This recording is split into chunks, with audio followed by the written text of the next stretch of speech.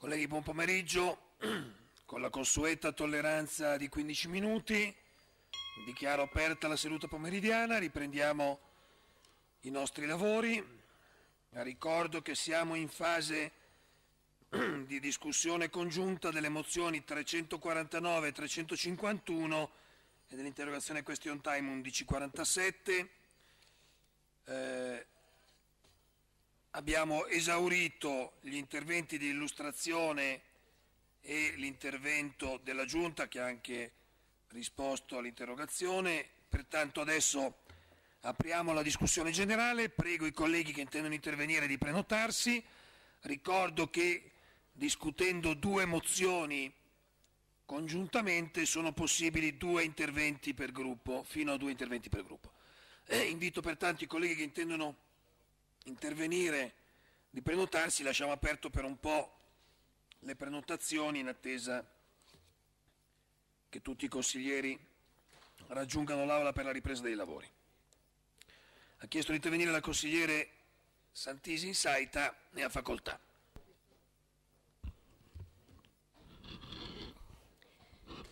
Grazie Presidente.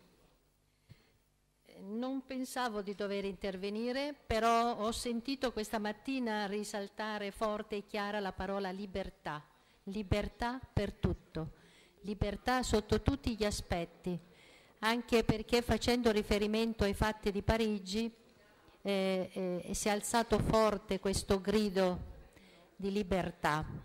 Ma eh, è la libertà che diventa dogma della satira o è la libertà, come qui stamattina risuonava, di scelta di stili di vita? La libertà di scelte conquistare? Benissimo. Nessuno credo in una democrazia che abbia mai vietato questa libertà.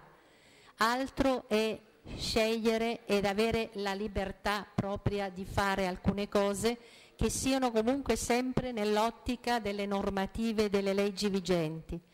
Altro invece è riconoscere ufficialmente alcune scelte, c'è una certa differenza.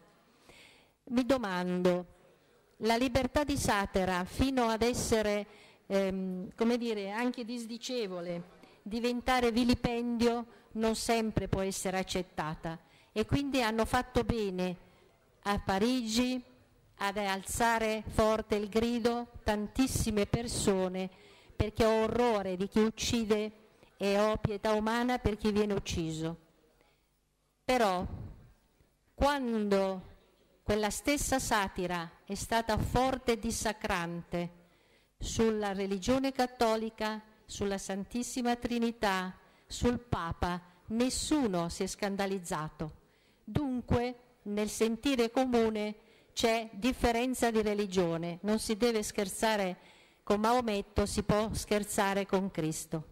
Allora questa mattina il discorso era delle coppie omosessuali o delle, degli incontri e del, eh, come dire, della cultura che si sta aprendo per esempio con una riforma che è in bozza al Parlamento e che mi fa molto pensare sull'ideologia del gender quindi in futuro vedremo quanti e come assortimento di persone avremo. Resta un fatto, da un punto di vista biologico il DNA dice che c'è un uomo e una donna. Io non mi stupisco, non mi scandalizzo se qualcuno sceglie una coppia diversa. E, peraltro ho avuto dei colleghi insegnanti, grande amicizia, persone splendide, squisite, omosessuali ma non hanno mai fatto carnavelate in giro per affermare un diritto eh, così, eh, come dire, solo eh, di grande folklore e non invece di dignità di vita.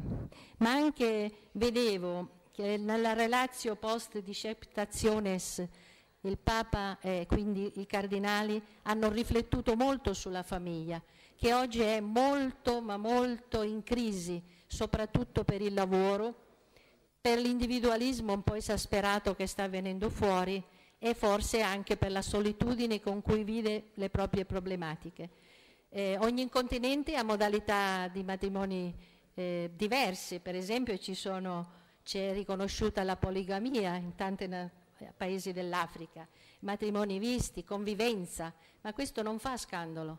Io però mi dico, se tanto abbiamo oggi osannato la libertà, io avrò diritto di credere nella famiglia uomo-donna e di avere quindi un partner che sia geneticamente uomo. E questo nessuno me lo può impedire. Allora, se dobbiamo osannare la libertà, perché c'è tanta ribellione contro un convegno che parla della famiglia? A questo bisogna mettere il bavaglio? Che problemi fa? Qual è questa tutta sta rabbia che ha fatto sorgere? E, e dicevo che in questo documento ci sono anche spunti per l'accoglienza degli omosessuali e per i bambini che vivono con coppie dello stesso sesso.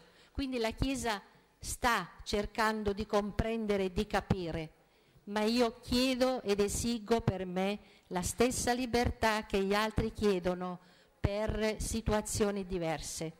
E intanto che sono a questo punto, vorrei, Presidente, se me lo permette, dove l'ho messo? Volevo dirgli che oggi sono sorti tantissimi io sono. Allora io sono Asia Bibi, la mamma pakistana con quattro figli che sarà impiccata perché è cristiana.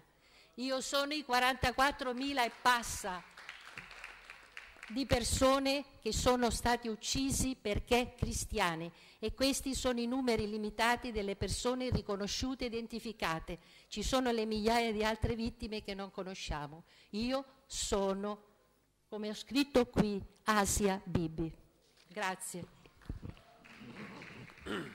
Grazie consigliere Santisi, io mi auguro naturalmente, sono certo che l'auspicio sia condiviso da tutti, che Asia Bibi non venga che la, la, condanna a cui è stata sottoposta non venga messa in atto e che si possa fare di tutto perché questo atto bar barbaro non si realizzi. Eh, al momento si sono iscritti per la discussione generale i consiglieri Ambrosoli, Pedrazzini, Castellano, Romeo, Carugo, Nanni, Decorato e Malvezzi, a cui darò la parola in questo ordine. Durante eh, invito i colleghi che intendono ulteriormente, ah, poi ancora Galli e Baldini. Invito i colleghi che intendono iscriversi di farlo nel corso dell'intervento del consigliere Ambrosoli a cui adesso do la parola, eh, dopodiché chiuderò le iscrizioni per la discussione di queste due mozioni. La parola al consigliere Ambrosoli. Grazie signor Presidente, grazie signore e signori consiglieri. Personalmente credo nella centralità della famiglia e condivido pienamente ciò che dice a riguardo la nostra Costituzione, una centralità di carattere sociale lo dico perché lo credo e lo dico per non cedere, anzi per non cadere nel tranello ipocrita e dialettico secondo il quale la critica al convegno del 17 prossimo 21 non può che essere mossa da chi è nemico della famiglia. Credo nella famiglia e utilizzo e faccio mie queste parole, io ritengo che la famiglia vada difesa perché è veramente quella che sostiene la società in maniera stabile e permanente e per il ruolo fondamentale che essa esercita. Però non è male in luogo di rapporti omosessuali occasionali che due persone abbiano una certa stabilità e che quindi in questo senso lo Stato potrebbe anche favorirli. Non condivido le posizioni di chi nella Chiesa se la prende con le unioni civili.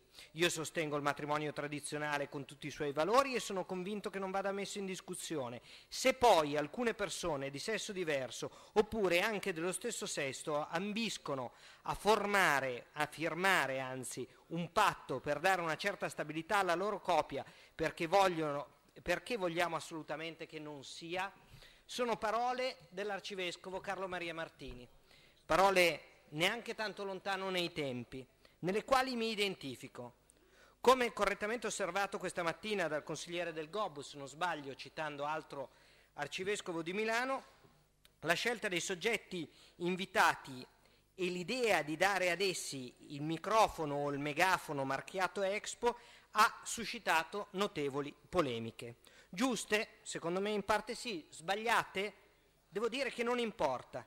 Ciò che rileva è che sono perfettamente prevedibili ed evitabili e in quanto prevedibili sono state necessariamente volute da chi in regione ha voluto alcuni di questi relatori da chi in regione ha voluto il marchio Expo. Allora dobbiamo chiederci perché. Perché abbiamo voluto inquinare Expo, la sua immagine, l'aspettativa del suo buon nome? Perché abbiamo voluto sentirci dire dal Presidente del Bureau dell'Esposizione Internazionale che si è abusato del marchio? Perché lo stesso Presidente ci ha dovuto segnalare di centinaia di lettere che riceve di protesta da tutto il mondo? Tutto perfettamente prevedibile, tutto una figuraccia internazionale che nella prevedibile dinamica semplificatoria dei media porta molti oggi a pensare che Regione Lombardia supporti non la famiglia, ma posizioni che giudicano, lontano dalla scienza, l'omosessualità una patologia. Certo, una figuraccia che ha anche un rovescio utile della medaglia. Nessuna reale politica a favore della famiglia viene promossa in Regione Lombardia, nessun aiuto realmente rivolto ad aiutare coppie giovani a formare una famiglia viene posto in essere, nessun modello operativo rivolto ad agevolare la costituzione e l'accesso agli asili nido per consentire alle persone di vivere in termini di compatibilità l'esperienza genitoriale e quella lavorativa viene posto in essere. Expo come marchio lì con il suo rilievo internazionale è oggi utilizzato in questa occasione come straordinaria arma di, di, distrazione di massa, distrazione rispetto al vuoto pneumatico delle politiche che questa giunta pone in essere, anzi non pone in essere, a favore della famiglia. Allora sì, tutto sembra un pochettino una grande ipocrisia, una grande ipocrisia gi giocata con una certa eh, e anche con una certa cattiveria, se vogliamo, nei confronti di chi è oggetto delle azioni di rigetto in ragione delle proprie scelte sessuali. È una figuraccia che potevamo evitare, o forse una figuraccia che ancora possiamo evitare, poiché certamente siamo perfettamente in tempo per permettere che questo convegno si tenga, che questo convegno sostenga le tesi che nello stesso saranno portate avanti, ma di farlo senza l'assimilazione del marchio Expo che con quanto trattato in quel convegno nulla ha a che vedere. L'invito è arrivato dal commissario straordinario per Expo Giuseppe Sala, l'invito è arrivato dal Bureau internazionale, abbiamo sbagliato, ma perseverare sarebbe diabolico.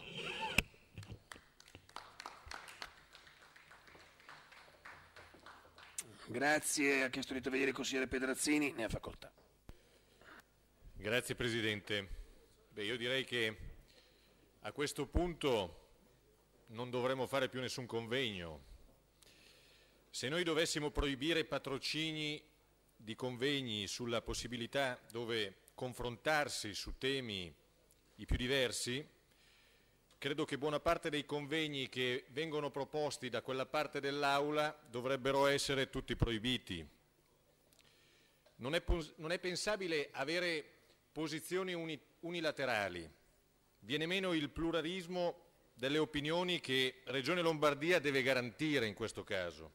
Ora, i convegni non si fanno con il patrocinio di, Regione Lombardia solo se vi è la presenza di Pedrazzini insieme a quella di Alfieri ma possono esserci dei convegni che sono patrocinati quando vi è la presenza di Pedrazzini o quando vi è la presenza di Alfieri, indipendentemente da essere presenti due tesi differenti che devono poi essere, essere confrontate e discusse insieme. Con queste posizioni che avete ribadito questa mattina anche nella, nella mozione che avete presentato, si rischia di assumere atteggiamenti, io direi quasi fascisti, settari, noi accettiamo tutti e lo ribadiamo con forza, abbiamo rispetto per tutti, anche per le diversità, ma non dimentichiamo che siamo in un sistema dove la famiglia è messa in primo piano nella nostra società e lo ricordava bene la mozione presentata dal, dal collega del Gobbo, dove ci sono riferimenti importanti nella Costituzione, dove vi è addirittura un riferimento nello Statuto d'autonomia della Regione Lombardia, nella Dichiarazione dei diritti universali dei diritti dell'uomo. Con più o meno forza la famiglia naturale rimane un perno centrale della nostra società. C'è chi lo esprime con maggiore forza, facendo riferimento a queste considerazioni, e c'è chi invece lo fa con meno enfasi. Ma il patrocinio dato da Regione Lombardia favorisce pertanto il confronto delle idee e lo rimarca con molta chiarezza. Ribadito poi che le inclinazioni e gli orientamenti sessuali non sono oggetto del dibattito del convegno e quindi non vi è nessuna discriminazione in riferimento, è il convegno quindi che solleva nella pubblica opinione il dubbio oppure siete voi che sollevate il dubbio di strumentalizzazioni? Per questo noi ci chiediamo come il Presidente Maroni avrebbe potuto non dare il patrocinio a questa iniziativa. Pertanto rimaniamo d'accordo a quanto fatto, a quanto previsto dalla Giunta e affinché il patrocinio rimanga per l'iniziativa in corso il 17. Grazie. Grazie. Ha chiesto di intervenire la consigliere Castellano, ne ha facoltà. Grazie Presidente. Io vorrei chiedere a quest'Aula su chi non è d'accordo pro- sul programma Difendere la famiglia. Noi siamo tutti d'accordo, è un obiettivo di tutti. È probabilmente una delle poche idee che condividiamo da questa e dall'altra parte, dall'altra e da questa parte. Ma il problema non è difendere la famiglia, non ci nascondiamo dietro un, un, dito. Il problema è quando si scaglia la famiglia nella sua sacralità in cui tutti crediamo contro soggetti, persone e comunità che declinano i loro affetti, la loro sessualità in maniera differente da quella della famiglia cosiddetta tradizionale. Allora il punto è questo, il paradigma che la maggioranza di questo Consiglio difende come un dogma istituzionale, un dogma istituzionale non è. Questo senza nulla togliere alla famiglia, come ben diceva il consigliere eh, Ambrosoli, che noi tutti difendiamo. Allora questo convegno sulla difesa della famiglia che la Regione Lombardia ha deciso di organizzare, non di patrocinare, ha il sapore di impulso razionale, davvero di impostazione oscurantista. Ma perché? Perché in questa Milano multinazionale, in questa Lombardia aperta al mondo, noi eh, ospitiamo persone che pensano che l'omosessualità sia una malattia, che gli omosessuali vadano curati e magari anche rieducati. Allora il punto è questo, che questo qualcuno venga ospitato a parlare in una organizzazione istituzionale da parte di Regione Lombardia, per, per di più con il marchio planetario di Expo. Allora io dico, è possibile che noi pensiamo che ci sia una sola famiglia che merita questo nome? Stiamo ancora a questo. Io voglio ricordare che sono decenni che le organizzazioni mondiali, dall'Organizzazione Mondiale della Sanità alle Nazioni Unite, sostengono le battaglie per i diritti degli omosessuali in tutto il mondo. Scusate. Prego un assistente d'aula di portare un bicchiere d'acqua alla consigliere Castellano, per favore, grazie.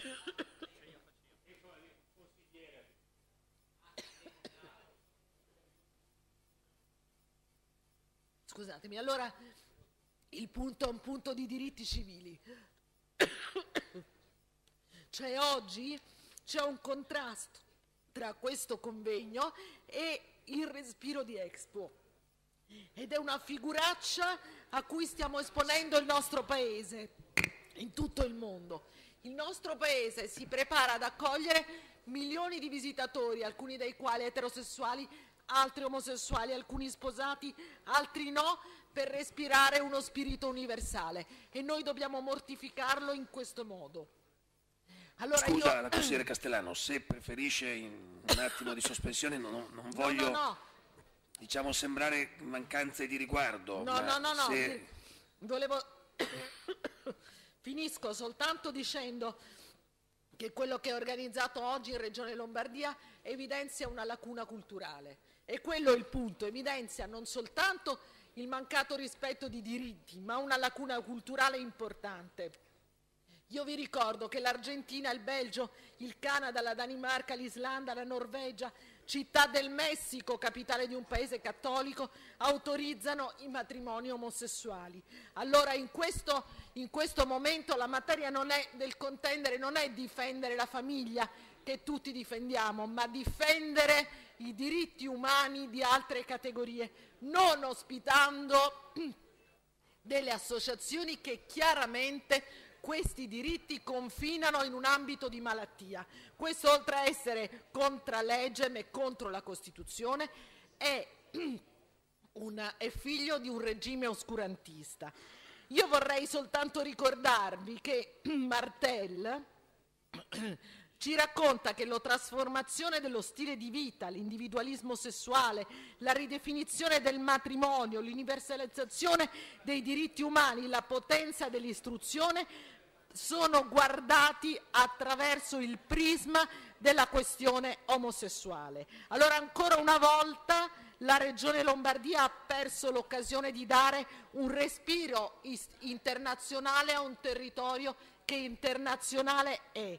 Ancora una volta, dopo l'eterologa, dopo tanti altri esempi che abbiamo avuto, ci stiamo caratterizzando come una regione oscurantista. Quindi ribadiamo con forza, diceva bene il consigliere Ambrosoli, ribadiamo con forza la richiesta di togliere il marchio di Expo e di revocare l'organizzazione del convegno, non perché siamo contro la famiglia, ma perché siamo contro chi limita e offende i diritti umani. Grazie.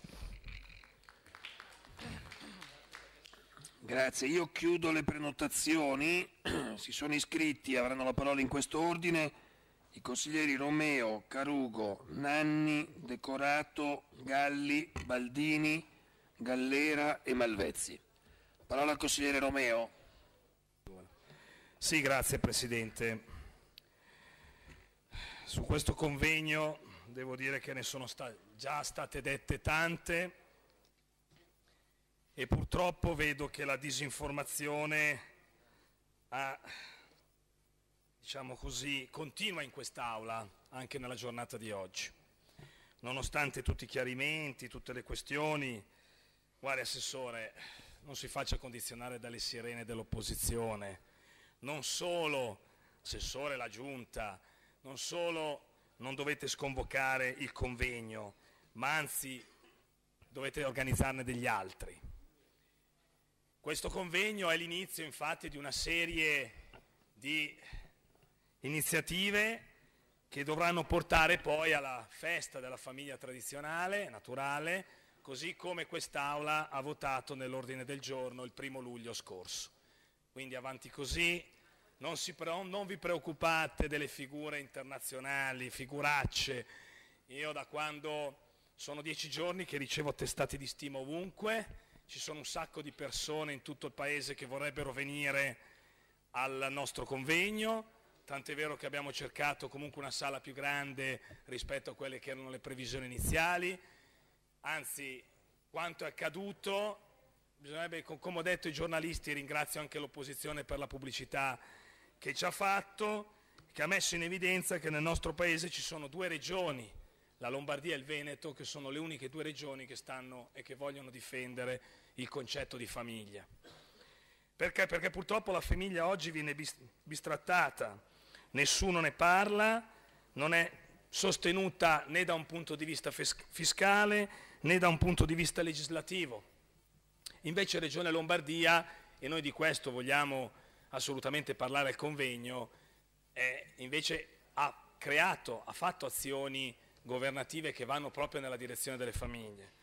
Non, io voglio ricordare i 39 milioni di euro messi a disposizione per l'emergenza affitti, i 70 milioni di euro per l'emergenza legata al sociale, minori, disabili, anziani, il provvedimento sui coniugi separati, la questione legata al fondo al fattore famiglia, i fondi Nasco e Cresco, tutte iniziative che sono caratteristiche e peculiarità di Regione Lombardia, che non troviamo in atti di governo né a livello nazionale né tantomeno in altre regioni amministrate da altri colori politici.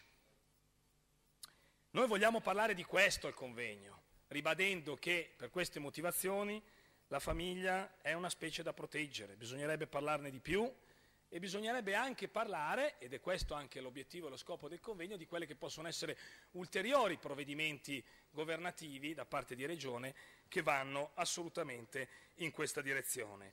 E invece tutte le volte che, come si può dire, si parla e si organizza qualcosa sulla famiglia, perché è stato così anche quando abbiamo presentato la nostra mozione sul sostegno alla famiglia tradizionale, anche lì, senza che nella mozione vi fosse alcun accenno a nulla, ci fu l'accusa e le polemiche sull'omofobia, polemiche sui giornali, anche lì che sono durate una quindicina di giorni. Lo stesso è avvenuto in Veneto, quindi sono solamente scuse e disinformazione quelle che vengono messe in atto sia dalle, dalle minoranze che eh, ovviamente da una certa parte di stampa, ma non dimentichiamo anche de, delle cosiddette associazioni, come si può dire, che così dicono loro di voler difendere i diritti degli omosessuali.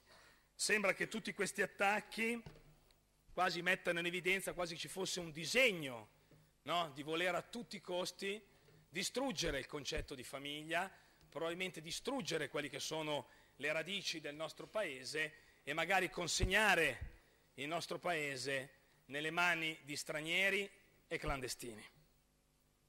E tra l'altro mi pongo anche una domanda, perché se vogliamo parlare ma noi non ne parleremo al convegno del 17, ma qualcuno ha fatto accenno al fatto che sulla questione dei diritti degli omosessuali, tutti questi attacchi, tutto questo clamore, tutta questa, questo baccano, questa levata di scudi nei confronti di un'associazione o di alcune associazioni che hanno l'obiettivo di accogliere e di rispettare le persone che vivono con sofferenza la propria identità sessuale e che non si propongono affatto di curarle, ma di sostenerle alla ricerca di sé. Ecco, tutta questa levata di scudi nei confronti di, una, di associazioni che fanno questo lavoro e però un assoluto silenzio nei confronti di altre culture che si affacciano nel nostro paese, che addirittura considerano l'omosessualità un reato. Ecco, nei confronti di queste culture silenzio assoluto.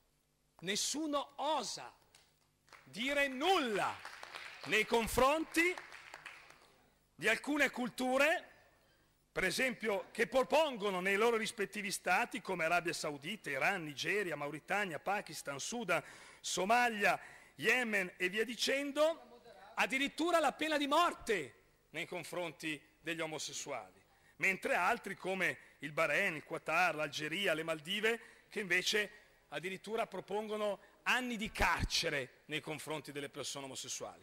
Ecco qui silenzio assoluto, ci sarebbe piaciuto magari o ci piacerebbe vedere ogni tanto, sentire ogni tanto un po' di clamore, ma mi sembra che nei confronti di queste culture ci sia un po' una sorta boh, di paura, di sottomissione, eh, alla base di questo silenzio incredibile. Forse questo dovrebbe far riflettere in tanti.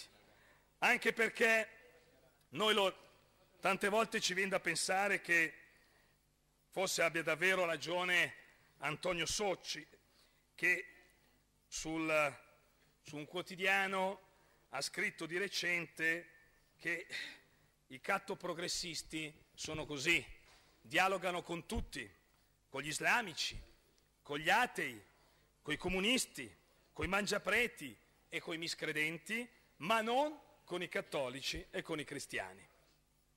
Probabilmente ha ragione e queste ultime due settimane mi sembra di aver un po' intravisto e di leggere questo pensiero e di dare concretezza a quello che è stato detto. Forse, oggi come oggi, invece, quello che dovrebbe fare scandalo, e noi lo diciamo, sono invece quelle associazioni che sostengono le, la cosiddetta teoria gender che la collega Saita ha messo in evidenza prima, che come ha scritto e detto l'ateo, l'anarchico, il progressista di sinistra, uno dei pochi, a mio giudizio, che ha gli attributi, un certo Michel Onfray, ossia che la teoria del gender non è altro che un nuovo puritanesimo, che vuole un essere umano nuovo senza sesso, Forse questo dovrebbe creare più scandalo rispetto invece ad associazioni che vogliono aiutare le persone che chiedono aiuto. Grazie.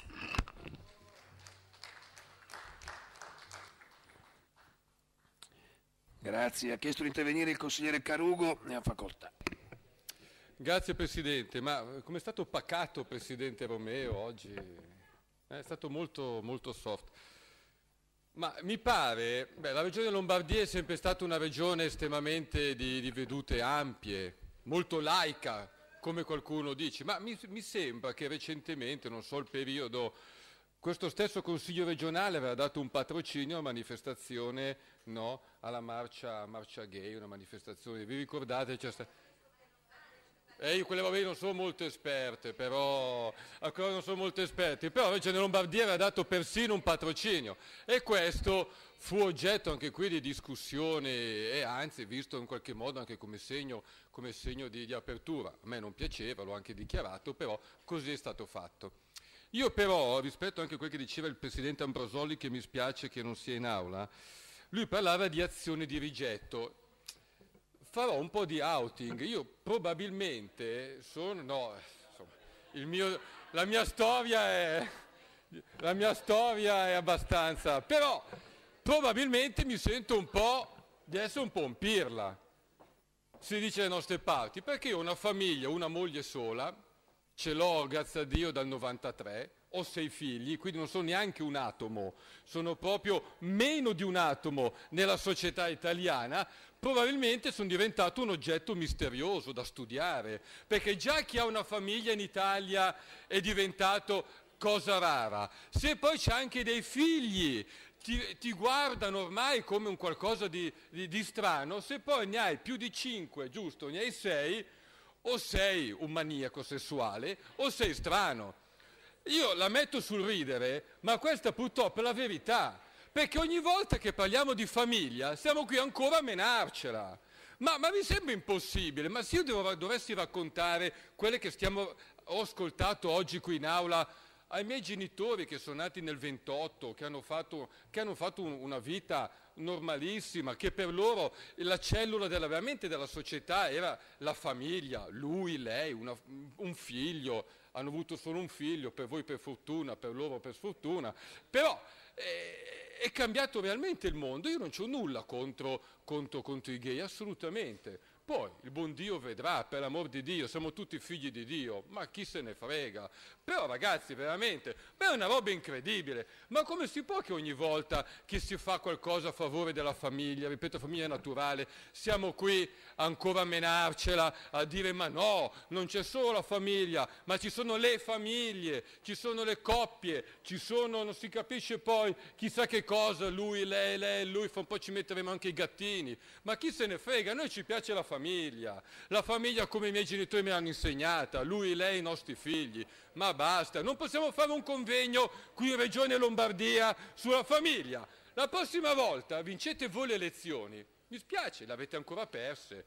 E non è colpa nostra e finché saremo qua noi difenderemo questi principi, questi valori, perché noi in questo ci crediamo e milioni di cittadini ci hanno votato e andiamo avanti così. Assessore Cappellini, giusto per chiudere, ma io le faccio anche a lei complimenti come promotore dell'iniziativa i complimenti perché non solo come qualche suo eh, consulente Sgabbia aveva detto per le indubbie doti estetiche, ma perché ha dimostrato di avere anche un'intelligenza particolare in questo caso ha fatto una cosa giusta e come diceva Romeo andiamo avanti perché finché governeremo questa regione, finché governeremo questa maggioranza e da questo punto di vista iniziate a essermi particolarmente simpatici voi leghisti, andiamo avanti così, difendiamo la nostra famiglia, la famiglia tradizionale. Grazie. Grazie consigliere Carugo, ha chiesto di intervenire la consigliere Nanni, ne ha facoltà. Grazie Presidente. Dunque, bell'esempio mi viene da rispondere al consigliere Carugo. Bell'esempio quando si entra nelle istituzioni, quando si governa una regione così importante come la Lombardia e si impongono ai cittadini dei modelli come quello della famiglia naturale. contro il quale contro il quale non è nessuno qui dentro quest'aula del Consiglio regionale, perché ben inteso. La famiglia che voi definite naturale è soltanto una delle espressioni in cui si manifestano eh, le numerose forme familiari oggigiorno, ma non solo oggigiorno, perché caro Carugo, a te i tuoi genitori ti avranno insegnato che la famiglia è mamma, papà e figlio e magari ti avranno anche detto che l'uomo è il capofamiglia e che la donna deve stare a casa a fare la calzetta, ma nel frattempo i tempi si sono un attimino evoluti e ve l'ho citato prima, leggetevi le sentenze della Corte Costituzionale perché voi siete rimasti troppo indietro. E onestamente io sono rimasta delusa anche dall'intervento della collega eh, consigliera Santisi, non, non mi aspettavo eh, onestamente che si arrivasse a strumentalizzare i fatti di Parigi per una situazione come questa, dove le forme di intolleranza sono praticate dalla giunta stessa nel momento in cui a un convegno che dovrebbe tutelare la famiglia, come dice il titolo,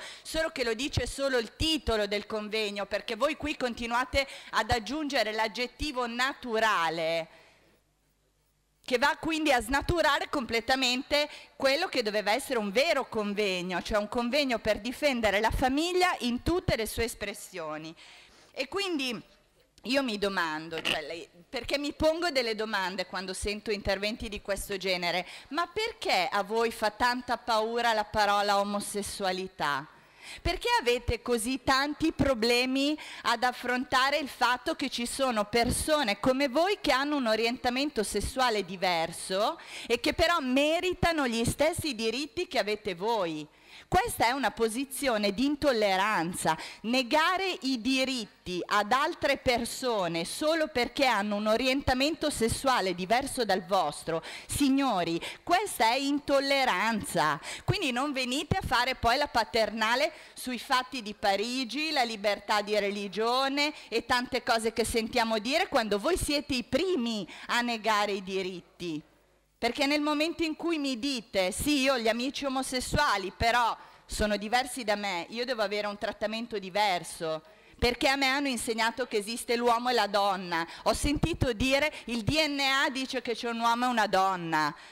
Ma lo sapete che l'orientamento sessuale è costituzionalmente garantito, è garantito dalla Convenzione dei diritti dell'uomo, è garantito dall'Organizzazione Mondiale Sanità, lo sapete che è una discriminazione porre una posizione eh, così in antitesi, persino ho sentito citare il Papa. Papa Francesco ha fatto una dichiarazione molto chiara in merito, qui nessuno di voi l'ha riportata. Papa Francesco ha detto chi sono io per giudicare gay o divorziati? Papa Francesco è molto più avanti di voi, è molto più evoluto di voi. E poi sento dire la poligamia non fa scandalo, ma la famiglia omosessuale sì. Ma queste sono dichiarazioni che non stanno né in cielo né in terra. Oltretutto si invitano delle associazioni, alcune delle quali hanno fatto delle dichiarazioni vergognose associando l'omosessualità a una patologia. Praticamente viene offerta la soluzione di curarli gli omosessuali.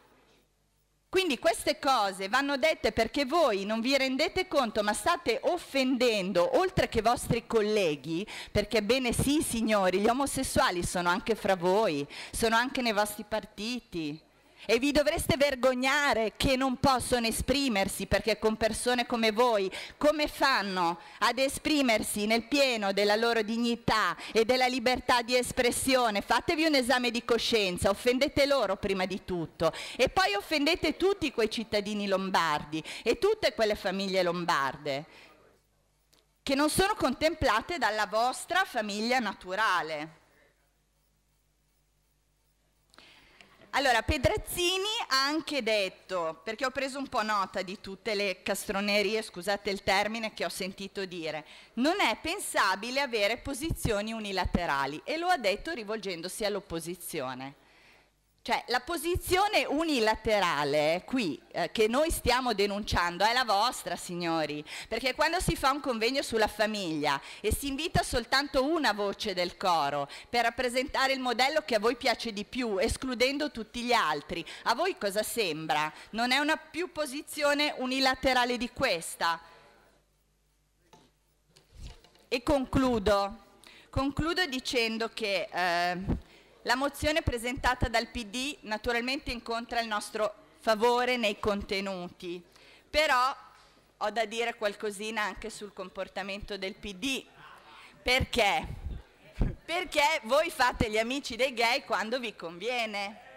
Sono, sono due anni, sono due anni almeno che promettete un progetto di legge per i matrimoni omosessuali Colleghi, per cortesia. E, e questi poveri omosessuali sono ancora bocca asciutta. Quindi non basta fare gli amici dei gay per fare il teatrino mediatico sui giornali ma bisogna anche concretamente spingere i propri colleghi parlamentari a portare avanti un disegno di legge che sia coerente con i vostri principi, perché se voi davvero ci credete nel matrimonio omosessuale, bene, adesso siete al governo e tutti gli strumenti ci sono per risolvere i problemi e garantire i diritti.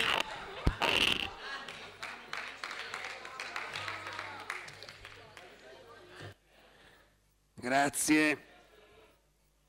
Colleghi, vi prego di ristabilire un clima diciamo, di, di, lavoro serio. Ha chiesto di intervenire il consigliere Decorato, ne ha facoltà. Grazie Presidente. Io volevo iniziare un po' dalla parte finale di quanto è stato detto fino ad, fino ad ora nei vari interventi. Voglio dire al PD che mai questa maggioranza è così compatta. Ci avete fatto un grande regalo, perché come avete visto su questo tema, ma lo avete anche registrato anche su altri questioni, ma su questo tema in particolare c'è una compattezza totale. Grazie ai consiglieri del PD, vi ringrazio a nome della maggioranza perché voi invece siete un po' divisi. Da quello che ho sentito da Vananni non è che c'è... No, io mi meraviglio che non ascoltate, evidentemente siete presi dall'eccitazione dell'argomento, quindi... Non, Colleghi, non, sono... non, dibattete tra no, di ecco, voi. Io non sono, io non sono, sono tranquillissimo. Ho detto, non mi sembra che la consigliera Nanni abbia nel suo intervento, nelle parti finali, in linea con quello, se ha ricordato qualcosa, devo, non devo ripeterlo. Lei lo ha sentito, eh, anche perché non sono il ripetitore della Nanni. Oh, per cui risentitelo, mi sembra che l'opposizione è divisa, o comunque molto divisa. L'opposizione.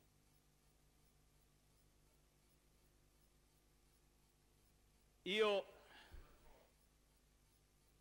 su questi argomenti, vede consigliere, sono molto attento a non ridere e a non prendere la sottogamba.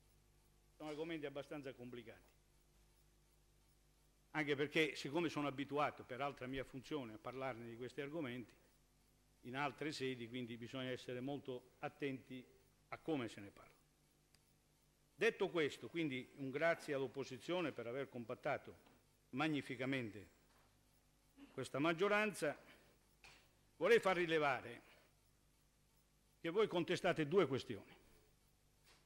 Una è l'utilizzo del logo della Regione, ma su quello io credo che nessuno possa contestare. Arrivo, ho detto due, arrivo così. L'altra è su quello credo che nessuno possa dire che la maggioranza che regge la Regione debba fare dei convegni su questo o quell'argomento interpellando sempre tutti. Può capitare che magari la maggioranza ha una linea ben precisa che non è quella delle famiglie al plurale, ma è quella della famiglia al singolare. Voi avete una concezione pluralistica della famiglia, noi abbiamo una concezione che è quella che è ribadita negli articoli 29 e 31 della Costituzione e negli articoli del Codice Civile 143 e 148. Qui è la differenza. Ma non voglio eludere il problema. Il lodo è sulla questione Expo. Allora, noi siamo in Expo, siamo presenti in Expo e a normativa vigente dello Stato italiano abbiamo fatto un convegno che non è in violazione di norme dello Stato italiano, ma è in perfetta, piena regola delle norme dello Stato italiano. Dovremmo consultare tutti i paesi del mondo per fare un convegno? Vi sembra normale? No, noi siamo aderenti come paese ospitante dell'Expo e non abbiamo contravvenuto a nessuna delle norme e non abbiamo violato nessuno, anzi siamo in perfetta rispetto delle norme costituzionali e del codice civile del nostro Paese. Allora dov'è questo problema? Il problema, è che, il problema è che noi utilizziamo Expo e allora dovremmo sollevare, e non lo abbiamo mai fatto, il problema del logo delle varie amministrazioni comunali, provinciali, regionali, che utilizzano il loro logo in maniera anticostituzionale. Perché quando si trascrivono, e non parlo del sindaco di Milano, parlo di tutti quei sindaci che hanno trascritto, compreso il sindaco di Roma, trascrivono anche del sindaco, no, non è che non parlo castellano, ma anche, per carità, anche, perché non è solo lui.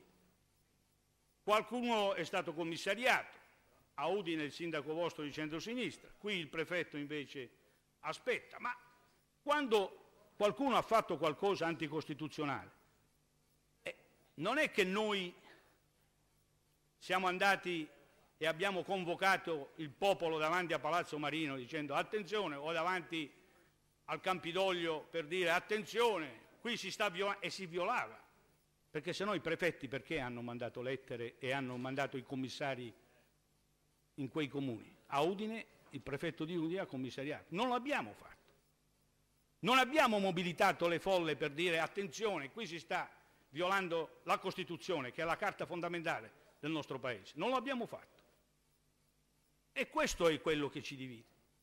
Voi mobiliterete sabato non so quanti e quante persone, farete, ci avete fatto un'ottima propaganda, vi ringraziamo. Dico all'assessore Cappellini, non avremmo, fatto, non avremmo potuto fare di più e avremmo dovuto spendere anche qualche soldino. Qui è stato tutto gratis. Paginate intere, per fortuna, gratuite a questo convegno, quindi siamo riusciti anche a farlo notare anche fuori dal nostro paese, mi dico. Quindi vi ringraziamo anche per questa enorme pubblicità che avete dato a questo convegno.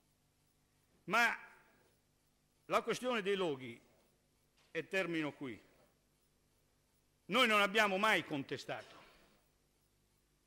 che i comuni dessero o province o addirittura anche regioni dessero il loro logo, anche quando queste iniziative erano un po' strane.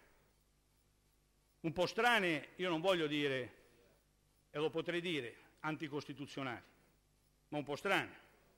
Perché vede, quando si dà il logo a addirittura quando si è dato il logo per una manifestazione del Salone del Legno a Milano, del Salone, e si è, e si è dato il logo a una manifestazione che per cinque giorni era intitolata Lesbiche fuori salone, laboratorio, due punti, simulacri di piacere.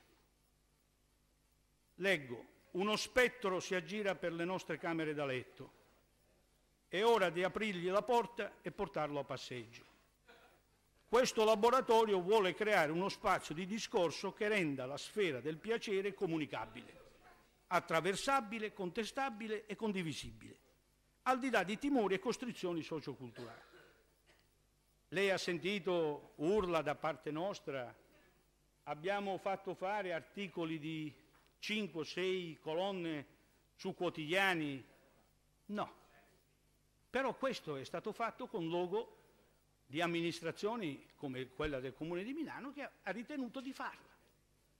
Abbiamo fatto qualche intervento in Consiglio Comunale, ma non ci siamo mossi davanti al Comune per dire protestiamo perché questa è una cosa ridicola, ignobile. No, non mi ha sentito urlare né qui né tantomeno lì. Voi invece continuate in una tecnica che è quella sempre usata. Il nemico è quello che non la pensa come noi. Io non devo ritornare su discorsi degli islamici, di come gli islamici trattano le donne, perché è tutto un discorso stato già fatto, non lo voglio rifare. Però, cari amici della sinistra, io vi faccio presente che quell'ordine del giorno che voi avete presentato qui, io lo potrei, tolta la parola regione, messa un altro capoluogo di... la potrei presentare pari pari in quella sede. Perché se qui si usa solo il logo Expo, lì si usa il logo del Comune di Milano per cose di questo genere. E non mi sembra che noi abbiamo mai detto quello che voi scrivete nella vostra mozione e che ribadite, io faccio un unico intervento Presidente, un unico, dove voi addirittura parlate di discriminazioni culturali, non l'abbiamo mai fatto in quella sede.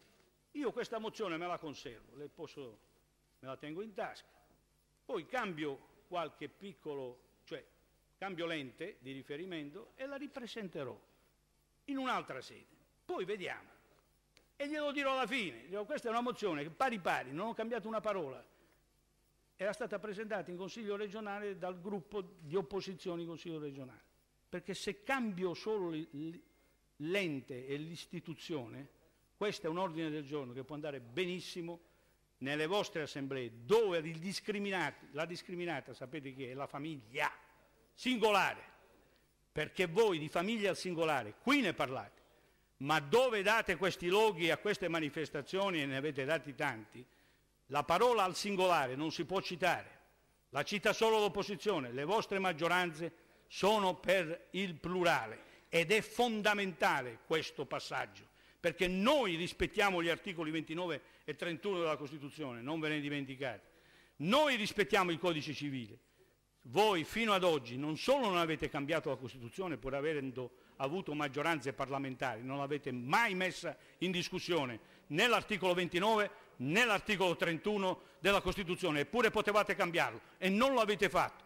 E noi a norma di quegli articoli continueremo a sostenere che noi siamo nella strada giusta, voi siete nella strada sbagliata e dove siete in maggioranza e dove siete all'opposizione. Grazie consigliere Decorato. Ha chiesto di intervenire il consigliere Stefano Bruno Galli, ne ha facoltà. Grazie Presidente. Ma io trovo davvero che ne siano state già dette troppe su questo convegno e non credo che sia un problema sostanzialmente di disinformazione. Eh, il problema è venuto fuori, credo, in modo abbastanza semplice è emerso in modo abbastanza significativo nel corso di questo dibattito, ma anche nei giorni scorsi, è un eh, problema davvero di strumentalizzazione ideologica che si fonda sulla mistificazione della realtà. Inutile girarci intorno. Io la trovo stucchevole questa polemica che si sta trascinando da una quindicina di giorni, che ha per oggetto anche povero assessore alla cultura che ha avuto la straordinaria idea di organizzare? Un, semplicemente un convegno sulla famiglia tradizionale e sulla comunità. Ma Così come trovo, oltre che stucchevole, anche ridondante il dibattito così come si è svolto fin qui. E io non credo che facciamo una bella figura davanti all'opinione pubblica, questo è il punto. Non credo che queste polemiche rendano onore, non credo che queste polemiche accese in cui si prende quello che non c'è in questo convegno, per strumentalizzarlo e quindi mistificare la realtà, non credo che facciamo, cioè è come se uno parlasse di pere e mele, due cose diverse, sono due cose diverse e strumentalizzare il fatto che non ci siano le pere insieme alle mele è davvero una mistificazione della realtà, una strumentalizzazione ideologica che non ci rende onore, non rende onore a questa istituzione, alla nostra dignità di essere qui consiglieri. L'abbiamo detto, famiglia e comunità sono questi due semplicemente gli elementi, gli oggetti del contendere, come emerge dal titolo dell'iniziativa della, eh, promossa dalla Regione. Io penso che prima o poi, davvero, prima o poi, è già accaduto quando parlavamo di riforme costituzionali, prima o poi credo che davvero ve li regalerò i sei volumi degli atti dell'Assemblea Costituente, quei sei volumi grigi con i quali ogni studioso ha fatto i conti almeno una volta nella vita, soprattutto se uno studioso serio, studiosi di discipline economiche, sociali e giuridiche, perché è da lì che bisogna partire. Da lì, perché da lì, dagli atti di, del dibattito che si svolse in Assemblea Costituente, emerge bene qual è il senso dell'articolo 29 della Costituzione repubblicana. Consigliere Nanni, lei ha ricordato benissimo che l'articolo 29 dice che la Repubblica riconosce i diritti della famiglia come società naturale fondata sul matrimonio. Certo, ma il matrimonio è ordinato sull'eguaglianza morale e giuridica dei coniugi, bisogna anche leggere il secondo comma, non solamente il primo comma dell'articolo, dell'articolo 29, perché l'articolo 29 deve essere preso nel suo complesso e qui non è rimasto indietro nessuno e qui non è rimasto indietro nessuno, semmai siamo avanti, è un altro paio di maniche. I protagonisti innanzitutto di quel dibattito che si svolse in Assemblea Costituente, leggiamoli i nomi di chi dibatté sull'articolo 29, Dossetti, il giovane Aldo Moro, La Pira, non personaggi di secondo piano, e per la sinistra e per il Partito Comunista chi è quasi paradossale, a me viene da ridere dirlo, però due giganti, Palmiro Togliatti e Nilde Iotti, è quasi paradossale che furono loro due a difendere le ragioni della sinistra e le ragioni del matrimonio, guarda caso. Eh? E a me stupisce il fatto che dopo il crollo delle ideologie, nel momento in cui patrioti- il patriottismo costituzionale in questo Paese è diventato uno strumento ideologico di una parte politica ben precisa, ecco, a me stupisce che ci sia questo stravolgimento, ci, ci, ci sia questa violenza usata nei confronti della, eh, della Costituzione repubblicana. L'articolo 29 colloca e si rifà e si riferisce a un approccio neo-giusnaturalista eh, a proposito della famiglia. E lo dice, eh, lo dice chiaramente, guardate che la famiglia è un diritto pre-politico, cioè arriva prima della legge positiva dello Stato. Questo è il dato di fondo, è un diritto naturale, così come è il diritto alla comunità, così come è il diritto alla secessione. Ci sono quei diritti che sono dei diritti pre-politici, c'è, una, una tradizione di giuristi che colloca il diritto alla secessione tra i diritti naturali. Ecco c'è tutta la tradizione del giusnaturalismo e dice che sostanzialmente la famiglia è un diritto prepolitico, è un diritto naturale. Per la Costituzione la famiglia, la comunità risiedono prima della legge positiva dello Stato, quindi prima della Costituzione degli Stati. L'approccio giusnaturalistico è lo stesso approccio che c'è nell'articolo 2 della Costituzione repubblicana, che è, una, che è un articolo inserito tra i principi fondamentali. L'articolo 2 che eh, dice che la Repubblica riconosce e garantisce i diritti inviolabili dell'uomo come singolo e anche nelle formazioni sociali dove si svolge la sua personalità.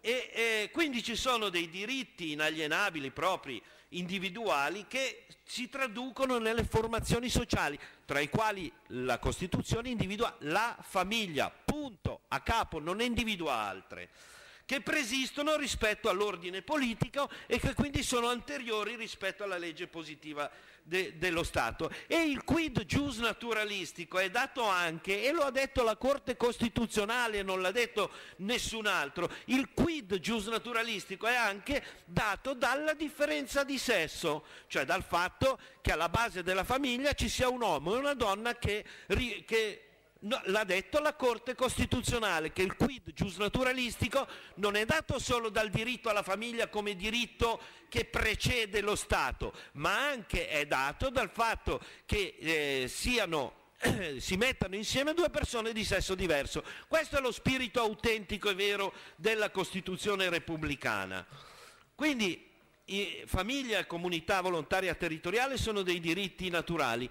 Tutto il resto, tutto il resto, con tutta la legittimità, tutto il riconoscimento, tutta la dignità delle cose, si inserisce in un ordine politico positivo, cioè la famiglia preesiste rispetto allo Stato, tutto ciò che è altro, che è diverso, deve essere riconosciuto dallo Stato, quindi compresi i diritti civili, che sono dei diritti politici, non sono dei diritti pre-politici. Il diritto pre-politico è la famiglia, il resto sono i diritti positivi riconosciuti dallo Stato e quindi si collocano su un altro piano. Tutto qui, non c'è nessuna, nessuna paura. Noi non siamo dei codini reazionari nel momento in cui organizziamo un convegno sulla famiglia e la comunità intese come diritti pre-politici. Poi esistono i diritti politici che si collocano su un altro piano e che nessuno si mette a sindacare. E è qui la strumentalizzazione radicale che è stata fatta. La Costituzione, questa parentesi voglio farla prima di concludere, la Costituzione eh, respinge quindi con fermezza quelli che tecnicamente si chiamano i diritti riflessi, che erano quei diritti ai quali si erano appellati i totalitarismi per invadere la sfera familiare, per condizionarla.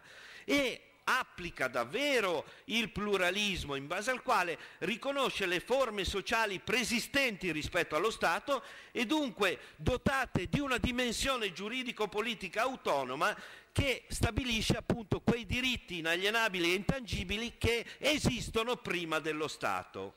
Così e solo così vengono tutelate le condizioni economiche, sociali e culturali della famiglia, ma anche i diritti da riconoscere alla, alla prole in ordine all'educazione e all'istruzione. Ed è su questo, su questa convergenza, sulla tutela dei diritti economici, sociali, culturali, il diritto di istruzione alla, alla prole, che si registrò la convergenza in assemblea costituente tra la democrazia cristiana, sostanzialmente tra Moro e Togliatti. È proprio qui perché nel momento in cui Moro ribadiva la necessità di tutelare la dimensione cattolica del nucleo familiare, allo stesso modo Togliatti voleva tutelare la dimensione ideologica di tipo marxista eh, derivante da una famiglia di eh, estrazione operaista. Questa è la convergenza sulla quale si misurò l'Assemblea Costituente. Dice se la, la, famiglia cattolica ha diritto a avere una, una, progenie di tipo cristiano-cattolico, un'educazione cattolica, allo stesso modo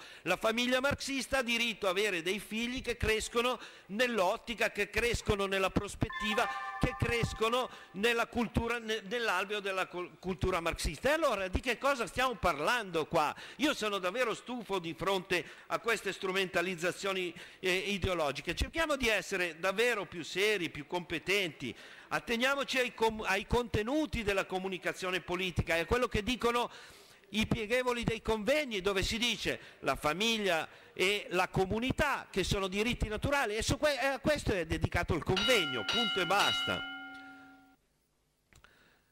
E cerchiamo di fare davvero le persone serie e, e davvero chiudiamola qui con queste polemiche stucchevoli. Quindi eh, ovviamente sì alla mozione che ha illustrato il collega Del Gobbo, no alla mozione che ha illustrato la, la consigliera Valmaggi, peraltro io mi permetto di ricordare che sul logo e l'utilizzo del logo il Presidente Maroni ha chiarito nettamente col BIE quale debba essere eh, l'utilizzo del logo di Expo e anche perché a me piacerebbe che tante volte, per esempio anche il Comune di Milano mi spiegasse quando usa il logo di Expo quante volte lo usa a sproposito o quante volte lo usano a sproposito per esempio gli sponsor di Expo, per cui Expo non si capisce come l'alimentazione cosa abbia a che fare con l'energia, con la benzina, eccetera.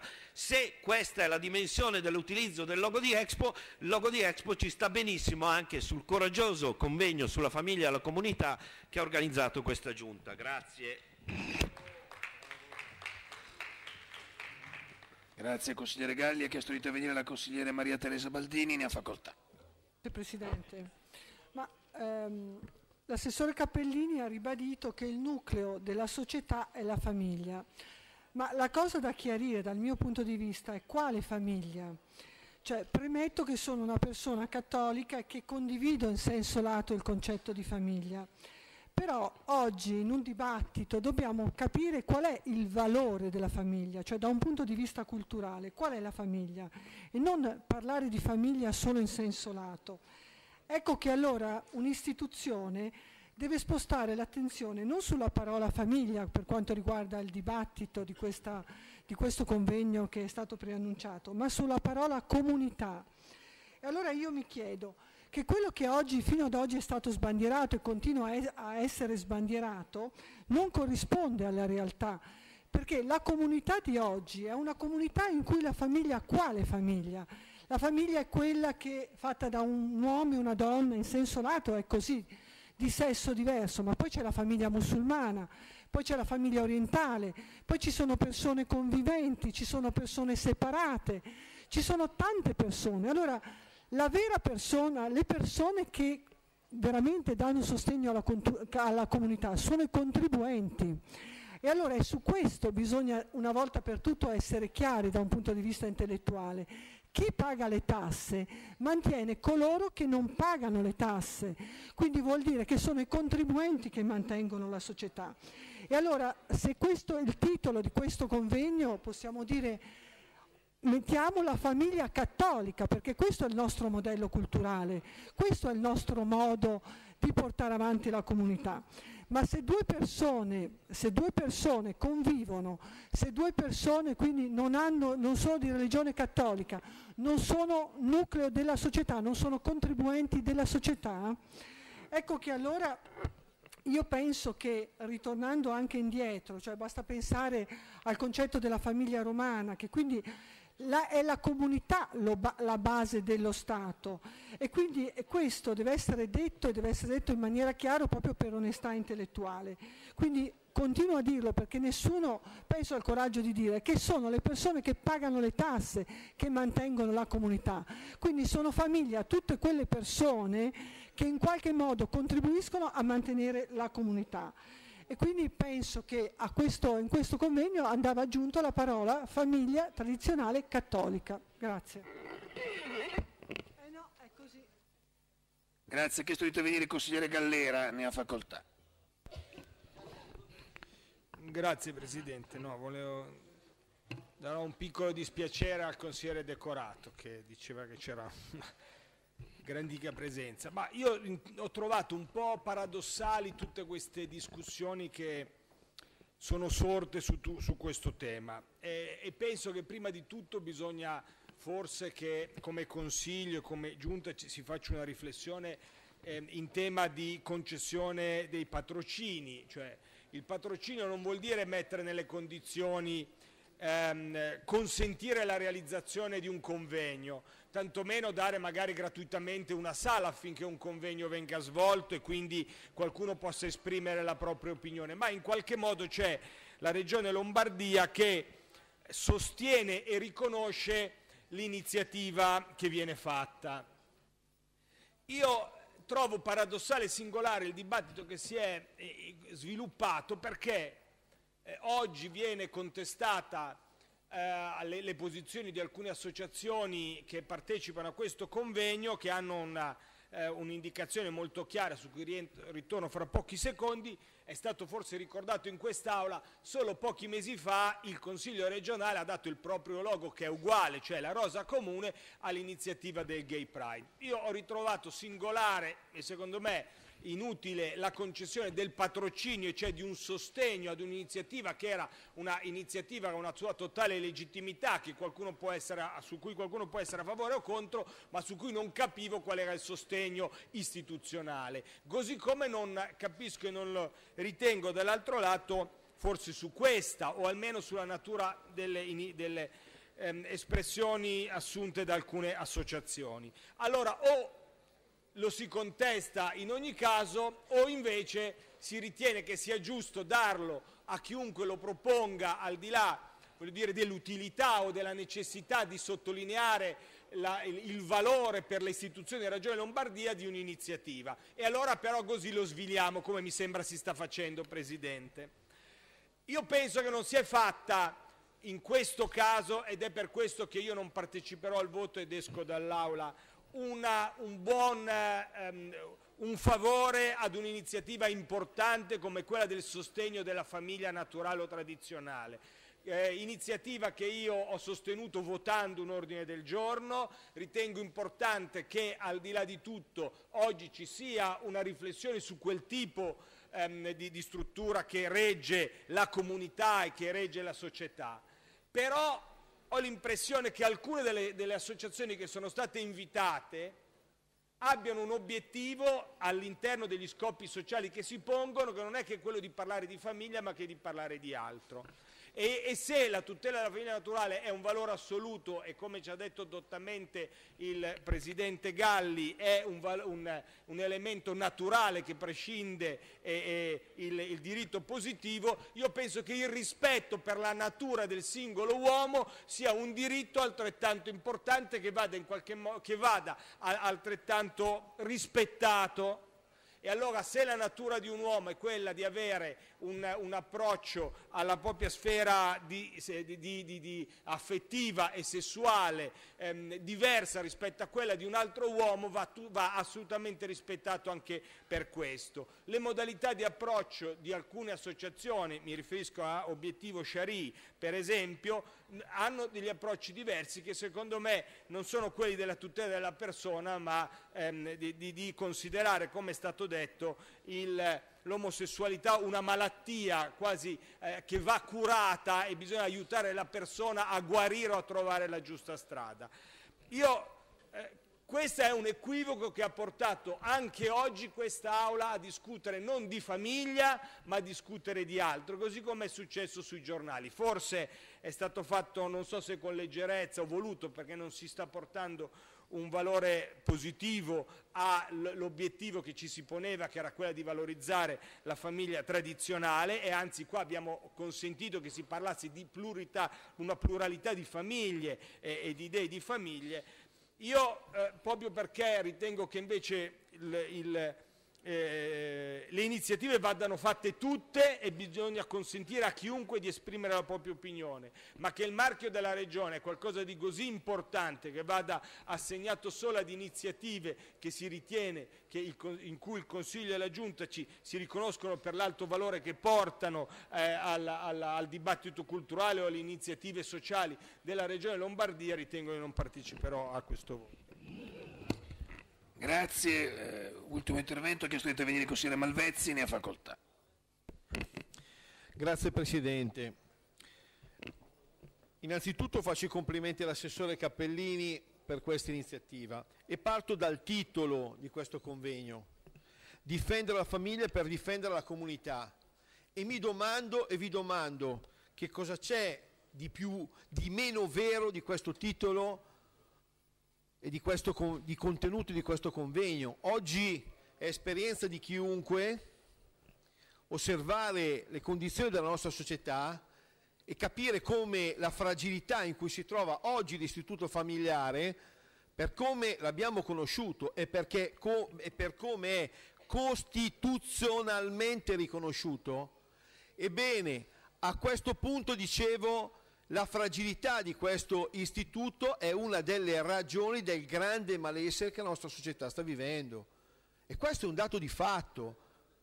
La grande drammaticità e la frammentazione che la società contemporanea sta vivendo deriva dalla fragilità della famiglia. E questo è un dato di fatto ed è la causa e noi dobbiamo lavorare perché si ricomponga una comunità attraverso una ricomposizione e una riproposizione di quei valori che sono fondanti della nostra società, cioè quelli della famiglia, che non è eh, consigliera Baldini la famiglia, solo la famiglia cattolica. La ricostruzione che ha fatto Galli è stata puntuale, ma io domando ai banchi dell'opposizione, ma i proletari chi erano? Se non quei soggetti che avevano come unica ricchezza i propri figli.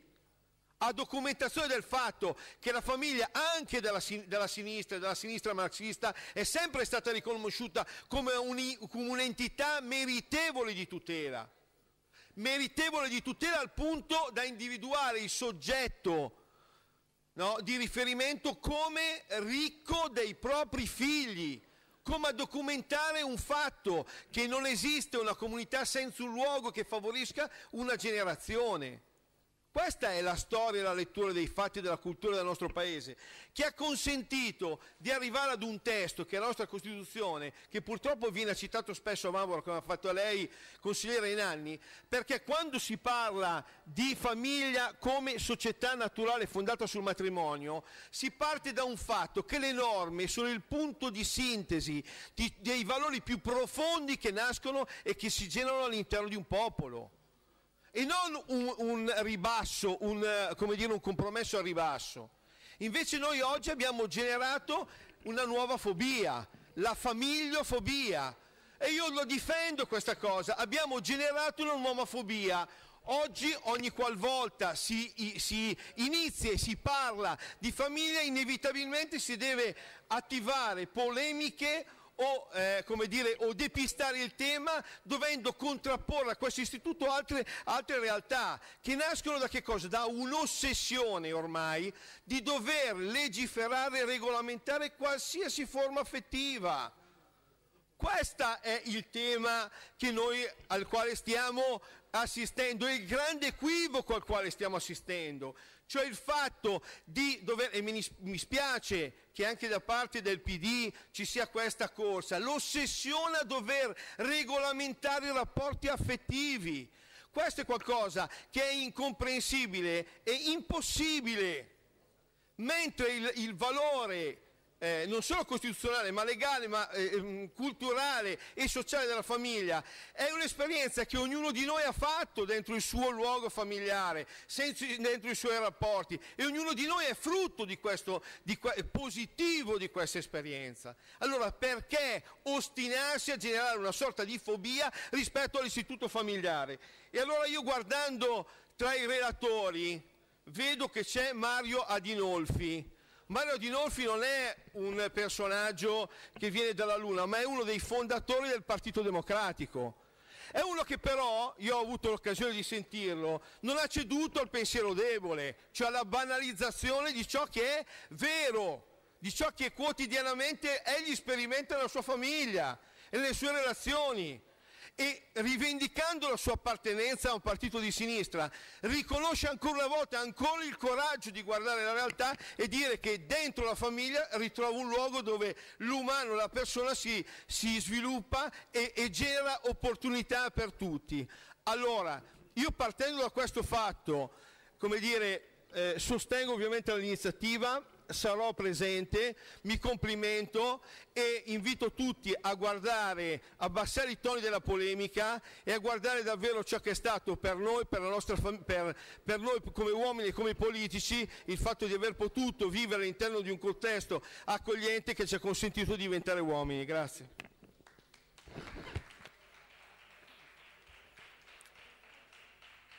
Grazie. Grazie consigliere Malvezzi. Ha chiesto di intervenire per fatto personale per un minuto il consigliere Borghetti, ne ha facoltà.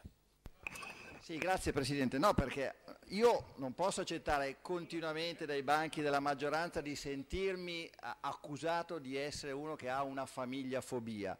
Cioè il 90% del tempo che avete dedicato ai vostri interventi è stato fatto a sostegno della famiglia, che alcuni chiamano naturale, sostenendo la tesi che da queste parti si è contro la famiglia. Io questa cosa la rigetto, altro che fatto personale, non so cosa ci sia nel regolamento di più forte del fatto personale, ma non voglio che ci si metta addosso un'etichetta che nessuno di noi merita, perché nessuno di noi oggi ha sostenuto tesi contro la famiglia. Il tema era un altro, oserei dire che il 90% del tempo speso su questo dibattito era fuori tema.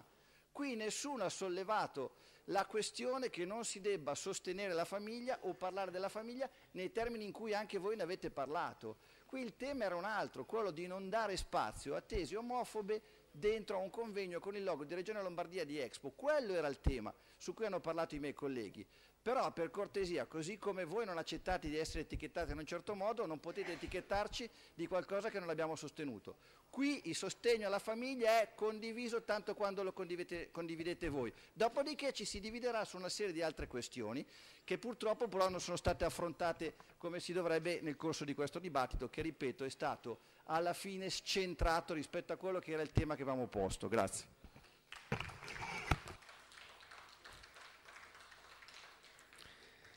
Bene, dopo l'intervento per fatto personale e familiare del consigliere Borghetti si è conclusa la discussione generale. Io dico solo al termine di questa discussione mi sarebbe piaciuto che qualcuno documentasse un esempio di questo presupposto contenuto omofobo dei promotori del convegno o delle famiglie o delle associazioni invitate. Devo dire con franchezza che non mi è ancora capitato di trovare una documentazione di questo, ne sarei grato a chi volesse fornirmela, almeno per capire su cosa è stata costruita la polemica.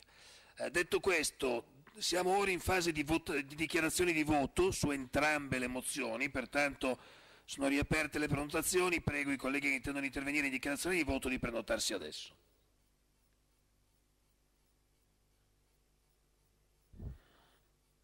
Al momento si è prenotato solo il consigliere del Gobbo, se non ci sono altre dichiarazioni di voto io chiudo le prenotazioni. Del Gobbo, Nanni, Brambilla, secondo il criterio statutario avranno la parola in questo ordine, quindi prima il consigliere del Gobbo ne ha facoltà. Sì, grazie Presidente, una dichiarazione di voto sintetica considerando appunto gli interventi anche del gruppo dell'NCD che mi hanno appunto preceduto. Io riprendo le parole del collega Carlo Borghetti. Eh, nessuno, se ho ben capito, è contrario alla famiglia, quindi siamo tutti favorevoli alla famiglia secondo quello che la Costituzione prevede. No a un convegno omofobo e quindi mi, vengo, mi viene da dire ma di che cosa stiamo parlando? Perché io ribadisco, attraverso appunto la dichiarazione di voto del nuovo centrodestra, quindi a favore e a sostegno del convegno organizzato dal Presidente Maroni e dall'assessore Cappellini, a cui appunto va ancora il plauso per questo intervento, che l'intendimento della Giunta non è mai stato quello discriminatorio e eh, per discriminare chi ha un orientamento eh, omosessuale, eh, il tema del convegno del prossimo sabato è inequivocabile, ripeto, la tutela e la valorizzazione della famiglia come riconosciuta dalla Costituzione e valorizzata anche da un ampio vaglio, eh, ventaglio scusate, eh, di norme nazionali e regionali a cui abbiamo fatto riferimento nel dibattito. Quindi chi ha voluto leggere, e riprendo proprio l'intervento di Carlo Borghetti, eh, contenuti diversi rispetto ad un convegno che non si è ancora celebrato, lo ha fatto in modo strumentale e censurando, io dico in modo molto grave, preventivamente un dibattito ancora da tenere. Quindi il nostro sarà un voto chiaramente a favore e a sostegno del convegno organizzato dall'assessore Cappellini e dall'altra parte un voto contrario alla mozione presentata dal PD.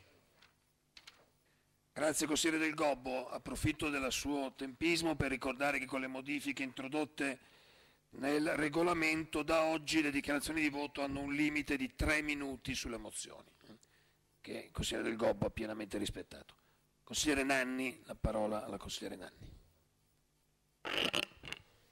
Sì, dunque Presidente non mi, non mi, dilungherò oltre perché già nel dibattito abbiamo espresso molto chiaramente le nostre posizioni.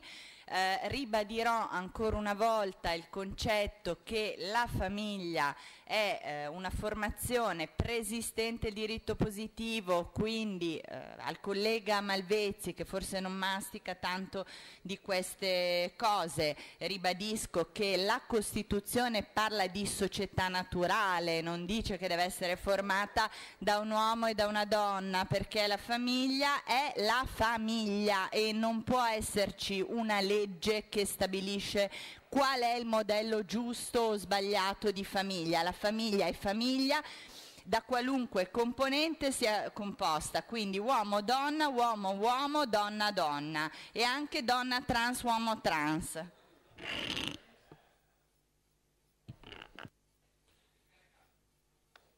Eh, ha chiesto di intervenire per dichiarazione di voto del gruppo PD il consigliere Brambilla, ne ha facoltà. Grazie.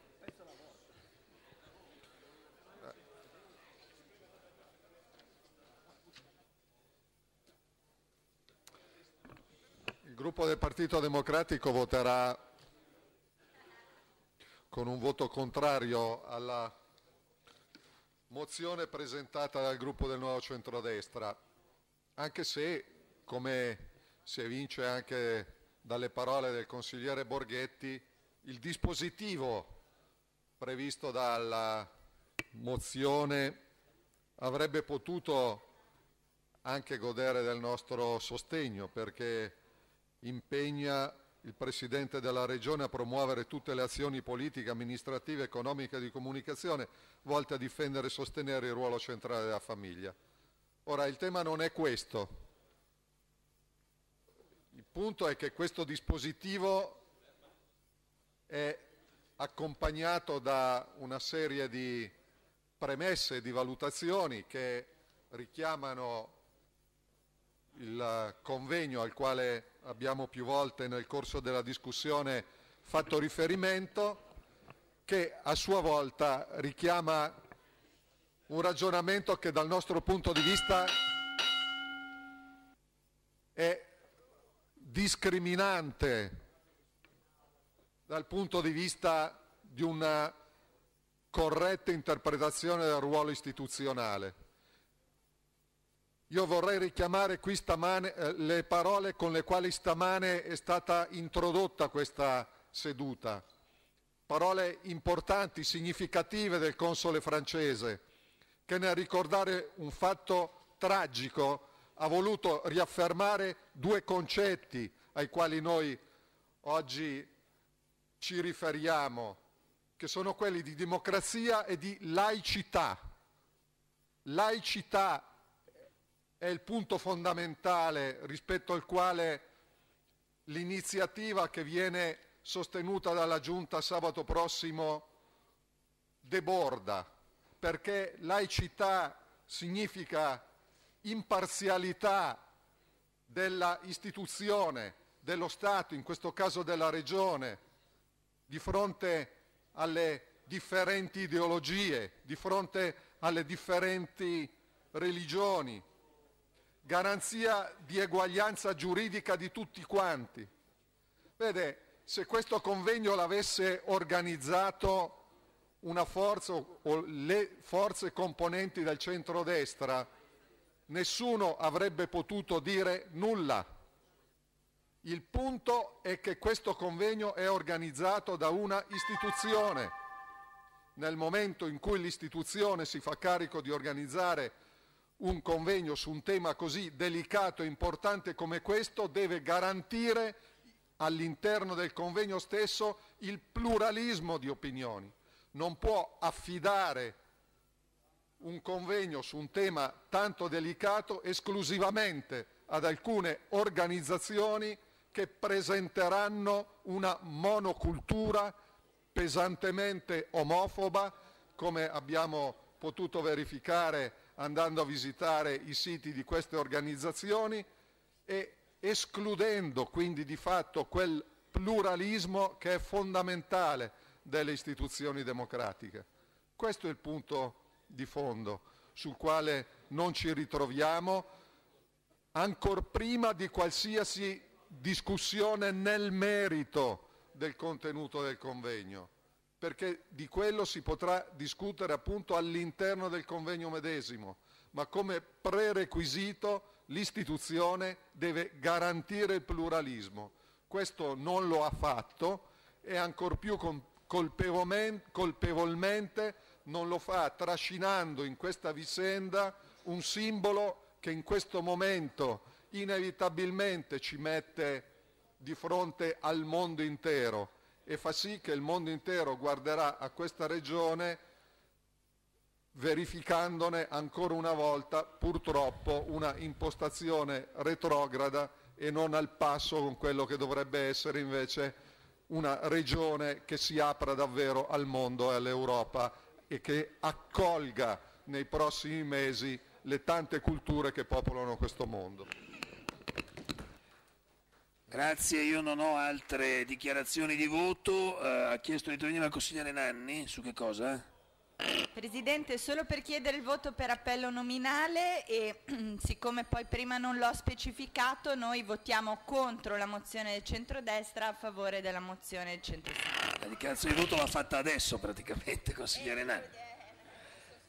Va bene, eh, allora votiamo per appello nominale. Ricordo che ai sensi dell'articolo 123 del regolamento, che al, al comma 1 dice più mozioni concernenti il medesimo oggetto devono essere poste in votazione secondo l'ordine di presentazione, che a differenza dell'ordine del giorno che mette prima la mozione 351 e poi la 349, per adempiere al regolamento dobbiamo votare prima la 349 che è stata presentata, come dice la numerazione, precedentemente. Quindi pongo in votazione prima la mozione 349 e poi la 351. La mozione, eh, sì, mi ricordo, dottor Quaglini, però che non sono stati indicati i cinque richiedenti del voto eh, per appello nominale, consigliere Nanni. Scusi Presidente, i cinque richiedenti sono Corbetta, Buffagni, Carcano, Maccabiani e la sottoscritta. Bene, grazie. Allora, dicevo, pongo in votazione la mozione 349, utilizzo del marchio Expo 2015 per il convegno Difendere la famiglia per difendere la comunità, primo firmatario Brambilla. È aperta la votazione.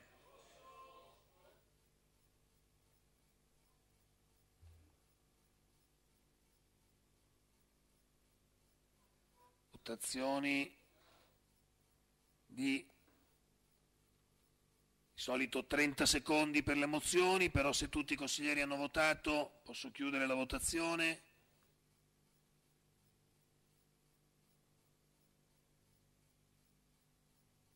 Ora chiudo la votazione. Presenti 68, votanti 67, favorevoli 26, contrari 40, astenuti 1. Il Consiglio non approva. Pongo ora in votazione la mozione 351, sostegno al convegno Difendere la famiglia per difendere la comunità, primo firmatario Del Gobbo. È aperta la votazione.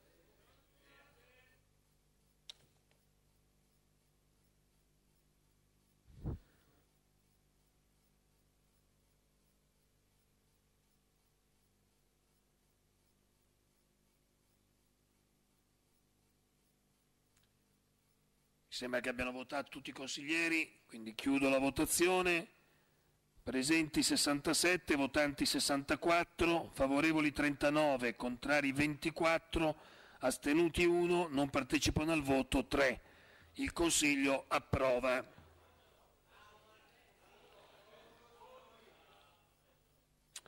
Bene, con questo abbiamo esaurito la discussione e la votazione sulle ultime due mozioni. Riprendiamo l'ordine del giorno Così come è stato presentato, siamo ora in trattazione della mozione numero 91, congedo di paternità per i dipendenti delle pubbliche amministrazioni, primo firmatario il consigliere Saggese che invito a illustrare il contenuto pregando il Consiglio, pregando il Consiglio per cortesia di ristabilire un po' di ordine. Grazie. Consigliere Malvezzi, ha sbagliato a votare? Prego, dichiari il suo errore, provvederemo a correggere. Sì, eh, ho sbagliato nella seconda mozione, quella presentata da Luca Del Gobbo. Chiederei quindi la modifica del mio voto, dando voto favorevole. Mi era parso che ci fosse un errore nella- dalla luce che era comparsa al suo posto.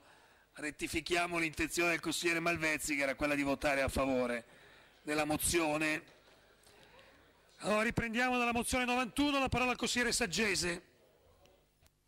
Sì, grazie Presidente. Questa mozione tra l'altro si inserisce nel- all'interno dell'argomento che è stato appena sviscerato sulla famiglia perché parliamo praticamente dei due componenti della famiglia, del papà e della mamma e mi verrebbe da dire che probabilmente anche all'interno del nostro Paese prima ancora di parlare di equiparazione tra famiglie naturali o famiglie non naturali forse bisognerebbe affrontare in maniera molto più sentita l'argomento dell'equiparazione dei due genitori che molte volte noi tra l'altro siamo stati protagonisti di certe del- di una legge che ha riguardato i genitori separati in cui abbiamo visto che non sempre per l'appunto c'è un'equiparazione eh, del ruolo del papà con il ruolo della mamma. E, e questa mozione va per l'appunto verso diciamo, un'equiparazione di quello che è il ruolo paterno rispetto per l'appunto a quello materno, nel senso che noi prendiamo spunto dalla legge 92, l'articolo 4 che praticamente eh, la, la nota praticamente legge Fornero che al fine di sostenere la genitorialità e soprattutto promuovere una cultura di maggiore condivisione dei compiti di cura dei figli all'interno della coppia ha previsto un congedo obbligatorio di un giorno più altri due facoltativi per il padre. Ora il problema dove due facoltativi per il papà qualora poi venisse per l'appunto diciamo concordato con l'altro genitore. Ora una nota del Dipartimento della Funzione Pubblica del 20 febbraio del 2013 ha specificato che questa eh, regolamentazione eh, che è già operativa, è diventata immediatamente operativa. Chiedo scusa, consigliere per- Saggese. Colleghi, per cortesia, io non riesco a sentire il consigliere Saggese. Immagino che questo valga anche per altri in quest'Aula. Questa nota del eh, Dipartimento della Funzione Pubblica ha specificato che il congedo obbligatorio, per cui ripeto alcuni passaggi che ho evidenziato nella parte iniziale del mio intervento, del congedo obbligatorio per il padre più i due giorni facoltativi da istituire, da concordare con l'altro genitore è immediatamente diciamo, operativo ed è stato immediatamente operativo per i dipendenti del settore privato, mentre per i dipendenti delle amministrazioni pubbliche questa nota ha specificato che c'è bisogno, il tutto è subordinato all'approvazione di un'apposita normativa su iniziativa del Ministero per la pubblica amministrazione. Di questo contenuto anche una circolare dell'Inps datata 14 marzo 2013 ne ha fatto menzione e tra l'altro c'è stata anche la divulgazione di una circolare interna qui all'interno del Consiglio regionale nella fattispecie il primo marzo del 2013 in cui si ribadiva che i padri lavoratori presso le pubbliche amministrazioni per poter usufruire del congedo obbligatorio, di un giorno di congedo obbligatorio e dei due giorni facoltativi, così come possono usufruire invece i padri lavoratori del settore privato, devono attendere quella che è un'apposita normativa da parte per l'appunto del Ministero. Ora, considerando che il congedo obbligatorio e facoltativo previsto dalla legge 92 all'articolo 4 non si applica direttamente ai rapporti di lavoro dei dipendenti delle pubbliche amministrazioni, con questa mozione vogliamo sensibilizzare, renderci parte attiva nei riguardi del Ministro per la pubblica amministrazione e la semplificazione affinché venga emanata una specifica normativa e quindi avvii una equiparazione tra coloro che lavorano nel settore pubblico e coloro che lavorano invece nel settore privato. Io ritengo che questa mozione nasca e debba comunque essere indirizzata verso una risposta che sia ovviamente coerente all'evoluzione a cui è andata incontro la struttura della famiglia negli ultimi anni, con il conseguente mutamento, almeno in certa misura, delle responsabilità e dei ruoli di entrambi i genitori. Un tempo il padre era colui che provvedeva in via quasi esclusiva al sostentamento materiale ed economico della famiglia, la madre invece spettava il compito di accudire i figli e di gestire la casa. Il giorno d'oggi, eh, con l'emancipazione femminile e per la necessità che entrambi i genitori lavorino per poter garantire alla famiglia un reddito sufficiente, madre e padre insomma, si alternano nell'accudimento domestico dei figli. Ora, visti questi cambiamenti sociali oramai lampanti e sotto gli occhi di tutti, permangono tuttavia nei vari paesi europei significative differenze nelle risposte che vengono fornite eh, dalle, eh, dalle, varie politiche e dallo Stato sociale. Per fare ad esempio eh, qualche riferimento, in Francia, in Svezia o nel Regno Unito il diritto per il padre di usufruire di permessi per occuparsi dei figli è da molto tempo consolidato, mentre lo stesso diritto fa fatica ad affermarsi nel nostro Paese. Per questi motivi si rende necessaria questa mozione perché si ponga attenzione nel settore pubblico, ripeto, perché questa mozione intende sollecitare il Ministero affinché avvenga questa equiparazione, si ponga attenzione nel settore pubblico ai diritti di genitorialità del padre. Ora non stiamo parlando ovviamente di una grande rivoluzione perché stiamo parlando poi di un giorno di congedo obbligatorio e di due giorni facoltativi, quando invece in realtà dovrebbe avvenire una rivoluzione in maniera tale che ci possa essere una piena equiparazione di quello che è il tempo comunque eh, in cui può restare a casa il papà rispetto per l'appunto alla mamma e proprio perché c'è una rivoluzione non ci sembra diciamo, possibile poter tollerare questa disparità di trattamento tra il settore privato e il settore pubblico. Tra l'altro non dobbiamo rivolgere lo sguardo soltanto alla necessità dei padri, al loro ruolo e alla necessità dei figli di avere accanto ovviamente l'apporto e l'educazione paterna, ma anche alle aspirazioni delle donne che ogni giorno combattono per il riconoscimento nell'ambiente lavorativo,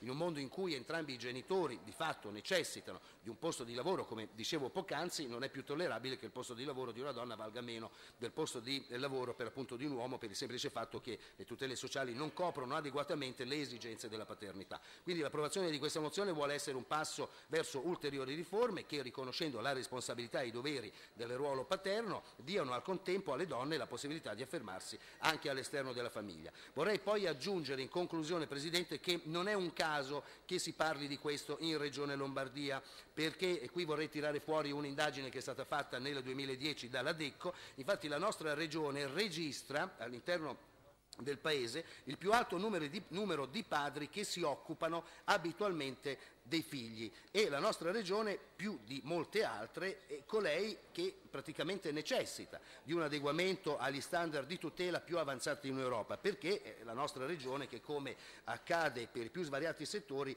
è in linea con i paesi più progrediti del continente. Ora le famiglie lombarde che hanno un padre lavoratore presso il settore pubblico stanno aspettando già da parecchio tempo che venga emanata questa direttiva da parte del Ministero affinché anche nell'ambito del settore pubblico ci possa essere il congedo obbligatorio di un giorno e facoltativo di due giorni da concordare insieme all'altro genitore. Questo è quello che chiede la mozione, questo è quello che chiediamo al Ministero competente affinché venga per l'appunto sollecitato ad elaborare il provvedimento che dicevo prima per permettere a tutti i papà di usufruire di questi giorni di congedo. Grazie Presidente. Grazie consigliere Saggesi, aperta la discussione generale. Prego i colleghi che intendono intervenire di prenotarsi.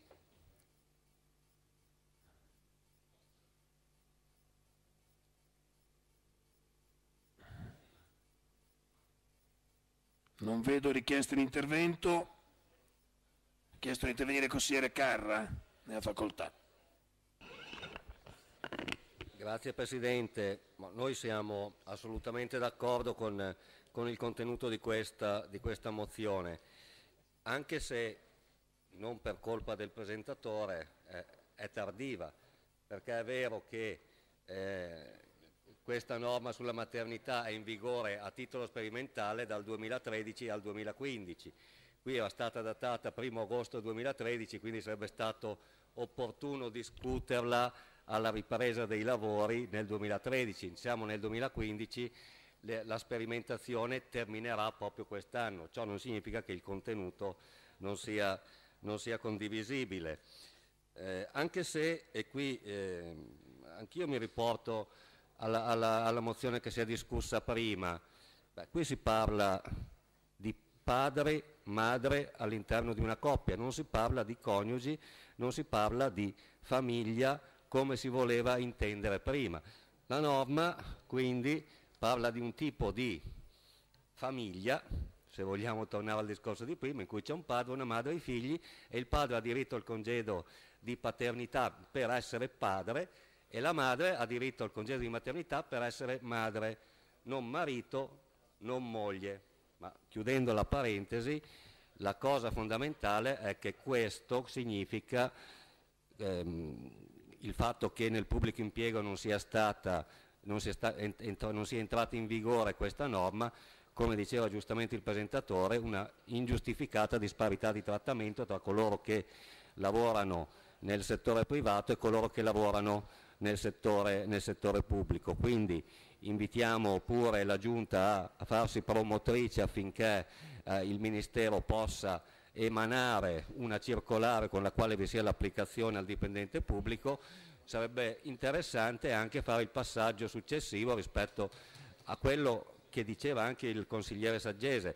Cioè, è vero che qui ci si è conformati alla direttiva europea numero 108 del 2010 sul, sulla, sulla paternità, sulla maternità, sui congedi parentali. Ed è verissimo però tanto più che in Svezia, in Norvegia, in Francia, in Inghilterra, negli altri paesi vi è una cultura differente, qui era stato dato un giorno, quindi un giorno entro i cinque mesi del bambino nel quale obbligatoriamente il padre deve stare ad accudire il bambino mentre eh, in Norvegia per esempio sono 12 settimane, questa è, è la è più ampia, 20 giorni mi pare in Francia, ehm, tre giorni in Inghilterra, quindi anche questo sarebbe opportuno, quindi opportuno una modifica. Io credo che sia stato limitato a un giorno, come sempre succede in questo Paese, per limitatezza di risorse. Però anche qui bisogna sempre capire bene quali sono le priorità e su cosa vogliamo investire.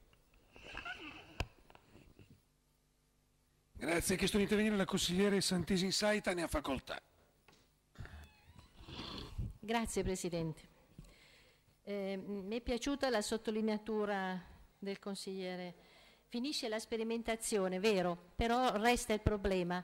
Quindi eh, se eh, nell'andamento dei lavori non siamo stati subito pronti a cogliere questo aspetto, ma ci sono tante cose che vanno modificate, ben venga, perché comunque va risolto e anche nelle giornate, perché un giorno obbligatorio e due opzionali non risolvono il problema eh, di collaborazione e di aiuto.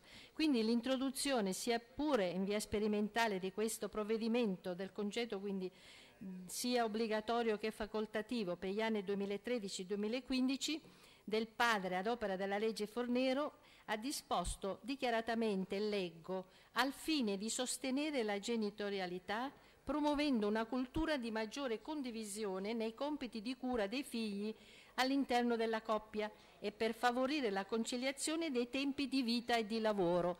In effetti tre giorni eh, per questo ruolo e questo obiettivo così alto sono pochi, quindi la richiesta potrebbe essere proprio nell'ampliare il numero dei giorni. In seguito poi a questa richiesta di chiarimenti circa l'applicazione dell'articolo 4 della comma 24 ai dipendenti delle pubbliche amministrazioni, il Dipartimento della Funzione Pubblica nel febbraio del 2013 ha detto e ha ritenuto di precisare come l'indicata normativa non fosse applicabile direttamente ai rapporti di lavoro dei dipendenti delle pubbliche amministrazioni, ragion per cui per loro rimangono validi e applicabili esclusivamente gli ordinari istituti disciplinari dalla legge 151 del 2011 e dai contratti collettivi quindi nazionali eh, del comparto. Ora, questa presa di posizione del Dipartimento della eh, Funzione Pubblica non ci ha mai convinto e non ci convince neppure adesso. E quindi questo aspetto non solo politicamente eh, non è positivo proprio per il trattamento di una cultura che nella sua promozione non può vedere distinzione di sorta ma anche sotto l'aspetto strettamente tecnico-normativo, in quanto l'articolo 1, il comma 2 del testo unico delle disposizioni legislative in, maniera, in materia proprio di tutela, di sostegno della maternità e della paternità fa salve per tutti e sottolineo per tutti le condizioni di maggiore favore stabiliti da ogni altra disposizione e non a caso il decreto ministeriale attuativo del 22 dicembre 2012 nell'individuare l'ambito di applicazione del congedo in oggetto non escludeva il settore pubblico dal suo, dalla sua applicazione, quindi la reputiamo un po' arbitraria questa scelta. Del resto, contrariamente a quanto indicato dalla nota del Dipartimento della Funzione Pubblica, la quale specificava con il decreto di attuazione che poi si è avuto è previsto dal comma 25 dell'articolo 1 anche dalla legge 92 del 2012 avesse ad oggetto la definizione dei criteri per l'accesso e modalità di utilizzo degli istituti per i lavoratori del settore privato. Di tale limitazione però settoriale non vi era traccia nel comma in questione, come abbiamo anticipato, ma neppure nel decreto stesso. A volere poi, o meglio, a dover prendere atto di questa interpretazione restrittiva e più stringente, comunque, l'emanazione della specifica normativa rimane l'unica speranza per far venir meno, il prima possibile, una disparità di trattamento non scevra di gravi dubbi di costituzionalità e in netta, inspiegabile controtendenza rispetto alla linea di privatizzazione del pubblico impiego.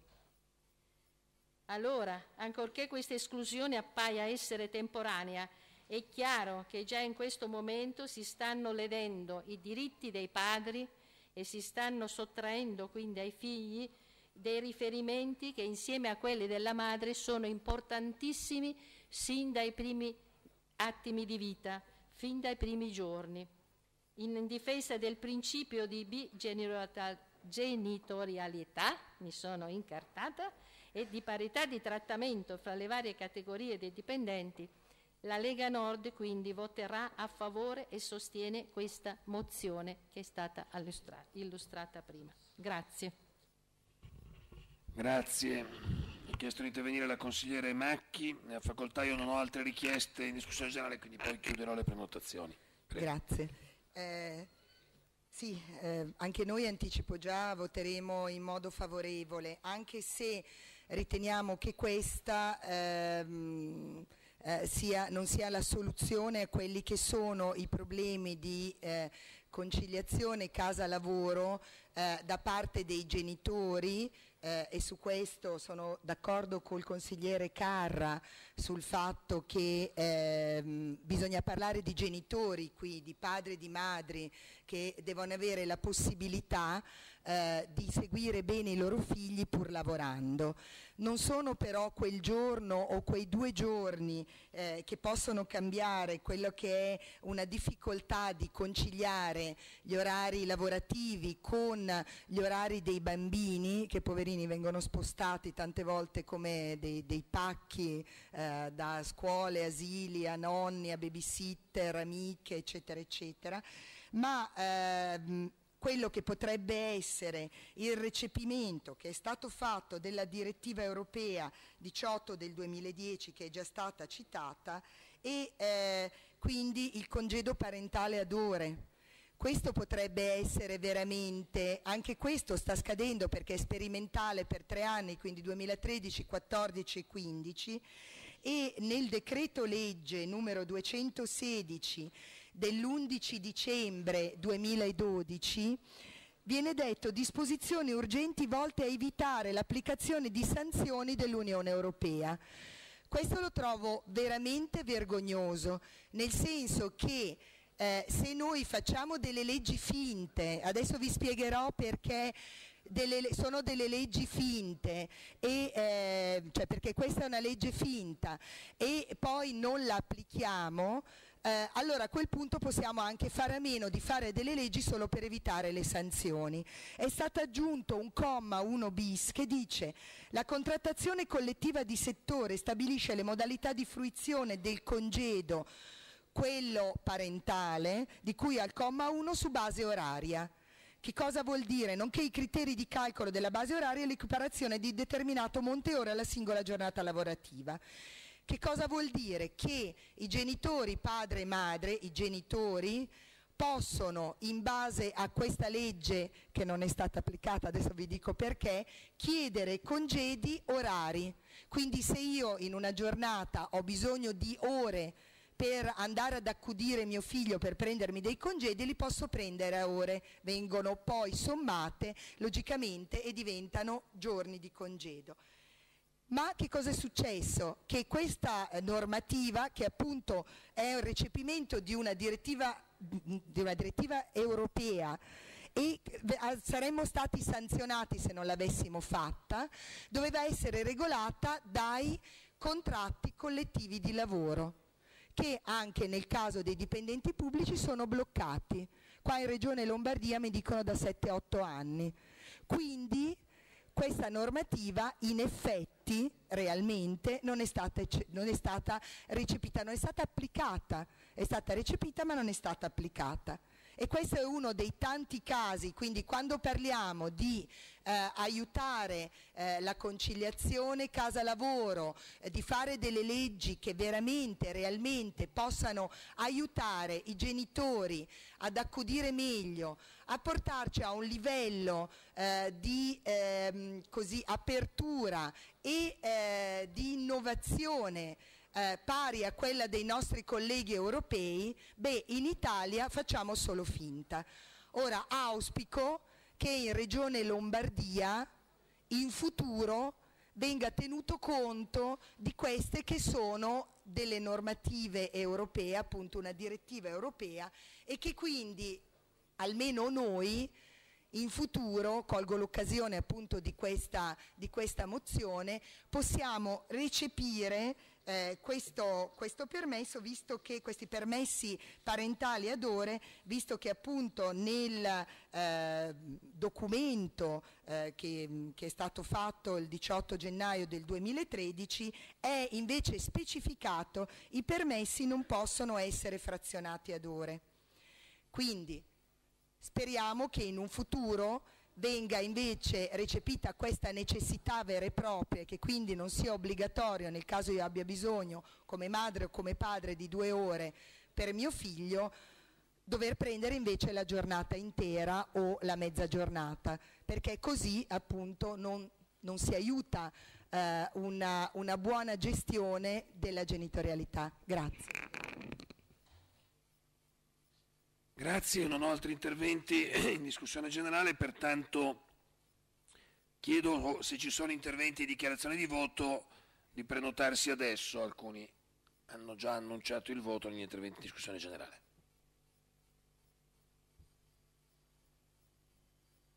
Non vedo richieste di intervento in dichiarazione di voto, pertanto procediamo con la votazione. Pongo in votazione la mozione numero 91, congedo di paternità per i dipendenti delle pubbliche amministrazioni, primo firmatario il consigliere Saggese. Per alzata di mano, favorevoli? Contrari? Astenuti? Il Consiglio approva all'unanimità. Passiamo ora alla mozione 252, revisione e sospensione degli effetti della DGR 92735 del 22 dicembre 2011, determinazioni in ordine all'utilizzo dei fondi resi disponibili dal Fondo di dotazione ex legge regionale 11-2001. Primo firmatario la consigliere Carcano che ha facoltà di illustrarne il contenuto per 10 minuti.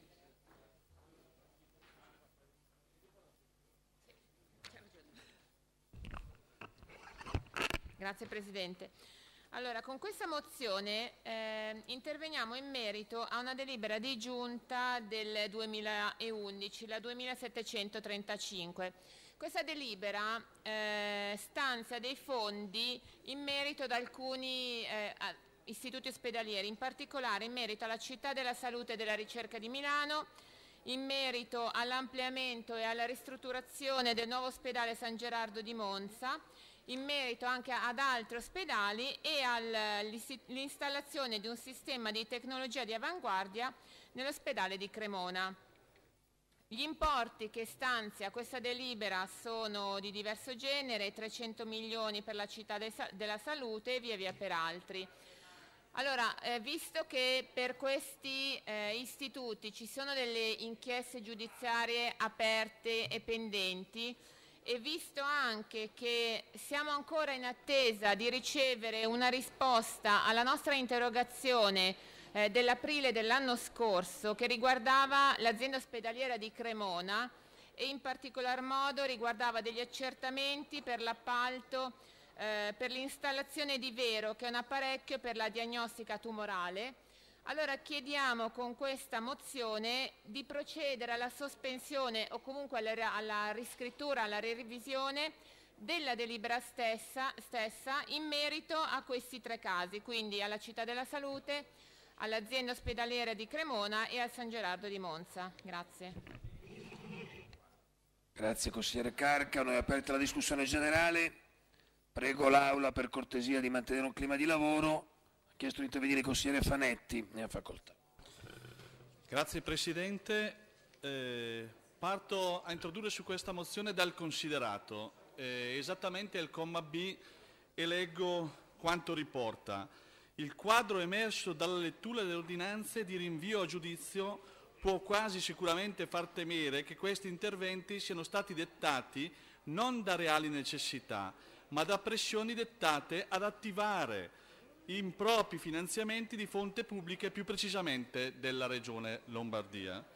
Io penso che un atteggiamento, un'affermazione di questo tipo sia da respingere, sia da respingere perché se uno effettivamente legge la delibera appena citata dalla presentatrice della mozione, può effettivamente constatare che eh, gli interventi fissati ai fini dell'adeguamento degli istituti ospedalieri e per l'adeguamento delle attrezzature mediche prevede due piani, il piano regionale di sviluppo e il, piano, e il piano sociosanitario regionale, quindi due documenti che passano attraverso il vaglio del Consiglio regionale. Quindi questo atteggiamento di voler far sembrare che ci siano situazioni, eh, secondo me, distorte per quanto riguarda l'acquisto e per quanto riguarda eh, l'ammodernamento e la messa in sicurezza degli ospedali, delle strutture ospedaliere regionali, penso che veramente questo non vada a eh, beneficio per la Regione stessa. È vero, alcune persone eh, del SIREC sono state sottoposte a delle indagini giudiziarie, ma è chiaro anche che non può Regione Lombardia oggi rettificare o annullare una delibera fatta che prevede l'allocazione di fondi per questi interventi, bensì intervengano gli organi deputati eventualmente a sospendere questi aspetti contrattuali, perché ben si sa che se un contratto è stato firmato magari si possono anche pagare delle penali e di conseguenza portare un danno sicuramente superiore a quello che può essere l'aspetto regionale invece che eh, creare un'utilità. Poi leggendo bene la delibera citata si può vedere che il primo progetto Città della Salute in contestazione è nato da un accordo sottoscritto tra Regione Lombardia e Ministero della Salute. Eh, il secondo in contestazione, idem, è nato eh, da interventi richiesti. Lo stesso eh, dispositivo richiesto a Cremona è nato da un'esigenza e da una richiesta. Quindi veramente eh, io respingo eh, l'atteggiamento eh, che si può eh, diciamo, assumere re- leggendo eh, quel comma del considerato che vi ho letto all'inizio. Chiaramente se ci sono delle situazioni, Regione Lombardia penso particolari, Regione Lombardia sarà attenta, sarà attenta anche ai fini del fatto che non venga eh, lesa nella sua immagine, nell'aspetto quindi anche economico e erariale, eventualmente si costituirà in merito. Ma ritengo che, eh, e poi mi avvio alla conclusione, che oggi non si possa sicuramente eh, revocare eh, o chiedere a Regione Lombardia la revoca di un documento di questo tipo che potrebbe portare effettivamente a un danno superiore del risultato che si vuole ottenere. Ma stigmatizzo anche l'atteggiamento del fatto di pensare che si vogliano costruire interventi e finanziamenti appositi per poi andare a, eh, a comprare, acquistare, intervenire su istituti, ma bensì questo viene fatto sulla base di un piano, di piani di rilievo e quindi di cose effettivamente richieste e necessarie, perché ben pensate a un aspetto, l'adeguamento sismico è un altro aspetto cogente e importante che viene citato all'interno eh, di eh, questa delibera. Grazie. Grazie. Sono iscritti i colleghi Rolfi, chiedo scusa, Carugo, Rolfi, Girelli e Baroni che avranno la parola in quest'ordine. La parola al consigliere Carugo. Grazie Presidente. Consigliera Carcano, no, consigliere o Presidente? No, consigliere. Sono, mi ascolti bene, abbastanza contrario. Perché? Ma dovremmo chiedere ai colleghi, agli operatori della città della salute se sono d'accordo nel revocargli, togliere 300 milioni di euro. Dovremmo chiedere a San Gerardo di Monza, che come lei conosce bene è un grande cantiere in progress, togliere 16 milioni di euro quali possono essere gli effetti. Dovremmo chiedere all'ospedale di Cremona per gli 8 milioni, gli 800 mila euro per l'ospedale di Chiari, eccetera, eccetera, eccetera. Ma insomma, anche dal punto di vista pratico, per il, per il benessere, i tre, ma io, io ho citato tutti perché lei l'ha citati tutti, però per il bene dei nostri cittadini e dei nostri enti che sono interessati, quale può essere il beneficio di revocare, anche perché non credo proprio che si possa fare peraltro, di revocare i finanziamenti. È giusto controllare, è giusto porre in essere tutte le misure appunto per ogni tipo di controllo, la magistratura fa, sta facendo e farà come ha sempre fatto i propri controlli, ma sostenere sostanzialmente, come lei dice, impegna la Giunta di procedere alla sospensione o alla revisione della delibera, mi sembra un atto non solo non fattibile, ma anche abbastanza dannoso anche per quegli enti che dovrebbero essere diciamo, soggetti a tale normativa. Quindi consigliera Carcaro, mi spiace perché sa poi nutro per lei una particolare simpatia, il gruppo Nuovo Centrodestra voterà contro convintamente a questa sua mozione. Grazie consigliere Carugo, ha chiesto di intervenire il consigliere Rolfi, ne ha facoltà. Grazie Presidente, anche per quanto riguarda il gruppo della Lega Nord, molto brevemente, vi è una posizione di contrarietà al contenuto di questa mozione perché ha a che fare con una eh, delibera appunto che stanziava ben 348 milioni di euro per tutta una serie di investimenti elencati anche nella mozione stessa che anche per quanto ci riguarda nascono da esigenze del territorio. Conosco in particolar modo quello di Chiari e posso eh, ricordare, ricordare alla, appunto all'Aula che nasce da una esigenza evidente, strutturale proprio del, dell'ospedale, non, eh, nessuno se l'ha inventato o fatto presso l'intersenso.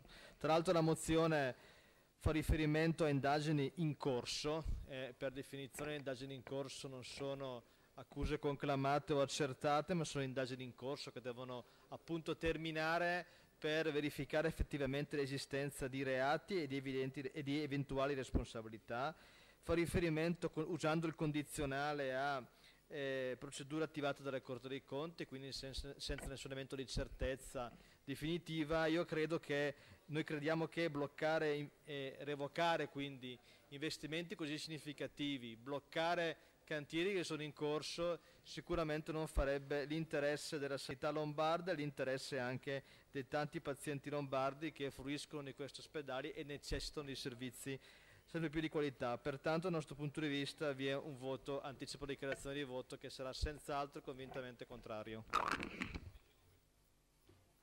Grazie consigliere Rolfi, la parola al consigliere Girelli. Ecco, grazie, grazie Presidente.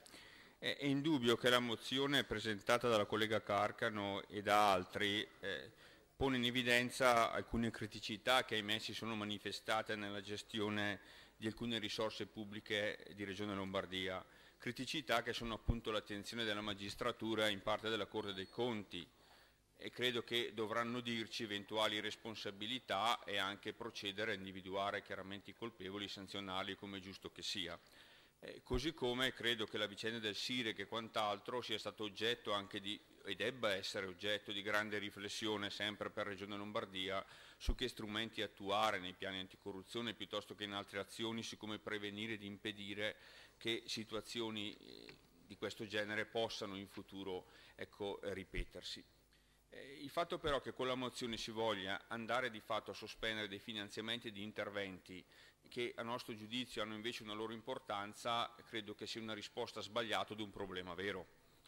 Eh, perché vorrei ricordare che il fondo di rotazione è stato uno strumento di particolare ecco, validità attuato da Regione Lombardia soprattutto in periodi in cui i governi, questo concedetemeli, parentesi di centrodestra, avevano tagliato completamente risorse alle strutture ospedaliere pubbliche, il fondo di rotazione è stato uno strumento molto intelligente per comunque intervenire sugli ospedali lombardi e poter dare delle risposte ai bisogni dei cittadini e alle aziende appunto, sanitarie presenti sul nostro territorio. Fondo che oltretutto, vorrei ricordarlo, è un prestito, perché di fatto eh, eh, sono soldi che vengono erogati ma che poi vengono restituiti alla Regione stessa e si autoalimenta in, una, in un circuito virtuoso che quindi è e rimane, eh, a, mio, a, mio, parere, uno, uno strumento eh, sicuramente valido. Chiaro che quindi il voto del nostro gruppo è un voto di contrarietà, eh, che però, ripeto, eh, non deve far eh, venir meno l'attenzione a quanto evidenziato, confidando nel lavoro della magistratura, ma confidando anche con la sempre maggior capacità di Regione Lombardia di attuare al proprio interno forme di autocontrollo per impedire appunto eh, che avvengano fatti poco chiari, si diano avvio a procedimenti eh, che poi eh, implicano chiaramente momenti di opacità, di non chiarezza o qualche volta anche di palese illegalità come purtroppo più di una volta abbiamo assistito. Grazie, ha chiesto di intervenire la consigliere Baroni, ne ha facoltà. Presidente, grazie. Io credo che siano nel merito di questa mozione come argomenti, credo che i colleghi che mi hanno preceduto abbiano sviscerato bene le tematiche per le quali molte forze politiche di quest'Aula voteranno contro questa mozione. Io mi vorrei soffermare su un, ultimo, su un unico punto. Non credo che la collega abbia presentato questa mozione pensando realmente che avrebbe mai potuto avere un voto della maggioranza di questa Aula. Credo che invece la mozione sia stata presentata soddisfacendo uno dei temi cari al Movimento Politico 5 Stelle, e cioè di essere censore dei pessimi costumi altrui, censore della politica e di suscitare un interesse di riportare alla ribalta un tema che riguarda quello delle indagini in corso. È evidente che tutte le considerazioni che hanno fatto i colleghi che mi hanno preceduto invece nel merito individuano correttamente i temi, cioè il grave danno il documento che verrebbe alla nostra regione dalla sospensione delle opere pubbliche che sono così importanti per il mantenimento dell'eccellenza della nostra sanità e credo anche che eh, questo voto che sarà sicuramente favorevole abbia la funzione di, eh, con buona pace del Movimento 5 Stelle, eh, privilegiare quelli che sono gli aspetti sostanziali e veramente concreti dell'azione della pubblica amministrazione, in questo caso della Regione Lombardia, che sono a favore della sua collettività.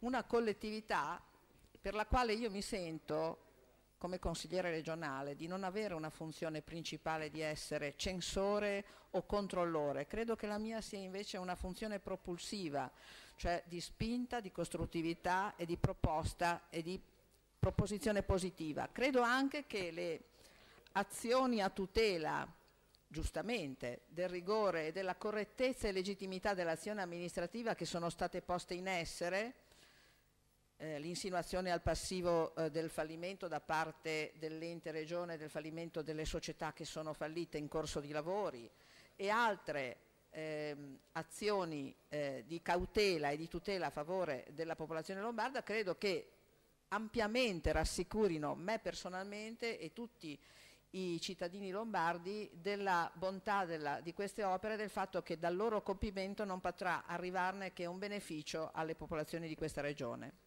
Grazie. Grazie consigliere Baroni. Eh, per la Giunta, non essendoci altri interventi dei consiglieri, ha chiesto di intervenire l'assessore Mantovani, ne ha facoltà. Sì, grazie Presidente. Stiamo parlando della delibera della Giunta regionale del 2011, un primo provvedimento della legge regionale 11-2011 che finalizzava le risorse del fondo di rotazione per gli interventi ritenuti strategici nell'ambito degli indirizzi regionali.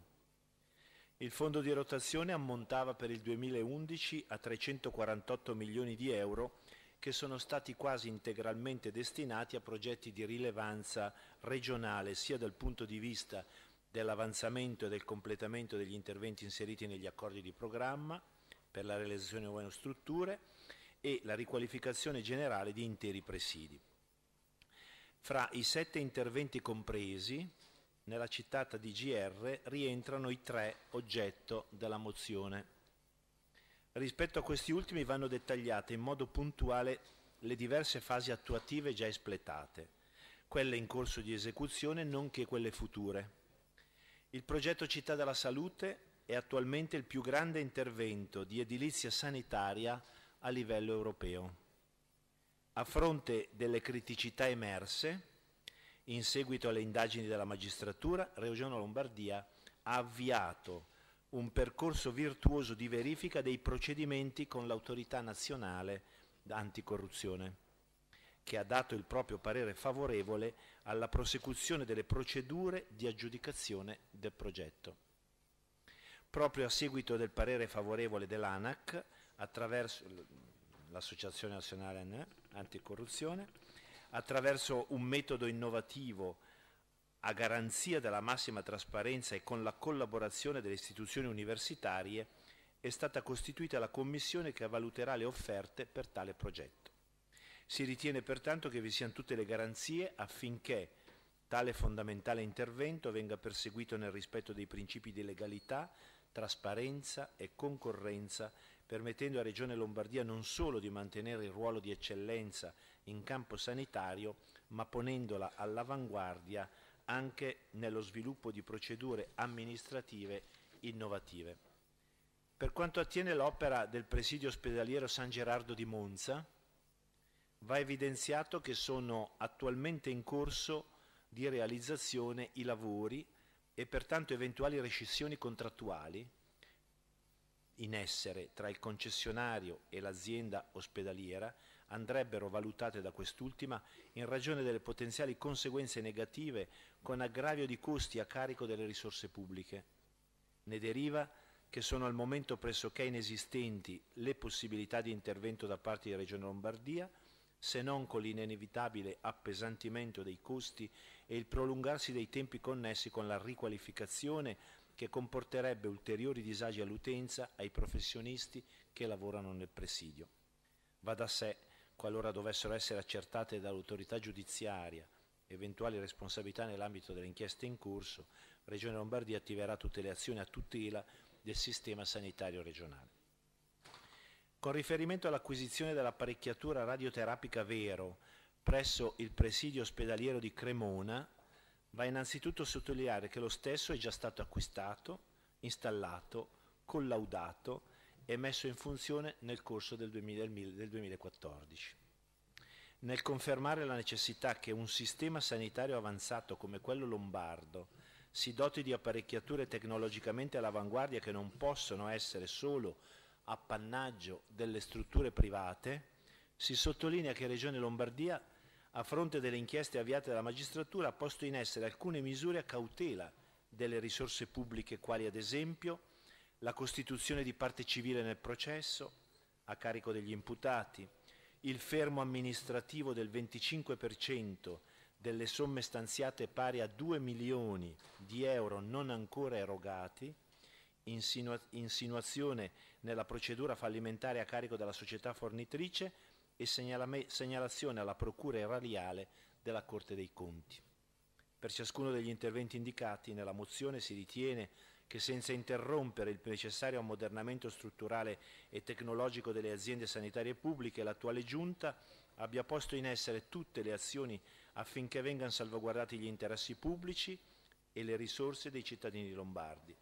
In ultimo va sottolineato che i restanti interventi inseriti nella DGR del 2011 sono già stati realizzati oppure sono in via di completamento. Grazie Assessore, abbiamo così concluso la discussione generale, chiedo ai colleghi che intendono intervenire in dichiarazione di voto di prenotarsi adesso. Ho fatto la consigliere Calcano, ne ha facoltà. Grazie Presidente, approfitto subito se non me ne dimentico per ehm, la votazione nominale a nome di Corbetta, Buffagni, Violi, Fiasconaro e la sottoscritta. Aggiungo alcune riflessioni per motivare questa dichiarazione di voto, eh, partendo dal fatto che, come in risposta alla collega Barone, la quale ci accusa di essere come dire, dei censori delle, di questioni politiche o di questioni legate agli appalti. Beh, non l'abbiamo scritta noi la storia di Regione Lombardia, non l'abbiamo scritta noi la storia della cupola degli appalti che i media hanno girato contro Expo e lungi da me difendere l'Expo, ma in realtà il grosso degli scandali riguardava la sanità pubblica, la sanità lombarda e non l'abbiamo scritta noi quella storia lì. Quindi permetteteci di dire che in realtà quando si tratta di grandi opere siamo tutti capaci di fare grandi investimenti che poi immancabilmente cadono nelle mani della magistratura e non è colpa nostra se continuano a saltare fuori inchieste giudiziarie. Dunque, come dire, più che accusare chi vi sta dicendo che forse quegli investimenti non devono essere più fatti oggi con le leggi che abbiamo nei confronti di grandi opere, di grandi investimenti, ma per piccole attività. E la sanità pubblica avrebbe davvero tanto bisogno di investimenti più mirati, più piccoli, piuttosto che grandi appalti come quello del San Gerardo, e lo sa il collega Carugo quanto sono affezionata al San Gerardo visto che ci ha fatto nascere tutti i miei figli. Quindi non, non è questione di fermare, di frenare gli investimenti per, nei confronti della sanità pubblica, ma di gestirli davvero con un occhio differente, perché la storia lombarda ci ha insegnato che immancabilmente con le leggi attuali le zone grigie, le zone d'ombra, quando si fanno grossi investimenti, soprattutto in sanità, fanno sì che poi scatti la mano della magistratura. Ehm, non solo, Assessore Mantovani, è vero quello che lei ha detto, è vero che c'è stato un intervento dell'ANAC nei confronti della città della salute, ma l'ANAC non fa un giudizio di contenuto, di merito rispetto all'investimento, ma solo di qualità in termini di anticorruzione per quello che è l'ultimo pezzettino del gioco. Però, ripeto, c'è in corso tutta un'inchiesta un giudiziaria di cui vogliamo sapere come, come si arriverà alla fine. Eh, non solo, chiedo ancora all'assessore Mantovani, ne approfitto per, eh, con questa mozione, di, ehm, di pensare a quella che è l'eccellenza lombarda, di pensare invece per il prossimo futuro come utilizzare gli investimenti lombardi, perché ci riempiamo sempre la bocca di questa eccellenza lombarda, ma in realtà provate davvero a prenotare nel servizio sanitario regionale pubblico un qualsiasi esame e vedete come la lista d'attesa è davvero inaccettabile per una regione come quella lombarda. Grazie. Grazie consigliere Carcano, ho chiesto di intervenire il consigliere Fanetti, ne ha facoltà. Intervengo per dire che la lista Maroni Presidente voterà contro questa mozione e per evidenziare due aspetti che eh, gli appalti pubblici in genere vengono fatti su legge dello Stato, quindi penso che bisogna rivolgere allo Stato eh, la richiesta di modificare e semplificare quello che sono gli aspetti normativi riferiti agli appalti pubblici. Chiaramente che Regione Lombardia attui tutti, eh, tutte le misure e contromisure affinché non si verifichino queste situazioni, poi rivendico ancora il fatto dell'eccellenza lombarda per quanto riguarda la sanità pubblica e mi riferisco anche al fatto che eh, penso che domani verrà calendarizzata anche in Commissione la riforma del sistema sanitario regionale, quindi penso che anche questa è un'occasione importante per fare una revisione e magari perché migliorare anche alcuni aspetti che sono già eccellenti e per quanto riguarda anche le liste di attese penso che Regione Lombardia abbia dimostrato anche con gli ambulatori aperti effettivamente come si possono fare. Purtroppo, abbiamo, purtroppo e meno male abbiamo tanti utenti delle altre regioni che vengono in Lombardia. Grazie. Grazie, non ho altre richieste di intervento e dichiarazioni di voto, pertanto pongo in votazione la mozione 252, revisione e sospensione degli effetti della DGR nono 2735 del 22 dicembre 2011, determinazioni in ordine all'utilizzo dei fondi resi disponibili dal fondo di rotazione ex legge regionale 11-2001, prima firmataria la consigliere Carcano, è stata richiesta la votazione per appello nominale con voto elettronico, è aperta la votazione.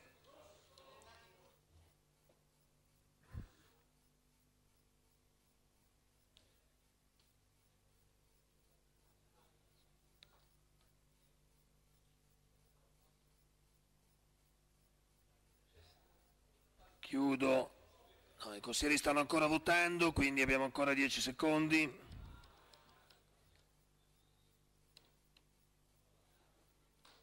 Guardi, non c'è in dubbio il risultato dell'elezione, consigliere della votazione, consigliere Buffagni. Al trentesimo secondo chiudo, presenti 55, votanti 54, favorevoli 9, contrari 45. Non mi sembrava così in bilico il risultato, da aver bisogno di prolungare la votazione. Però l'esito è questo, il Consiglio non approva. Passiamo alla mozione 195, utilizzo delle edicole lombarde come info poi di Expo 2015. Primo firmatario il consigliere Colla che ha facoltà di illustrare il contenuto.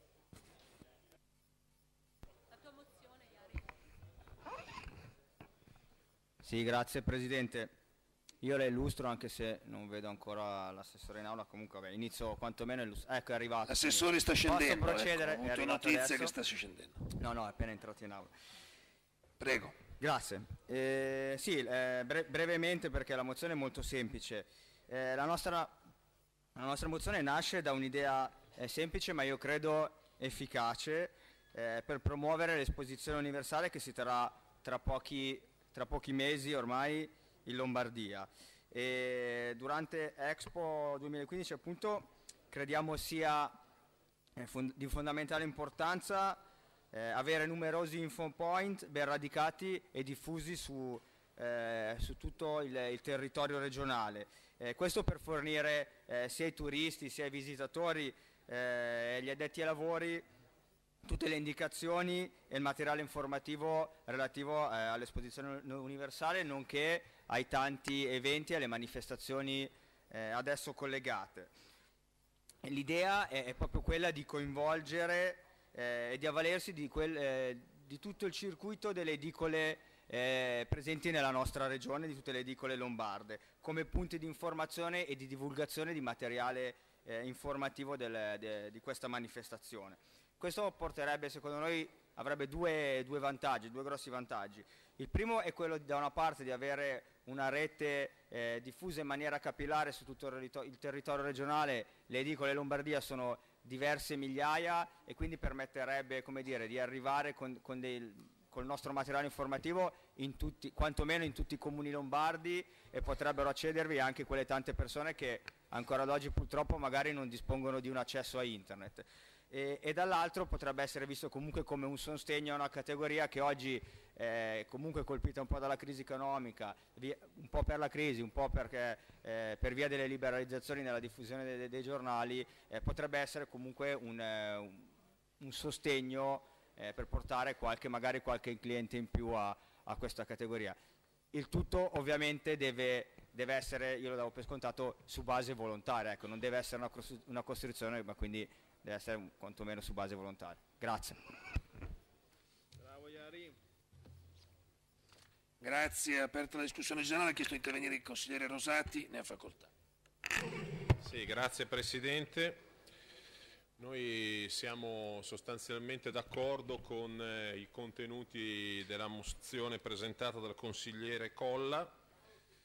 Eh, pensiamo che possa essere utile avvalersi di una rete capillare di edicole anche dal punto di vista eh, del- dell'informazione, del- di un contatto con i turisti, non solo italiani ma anche stranieri che evidentemente saranno presenti nella nostra regione in occasione dell'Expo. Eh, siamo d'accordo con questa proposta perché la consideriamo anche un primo punto, un punto di partenza rispetto a un intervento che noi pensiamo Regione Lombardia possa e debba fare a sostegno di un settore che purtroppo in questo periodo è particolarmente in crisi, appunto, che è quello delle edicole. Molte edicole stanno chiudendo, purtroppo non siamo ai primi posti in Europa come paese di grandi lettori, e quindi pensiamo che un intervento a sostegno delle edicole anche nell'andare a diversificare i prodotti che vengono commercializzati all'interno delle stesse possa essere sicuramente d'aiuto, possa rappresentare un segnale in controtendenza rispetto a una condizione di crisi come questo, questa realtà sta attraversando. E quindi eh, vogliamo auspicare e in tal senso ci muoveremo anche all'interno della quarta commissione al fine di poter aprire una riflessione, un ragionamento con le altre forze politiche, con chi naturalmente prima di tutto ha presentato oggi questa mozione, con gli assessori di riferimento, al fine di vedere se possiamo dare una mano al settore. Grazie.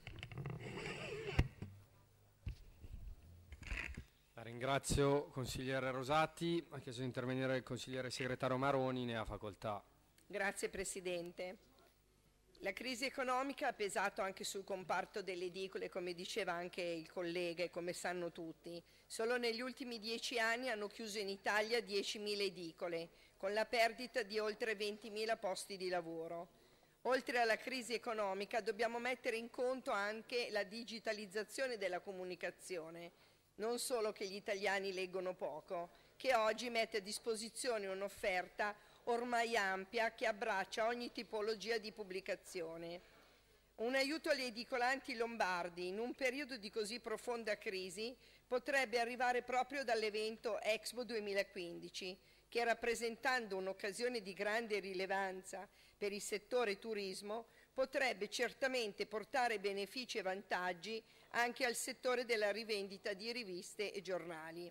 Proprio in occasione dell'esposizione universale graviteranno intorno al polo espositivo circa 20 milioni di turisti visitatori, un'occasione per sostenere anche il settore degli edicolanti, attribuendogli un ruolo anche come infopoint turistici, perché grazie alla loro diffusione capillare sul territorio e alla conseguente vicinanza strategica ai maggiori punti di interesse artistico, culturale e storico di Milano, potranno servire al meglio tutti coloro che necessiteranno di informazioni e consigli per fruire al meglio del nostro stupendo territorio. Alla luce di quanto si qui, sin qui esposto, nell'ottica di sostenere le nostre aziende in crisi, crediamo si debbano mettere in campo tutte le sinergie per sostenere l'economia lombarda. Pertanto dichiaro sin d'ora il voto favorevole della lista Maroni. Presidente, grazie. La ringrazio, consigliere Maroni. Ha chiesto di intervenire il consigliere Buffagni.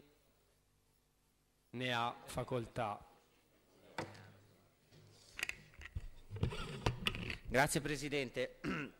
Noi abbiamo eh, chiaramente letto la mozione attentamente e abbiamo già proposto al consigliere Colla una leggera modifica, nel senso che noi proponiamo che l'operazione, ehm, l'impegno sia diverso, ovvero di cercare forme di collaborazione su base volontaria delle edicole lombarde, cioè nello specifico non deve essere un vincolo ma deve essere una cosa volontaria dove le edicole possano partecipare. Quindi nel caso in cui venisse accolta questa nostra proposta che se necessario posso far avere agli uffici rapidamente, noi voteremo favorevolmente a questa richiesta di buonsenso. Grazie. Ringrazio il consigliere Buffagni, ha chiesto di intervenire il consigliere Busi. Prego. Sì, brevemente solo per eh, ribadire anche dal nostro punto di vista eh, l'aspetto positivo di questa, di questa, mozione, anche se appunto è già stato rilevato un po' di genericità, nel senso che poi e dovremmo una volta approvata andare a vedere effettivamente poi eh, che tipologia di eh, materiale informativo viene poi distribuito nelle edicole perché sia effettivamente un materiale a servizio eh, dei cittadini.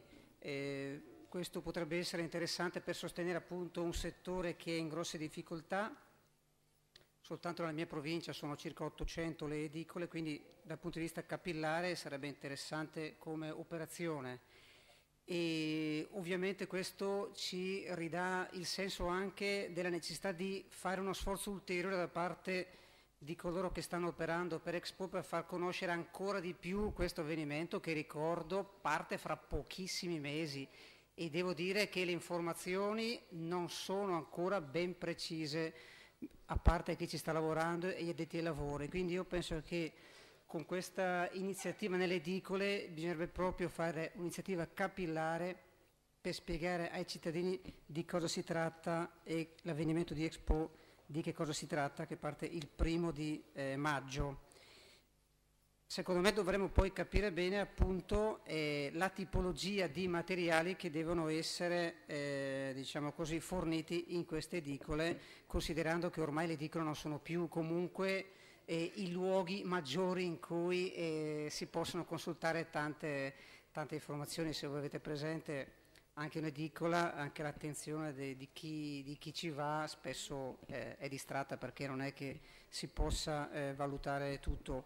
Quindi inviteremo eventualmente anche a fare un ragionamento su altri punti, altri info point interessanti che possono essere previo contatto e utilizzati per far conoscere ulteriormente le proposte di Expo. Quindi interessante l'iniziativa delle edicole, potrebbe essere da proseguire con altri eh, punti pubblici in cui i cittadini eh, vengono frequentati. Grazie. La ringrazio consigliere Busi. Ha chiesto di intervenire il consigliere Colla per accettare per le modifiche eventuali. Prego. Sì, grazie Presidente. Sì, semplicemente per rispondere al, al collega Buffagni. Eh, accettiamo le, le, sue, le sue richieste quindi di si chiede di sostituire dopo il chiede togliere di avvalersi del circuito delle edicole lombarde sostituendolo con di cercare forme di collaborazione su base volontaria delle edicole lombarde. Lo davo per scontato, però è meglio specificarlo, almeno insomma non si obbliga nessuno. Grazie.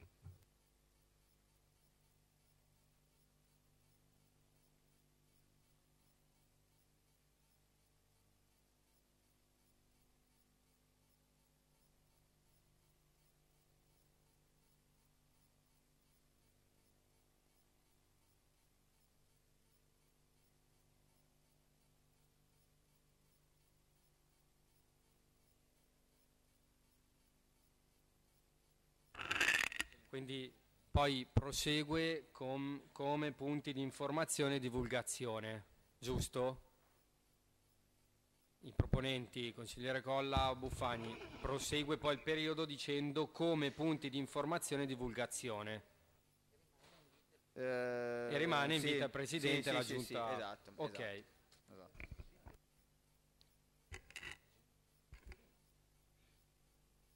Consigliere Buffagni ha chiesto di intervenire? Poi dopo, allora, per la giunta che si intervenire l'assessore Sala, ne ha facoltà. Grazie Presidente e grazie anche ai presentatori della mozione.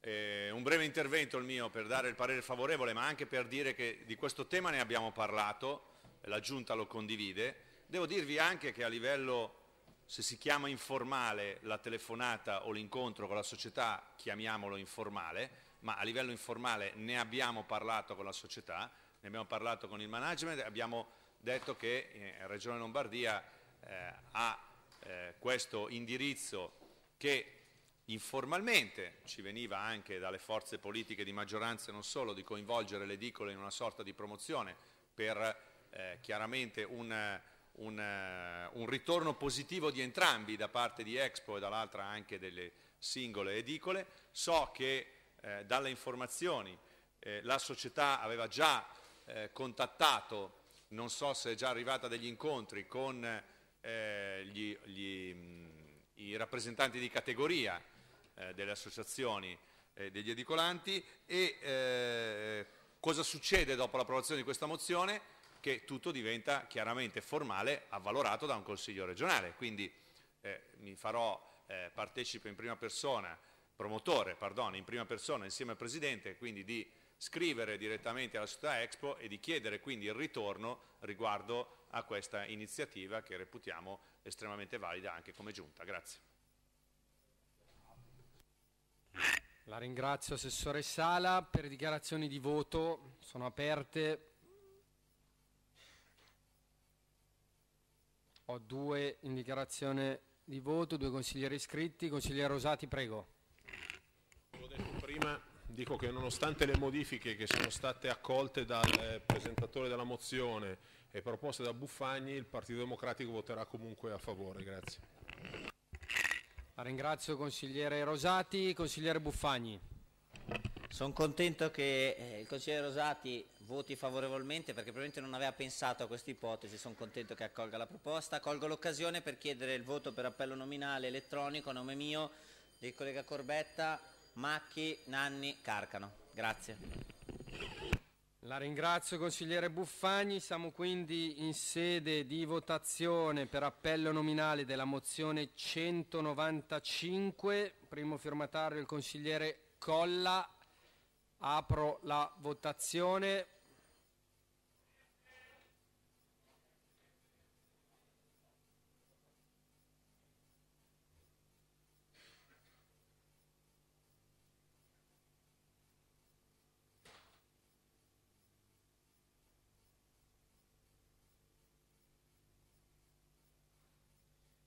La votazione è chiusa.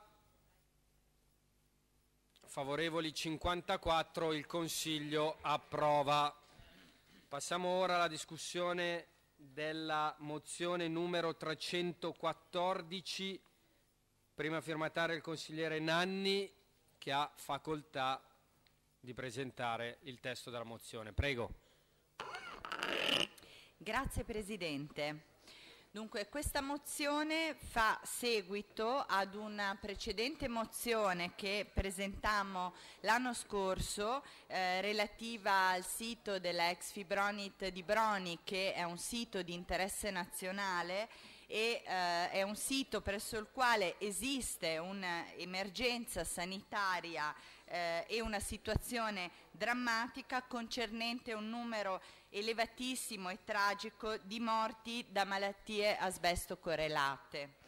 In quella mozione noi già proponemmo alla Giunta di provvedere a ehm, redigere linee guida e comunque un programma sanitario che eh, andasse incontro ai cittadini che sono stati esposti all'amianto eh, nel, negli scorsi anni, ma anche ai cittadini lombardi che a tutt'oggi sono esposti all'amianto e eh, agli agenti patogeni che provocano questa malattia purtroppo mortale per la quale non c'è alcuno scampo dargli quindi la possibilità di poter accedere agli esami diagnostici con esenzioni dai ticket. Il 12 febbraio 2013 il coordinamento nazionale degli ex esposti e delle vittime dell'amianto è stato ricevuto a Roma dai dirigenti del Ministero della Salute proprio per affrontare questa tematica dell'esenzione dai ticket per gli ex esposti all'amianto e i malati di patologie asbesto correlate. Nella mozione faccio riferimento al disposto anche di una legge regionale la legge regionale lombarda del 29 settembre 2003 numero 17, la quale prevede che la regione promuove politiche di sostegno per l'assistenza dei soggetti ex esposti colpiti da malattie asbesto correlate. E prevede anche che sia istituito un fondo per le politiche di sostegno per l'assistenza dei soggetti ex esposti colpiti da malattie asbesto correlate. Inoltre, la giunta regionale deve individuare le aree di criticità nelle quali è accertata un'incidenza di mortalità per malattie asbesto correlate, utilizzando il registro regionale dei mesoteliomi sugli effetti neoplastici causati dall'esposizione all'amianto. Ecco, questo sulla carta. Dobbiamo insieme perché io eh, credo che ci sia una fortissima sensibilità trasversale di tutte le forze politiche su questa gravissima tematica dell'amianto, peraltro assurda alle cronache in questi mesi con le vicende drammatiche delle vittime dell'amianto in questo paese. La Lombardia non è esente, esiste il sito eh, di interesse nazionale a Broni, ma esistono anche altre realtà in Regione Lombardia e noi dobbiamo operare in direzione di tutelare questi cittadini esposti all'amianto.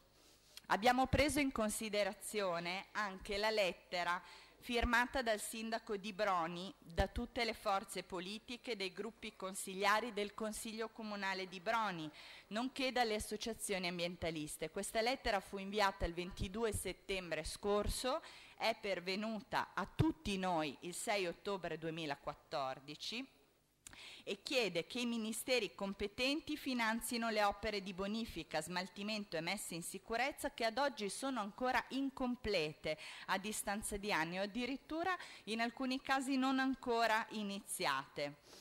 Inoltre abbiamo citato le firme della petizione popolare dei cittadini di Broni e cittadini lombardi che avanzano la medesima richiesta eh, di messa in sicurezza del SIN di Broni, ma anche la tematica dell'accesso esente da ticket al sistema sanitario regionale per la prevenzione e cura delle malattie asbesto correlate per i cittadini di Broni e per i cittadini lombardi. Abbiamo eh, preso in considerazione una regione nostra vicina di casa, che è la regione Veneto, dove, eh, che è dello stesso colore di questa regione, dove eh, c'è uno stato di avanzamento nella tutela sanitaria di questi esposti che vorremmo che Regione Lombardia prendesse a modello e traducesse al più presto in fatti. Quindi noi con questa mozione, chiedo l'attenzione delle assessori competenti se è possibile, l'assessore Mantovani e l'assessore Terzi perché sono arrivata al punto, ecco, consigliere altitonante, non mi distraga gli assessori proprio in questo momento. Noi non chiediamo che da domani ci sia l'esenzione dei ticket perché c'è da fare un lavoro, c'è da fare una programmazione sanitaria, quindi noi chiediamo con questa mozione l'impegno della Giunta, quindi un impegno eh, nei fatti, a partire con, eh, attraverso i vostri strumenti, competenze a disposizione, un programma sanitario che garantisca sia per i cittadini attualmente esposti all'amianto in Lombardia, sia per i cittadini che negli scorsi anni sono stati esposti, l'accesso gratuito per gli esami diagnostici e le prestazioni sanitarie per le cure delle patologie asbesto correlate proprio in ottemperanza della re legge regionale e dei passaggi che vi ho citato prima. Ora, quando discutemmo la mozione precedente e introdussi questo impegno per la Giunta, mi fu detto dagli assessori competenti, ma anche dai referenti dei gruppi politici con i quali ci siamo interfacciati, che c'era una seria volontà politica di affrontare questo problema, ripeto, iniziando con una programmazione sanitaria. Ora, eh, passato più di un anno, siamo qui con una mozione specifica e chiediamo l'impegno della Giunta a tradurre nei fatti questa volontà politica manifestata a parole più di un anno fa. Grazie. Ringrazio consigliere Nanni, è aperto il dibattito generale, per ora ho due iscritti ad intervenire, chiedo ai consiglieri di iscriversi. Per ora do la parola al consigliere Villani. Sì, grazie Prego. Presidente.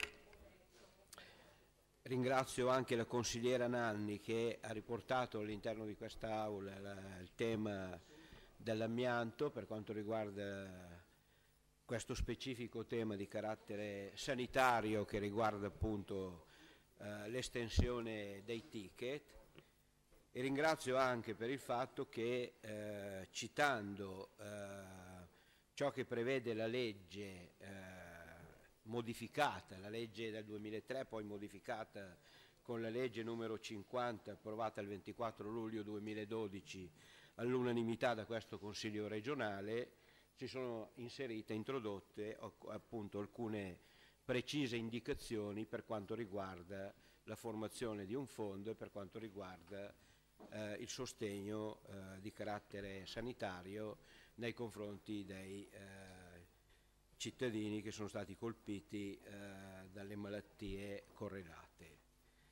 Ehm, noi siamo fondamentalmente d'accordo con questa risoluzione, voteremo a favore di questa risoluzione che si propone di estendere, eh, le, eh, eh, l'esenzione dai ticket eh, anche rispetto alle patologie già interessate a questa esenzione.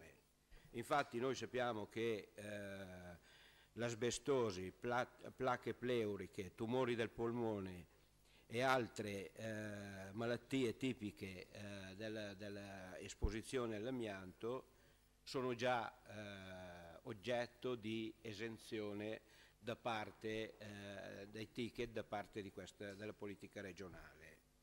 Rimane appunto la, eh, di affrontare il problema relativo alle placche pleuriche e io credo che a questo non, non, propongo una modifica alla risoluzione, credo che sia da tenere in considerazione questo specifico aspetto eh, se, eh, come mi auguro, sarà accolta questa risoluzione. Mi permetto poi di, eh, di dire che andrebbe estesa la gratuità non solo a coloro che hanno già in mano una diagnosi conclamata di patologia relativa all'esposizione, ma a tutti coloro che sono in contatto, sono venuti in contatto con l'amianto e che necessitano di screening sanitari eh, e, di e, di monitoraggio. Naturalmente sono d'accordo con l'impostazione che è stata data anche dalla risoluzione di individuare le aree eh, e quindi naturalmente tenendo conto di tutte le aree eh, che in Regione Lombardia hanno questo tipo di criticità molto pericolosa, molto pesante, molto forte, che eh, naturalmente deve essere, eh, deve essere affrontata. Grazie. La ringrazio consigliere Villani. Io ho quattro iscritti, in questo momento chiudo le iscrizioni al dibattito generale e lascio la parola al consigliere Magoni. Grazie Presidente.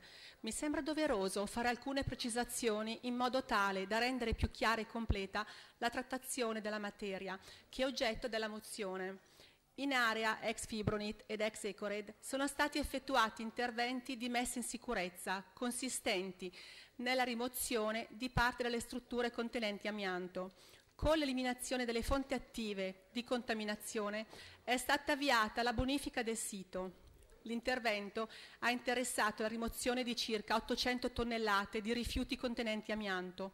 Inoltre le azioni di messa in sicurezza hanno consentito l'isolamento, in attesa della rimozione definitiva, di circa 85 m2 di superfici di materiali contenenti amianto.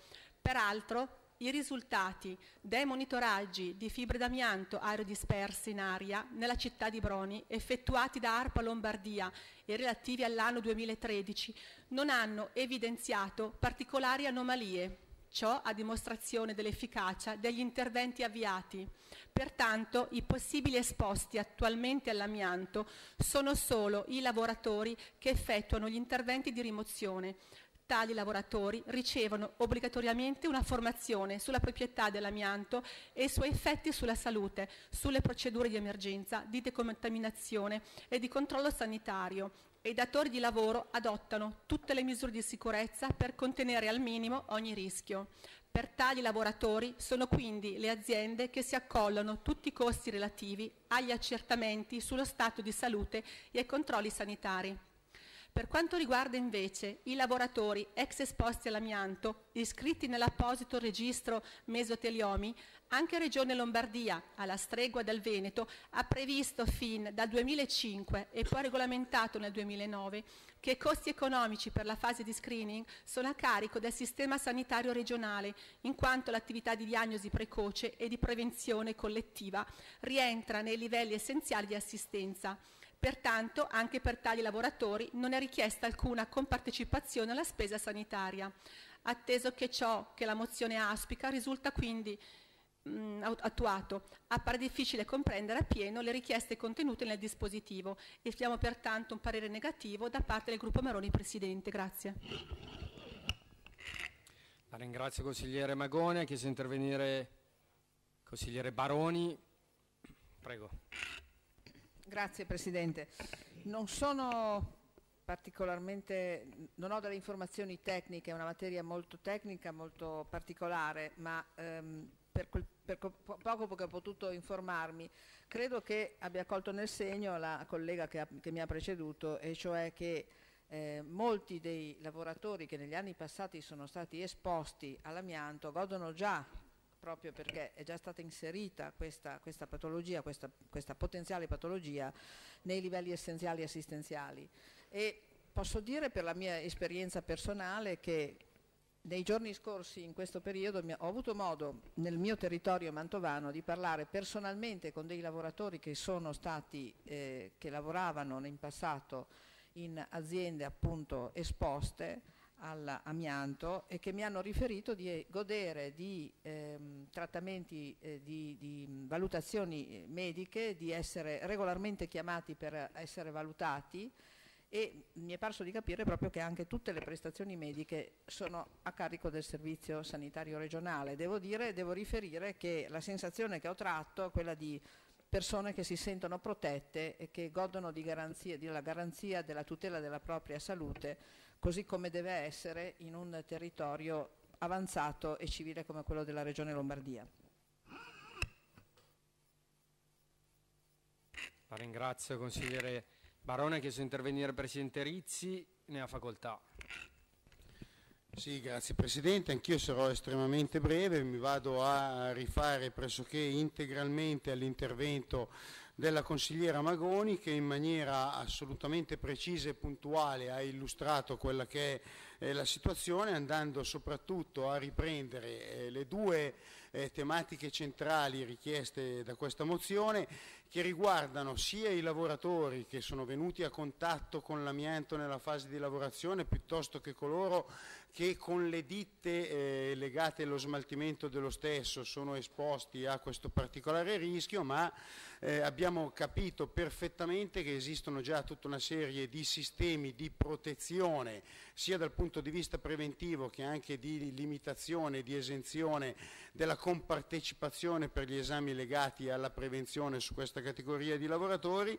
Aggiungo solo il fatto che per quanto poi riguarda invece eh, coloro che eh, contraggono patologie conseguenti all'inalazione di amianto in tutte le sue forme fino ad arrivare al mesotelioma di cui è già stato eh, citato il registro, ovviamente rientrano in un'altra categoria di esenzione per quanto riguarda le patologie in essere, che è la cosiddetta eh, esenzione per patologia, per cui veramente non riuscendo a, a comprendere quella che può essere eh, la richiesta di ulteriore atto da parte eh, della Giunta eh, contenuta in questa mozione non posso fare altro che anticipare il voto contrario del, vo- del gruppo della Lega Nord. Grazie. La ringrazio consigliere Rizzi, ha chiesto di intervenire consigliere Nanni. Prego. Dunque, qui è stata fatta un po' di confusione. Intanto prendo atto, ma penso solo per vostra disinformazione, quindi mi premurerò di spiegare meglio, che per voi il problema non esiste. Cioè voi eh, state dichiarando in aula del Consiglio regionale che il problema non esiste non conoscete queste realtà, quindi come ha detto la collega Barboni, forse se non si conoscono certe realtà è meglio andarci cauti con certe dichiarazioni. Qui non si è parlato di lavoratori, qui si è parlato di cittadini e lo dico anche al consigliere Rizzi e alla consigliera Magoni che sono intervenuti. Sono cittadini che sono stati esposti all'amianto, non necessariamente hanno lavorato in fabbriche di amianto, che sono i familiari, che sono cittadini che hanno avuto l'unica colpa di essere residenti e quindi esposti ambientalmente a questo agente patogeno mortale in certe aree del nostro territorio lombardo e che signori non ce le hanno queste esenzioni dai ticket per le cure diagnostiche e per lo screening. E forse vi sfugge anche un'altra cosa molto importante, le previsioni epidemiologiche dicono che l'incidenza delle malattie asbesto correlate avviene nei decenni successivi alle prime esposizioni agli agenti patogeni.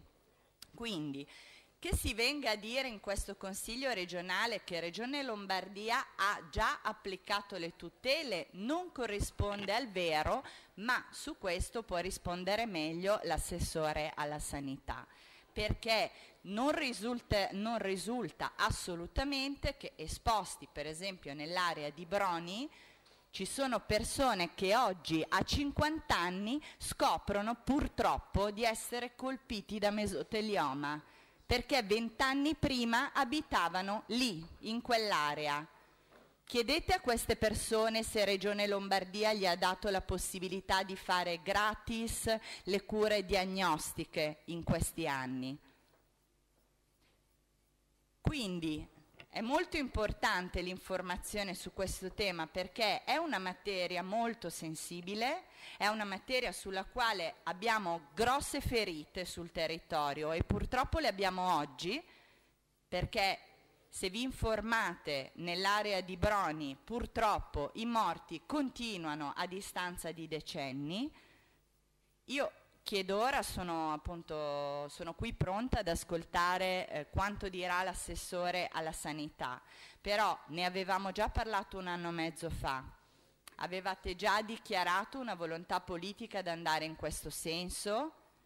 Allora o mi venite a trovare altre scuse, tipo che i soldi non ci sono, però non mi venite a raccontare che queste persone sono completamente tutelate da un punto sanitario con esenzione dei ticket dalla Regione Lombardia, perché questo non corrisponde al vero. Qui stiamo parlando di cittadini che sono stati esposti ambientalmente, ripeto, perché ho sentito più volte ripetere lavoratori, e poi, signori, è ovvio che quando uno scopre di avere il mesotelioma, lo sappiamo bene che ha le esenzioni dai ticket, ma noi non vorremmo che si arrivasse a questo, vorremmo che queste persone avessero la possibilità di fare prima delle cure diagnostiche, prima uno screening. Sono anche favorevole a introdurre l'esame proposto da eh, collega Villani sulle placche pleuriche, ma comunque poi questo sarà compito della Giunta. Nel momento in cui attua, attiva questo programma sanitario che vada verso questo obiettivo a eh, delimitare tutte le categorie previste e anche le fasce di popolazione, di popolazione che sono state colpite e interessate da questo drammatico fenomeno. Grazie.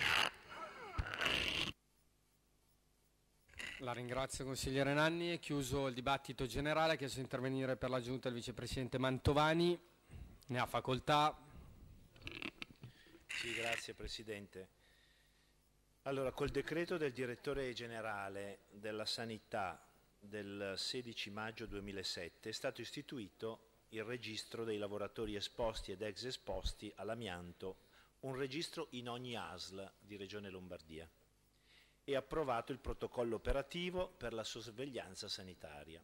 Quest'ultimo è stato attivato presso tutte le ASL lombarde a tutela dei lavoratori e dei loro familiari che hanno in passato svolto attività lavorative in aziende che utilizzavano materiali contenenti amianto. L'iscrizione a titolo volontario dei soggetti a tali registri ASL persegue unicamente finalità epidemiologiche e di sorveglianza preventiva e non costituisce in nessun caso un presupposto condizione per rivendicare nei confronti degli enti preposti il riconoscimento di esposizione all'amianto ai fini previdenziali o assicurativi. Per considerare un soggetto esposto o ex esposto all'amianto e il suo inserimento in classe ad alta o bassa esposizione, il decreto citato individua i parametri di intensità, alta, media o bassa, e la frequenza barra il tempo, continua, lunga, continua, breve o saltuaria, e il tipo o la causa, professionale o familiare che a tal fine devono essere considerati. Sulla base della combinazione di tipo causa di esposizione con le altre caratteristiche si individuano due classi di esposizione.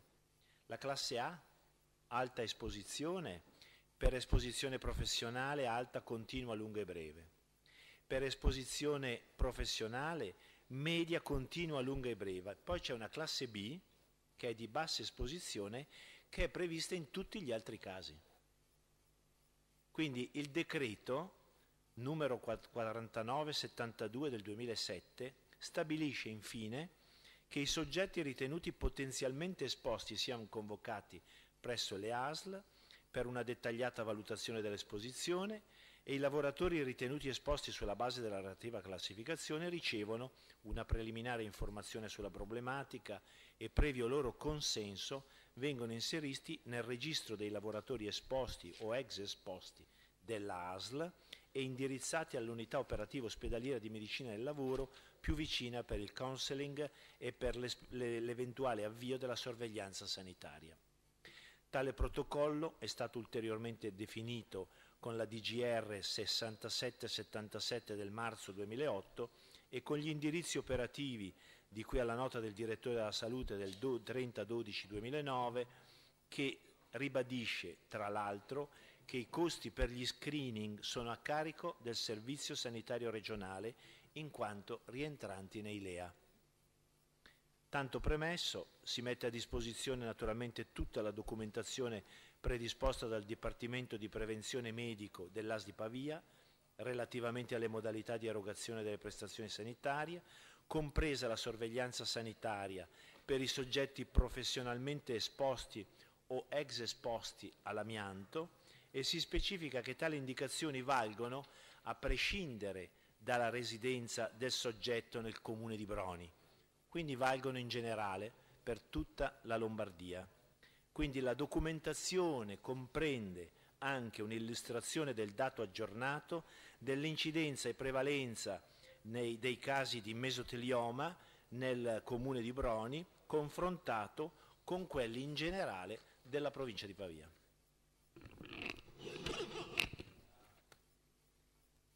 La ringrazio Vicepresidente Mantovani, ha chiesto di intervenire l'assessore Terzi, ne ha facoltà. Sì, grazie Presidente per una precisazione doverosa. Io capisco che la mozione insomma, eh, è di qualche mese fa, vedo che è stata depositata a, ottobre del, a fine ottobre 2014. L'intervento però della consigliera Nanni è attuale, quindi è, di oggi e mi dispiace che un po' su questa cosa si sia un po' eh, sorvolato. Adesso vi spiego esattamente su cosa. Anche e soprattutto mh, rispetto a una considerazione che ha fatto che non si può non condividere, cioè quella per cui alle parole ogni tanto devono seguire i fatti. Beh, mi pare che quantomeno per quanto riguarda la competenza del mio assessorato, alle parole abbiamo fatto seguire i fatti. Se vero come vero, mi risulta che insomma, tra Regione Lombardia e Ministero si siano recuperati quei 13 milioni che servono per far partire la bonifica vera e propria. Quindi, insomma, devo dire con, grazie anche alla collaborazione di quelli che erano i rappresentanti anche di altre forze politiche sul territorio, all'alba di dicembre, in pochissimo tempo, il Ministero ha approvato il progetto re, in qualche modo predisposto dall'ingegnere Elefanti, che è il dirigente della DG Ambiente, relativo a una ridistribuzione di quelli che erano i fondi della, eh, dei, dei, vari SIN presenti sul territorio lombardo e di fatto 11 milioni di recupero fondi, quindi non di fondi nuovi purtroppo, ma di recupero dei fondi e un milione e mezzo messo direttamente invece dalla DG Ambiente a fine dicembre permettono di coprire e quindi nei prossimi mesi di far partire effettivamente la fase 2 che è quella della bonifica e non solo della messa in sicurezza come nel dettaglio ha già precisato prima la consigliera Magoni. Quindi diamo tutte le notizie, diamole anche, diamo soprattutto le notizie positive che sono quelle per cui possiamo, la, la, la formalizzazione è questione, dicono di giorni se non di qualche settimana, ma pochissime settimane, diamo le notizie positive, sembra che insomma, a Broni effettivamente si possa partire con la bonifica vera e propria e concludere anche i lavori nei tempi ovviamente previsti che sono anche abbastanza lunghi, comprenderete anche il perché, ma di fatto fatto questo è. La ringrazio, Assessore Terzi. Sono aperte le dichiarazioni di voto. Non ho iscritti in dichiarazione di voto. Consigliere Nanni, prego.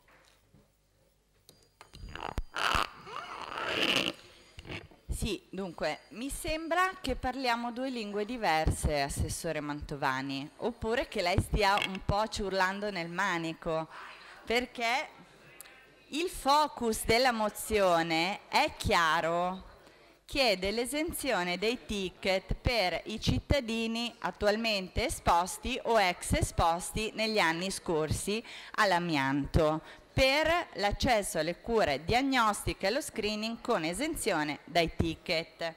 Ora lei mi ha fatto una bellissima illustrazione del decreto del direttore generale del 2007 sul registro dei mesopteliomi. Mi spiace che preferisca parlare col consigliere Barboni intanto che le rispondo, magari sarebbe il caso di ascoltare perché altrimenti a chi parlo? Consigliere Nanni però non deve rispondere all'assessore, deve dare la Ma sua come non devo rispondere all'assessore? È una dichiarazione di voto, consigliere Nanni. Vabbè, mi sembra anche una- un atto di grande maleducazione, Quello mentre stiamo non a me- parlando di non problematiche relative a persone colpite dall'amianto, andare a parlare con un collega dietro le quinte mentre io gli sto rispondendo Guardi, sul non punto posso su io richiamare l'educazione, i consiglieri e gli assessori.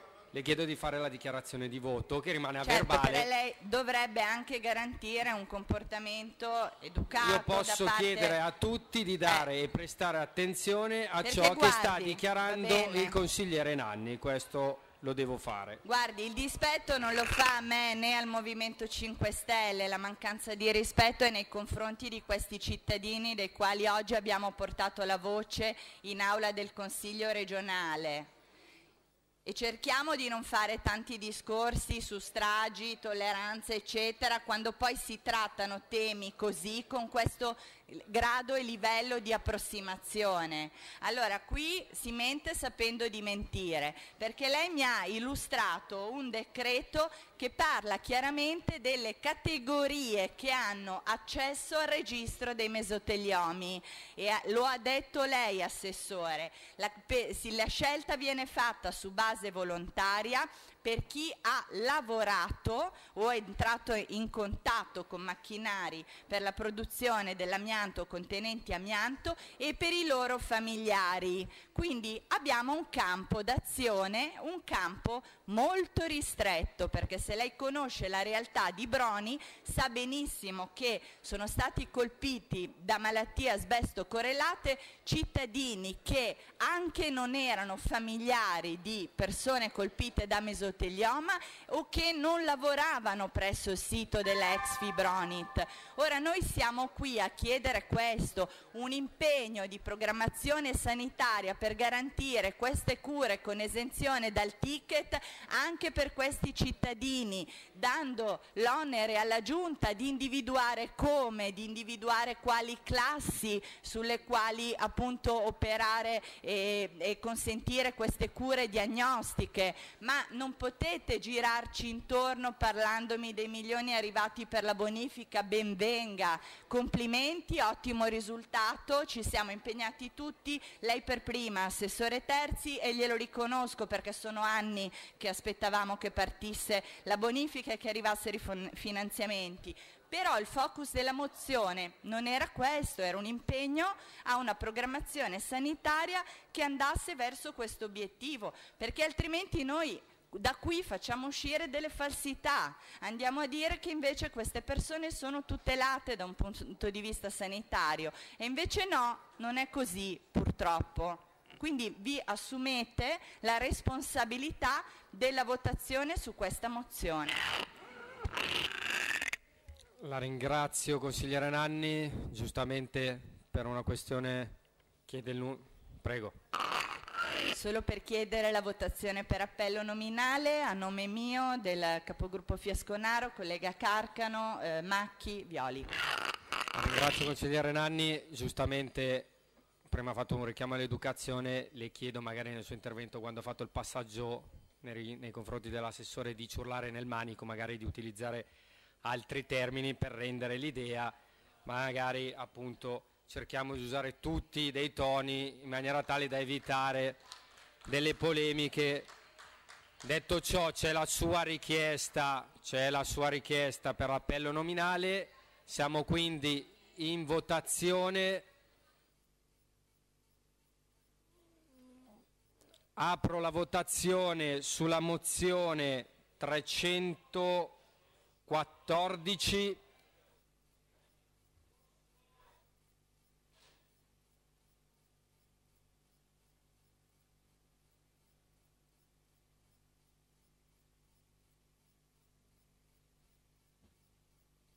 È aperta la votazione sulla mozione 314. Chiudiamo la votazione. Favorevoli 23, contrari 33. Il Consiglio non approva. Chiesto di intervenire il consigliere Colla. Prego, consigliere Colla. Sì, grazie Presidente. Semplicemente perché mi hanno segnalato che risulterebbe dagli statini un mio voto favorevole alla mozione 252 presentata dalla collega Carcano. Voglio dire che è stato un errore e naturalmente il mio voto è assolutamente contrario. Grazie. Prendiamo atto, prendiamo atto della dichiarazione del consigliere Colla e la mettiamo a verbale, quindi cambio del voto alla mozione 252. Passiamo ora alla mozione 328, primo firmatario il Presidente Romeo, che ha facoltà di presentare il testo della mozione. Sì, grazie Presidente, ma in modo velocissimo, visto che è stata sottoscritta da tutti i gruppi consigliari. Eh, si tratta di trasferire delle linee elettriche che passano, interessano l'area dell'altipiano del comune di Seveso, se ne parla a livello locale da tantissimo tempo, c'è stato di recente un incontro proprio qua in regione anche con Terna, che è la società che deve provvedere a questo trasferimento, perché lo faccia ovviamente deve inserire Terna eh, tra le priorità un intervento che riguarda la provincia di Monza e Brianza. Pertanto eh, si è concordato in quella riunione che se già la Regione chiedesse a Terna di inserire eh, come priorità questo intervento, poi Terna potrebbe da quel punto di vista accelerare le procedure. Tenete conto che da quando Terna inserisce come priorità l'intervento e lo va a finanziare, prima che l'intervento viene fatto passano cinque anni. Quindi prima lo facciamo, meglio è. Grazie. La ringrazio Presidente Romeo, è aperta la discussione generale sulla mozione 328, ricordo che è stata firmata anche dai consiglieri Caru, Corbetta, Brambilla, Barzaghi, Sala, consigliere Barzaghi che ha chiesto di intervenire. Al termine dell'intervento del consigliere Barzaghi chiuderò le iscrizioni in discussione generale. Prego consigliere Barzaghi. Grazie Presidente, sì, aderiamo anche noi a questa mozione perché come ricordava il collega questo intervento è stato richiesto da tantissimi anni da tutte le amministrazioni locali eh, di Seveso perché interessa questa zona particolarmente, in particolare questa zona densamente abitata. E non risulta appunto che Terna abbia ancora inserito tra le priorità questo intervento anche se a più riprese sono state formulate diverse ipotesi progettuali per il trasferimento delle due linee eh, di elettrodotto eh, che lo ricordiamo appunto sono linee ad altissima tensione. E sebbene gli studi condotti in merito eh, siano troppo recenti per poter definire con esattezza gli effetti a lungo termine dell'esposizione continua alle radiazioni elettromagnetiche, in base al principio di precauzione occorrerebbe davvero porre attenzione in ogni caso alla protezione dei cittadini dai rischi di danni causati dalla esposizione ai campi eh, elettromagnetici eh, e questo è possibile solo allontanandoli dalle sorgenti di emissione.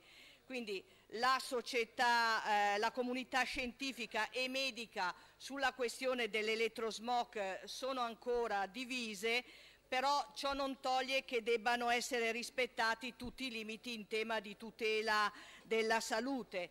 E il fatto appunto che eh, nella zona di Seveso Altopiano so, siano stati misurati livelli di induzione elettromagnetica molto vicino appunto alla soglia eh, dell'obiettivo di qualità ci induce appunto a sostenere questa mozione e a chiedere alla Giunta di proseguire nell'azione di coordinamento eh, dei comuni eh, perché anche i comuni vicini con Termini come Cesano e Berlassina si sono già dichiarati favorevoli e ad, hanno già espresso il loro senso allo spostamento e a, appunto al fine di velocizzare questo iter di trasferimento degli elettrodotti. Grazie.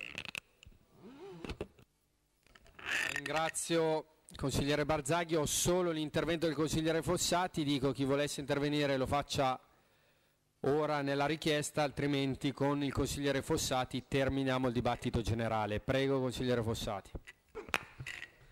Grazie Presidente, gentili colleghi.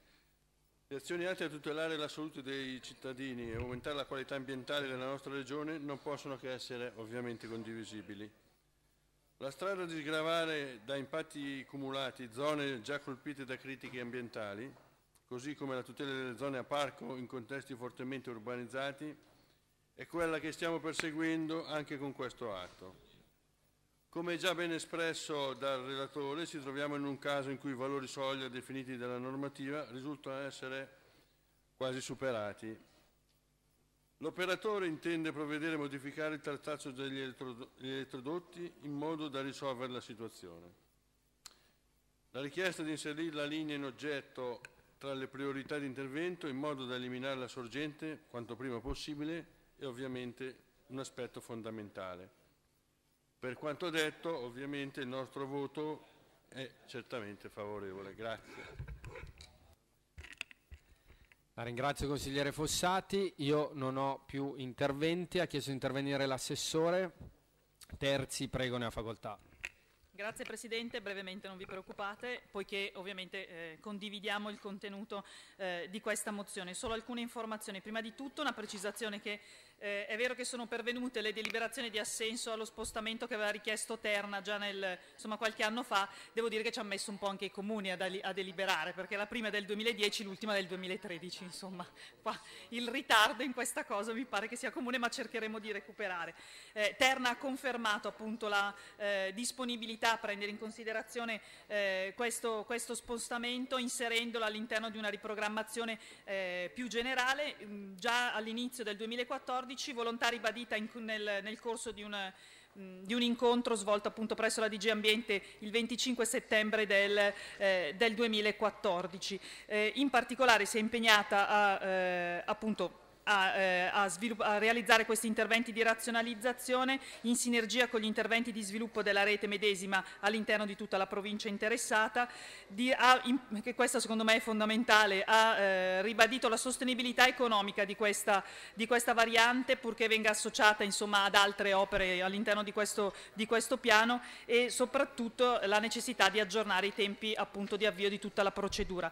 Infatti nel piano di sviluppo che è del 2011 già approvato dal Mise è previsto appunto un, un intervento denominato riassetto rete 120, 132 al quale a quanto pare verrebbe associato questo intervento. La cosa importante che vi dico è che entro marzo 2015 ci sarà la revisione di questo piano e quindi delle sue priorità, quindi la mozione direi che è più che tempestiva. Ovviamente la Giunta recepirà eh, il contenuto della, della, mozione, la volontà, mi pare, spero, immagino, unanime del, eh, del, Consiglio, anche alla luce del fatto che come giustamente eh, il consigliere Romeo, il Presidente Romeo eh, eh, evidenziava eh, l'intervento un intervento che già è lungo di suo perché ci vorranno quasi cinque anni per la realizzazione appunto di questo, eh, di questo spostamento. Teniamo tutti presenti che nei cinque anni si dovrà tenere in considerazione che questo è un intervento che è soggetto ovviamente alle norme di via, che rientra in quello che è l'ambito del Parco delle Groane e che ovviamente c'è anche la correlazione con una, con una SIC, quindi è tutto abbastanza complicato, insomma, eh, per dirvi. Eh, la richiesta di allontanamento trova ovviamente però e troverà ovviamente una valutazione mh, favorevole anche da parte di per quanto riguarda gli impatti ambientali, anche perché considerando le, relativamente alle considerazioni che ha fatto il Consiglio consigliere Barzaghi relativi comunque al fatto che seppur rientra nei limiti ovviamente l'impatto sarà particolarmente positivo per la popolazione che in qualche modo adesso è esposta invece a queste, a queste emissioni. Eh, ovviamente sarà fondamentale individuare un tracciato eh, alternativo che poi invece garantisca la conformità a quelle fasce di, di- di rispetto che vabbè, tutti ovviamente abbiamo mh, in qualche modo conosciamo. Quindi eh, un- un- un'approvazione, un sostegno e senza dubbio un'attivazione da parte della Giunta che sarà tempestiva quanto è stata tempestiva quella del Consiglio. La ringrazio Assessore Terzi, dichiarazioni di voto sono aperte sulla 328, ha chiesto di intervenire il consigliere Corbetta, ne ha facoltà. Sì, grazie Presidente. Semplicemente per annunciare voto favorevole da parte nostra a questa mozione, per i motivi che sono già stati dai colleghi esplicitati, per ringraziare anche il primo firmatario per averla condivisa e per aver chiesto insomma, la, la condivisione anche in sede di firma a tutti i consiglieri eletti in provincia di Monza e Brianza. Ne approfitto per chiedere il voto elettronico nominale a nome mio di Violi, Carcano, Maccabiani e Buffagni. Grazie.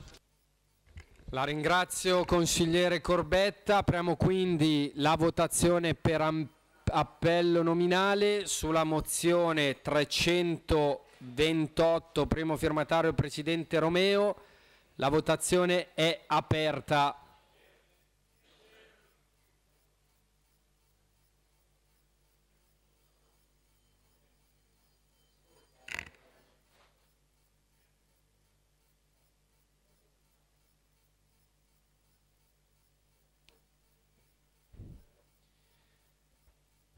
Dichiaro chiusa la votazione. Favorevoli 48, il Consiglio approva. Passiamo ora alla mozione 348, primo firmatario il consigliere Bruni che ha facoltà di presentare la mozione. Prego. Grazie Presidente. Si tratta di una mozione sottoscritta da quasi tutti i consiglieri regionali bergamaschi. Ho preso poco fa che agli originali firmatari si è aggiunta la sottoscrizione anche della consigliera Lara Magoni che non aveva a suo tempo potuto sottoscriverla per ragioni di carattere personale. L'impegno a presentare questa mozione nasce in un convegno tenutosi sabato 29 novembre presso il municipio di San Pellegrino, un convegno indetto da quell'amministrazione eh, comunale che rilanciava per l'ennesima volta la richiesta della riapertura a decenni di distanza della casa da gioco di San Pellegrino eh, Terme. Da allora si sono succeduti alcuni eventi nuovi, eh, tre esattamente. Il primo, eh, la riapertura nell'ambito, ed è una prima realizzazione nell'ambito dell'accordo di programma di cui parlerò tra poco, del complesso termale di San Pellegrino Terme.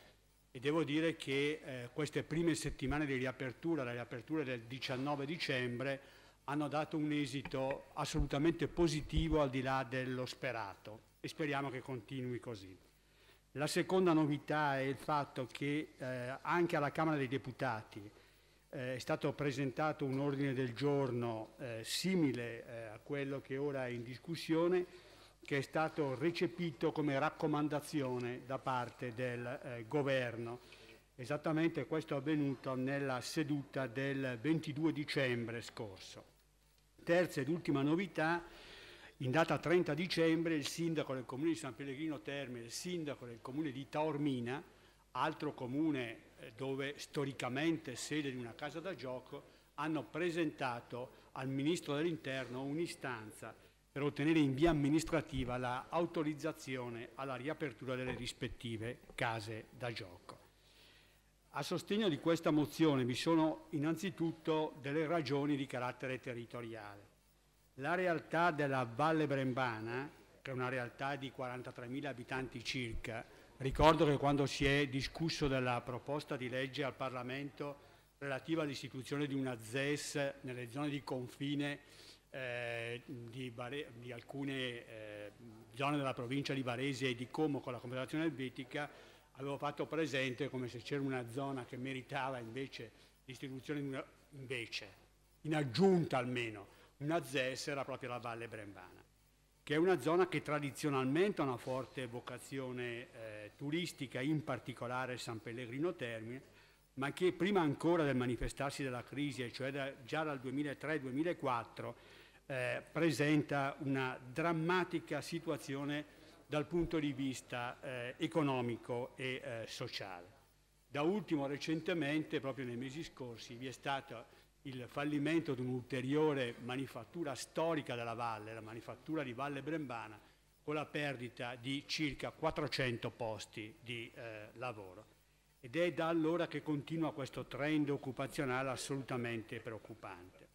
Nel 2007 è stato stipulato un accordo di programma tra Regione Lombardia, Provincia di Bergamo e Comune di San Pellegrino Terme con il concorso di un operatore privato per il rilancio appunto del eh, complesso termale. Naturalmente la crisi economica che è subentrata negli anni immediatamente successivi ha portato dei ritardi nella realizzazione dell'accordo di programma e comunque vi sono già stati consistenti investimenti sia pubblici che privati per la realizzazione di questo accordo di programma. E dicevo, riferivo appunto in apertura del fatto come la riapertura del complesso termale con la realizzazione anche di nuovi eh, edifici rientra appunto nel quadro di questo accordo di eh, programma.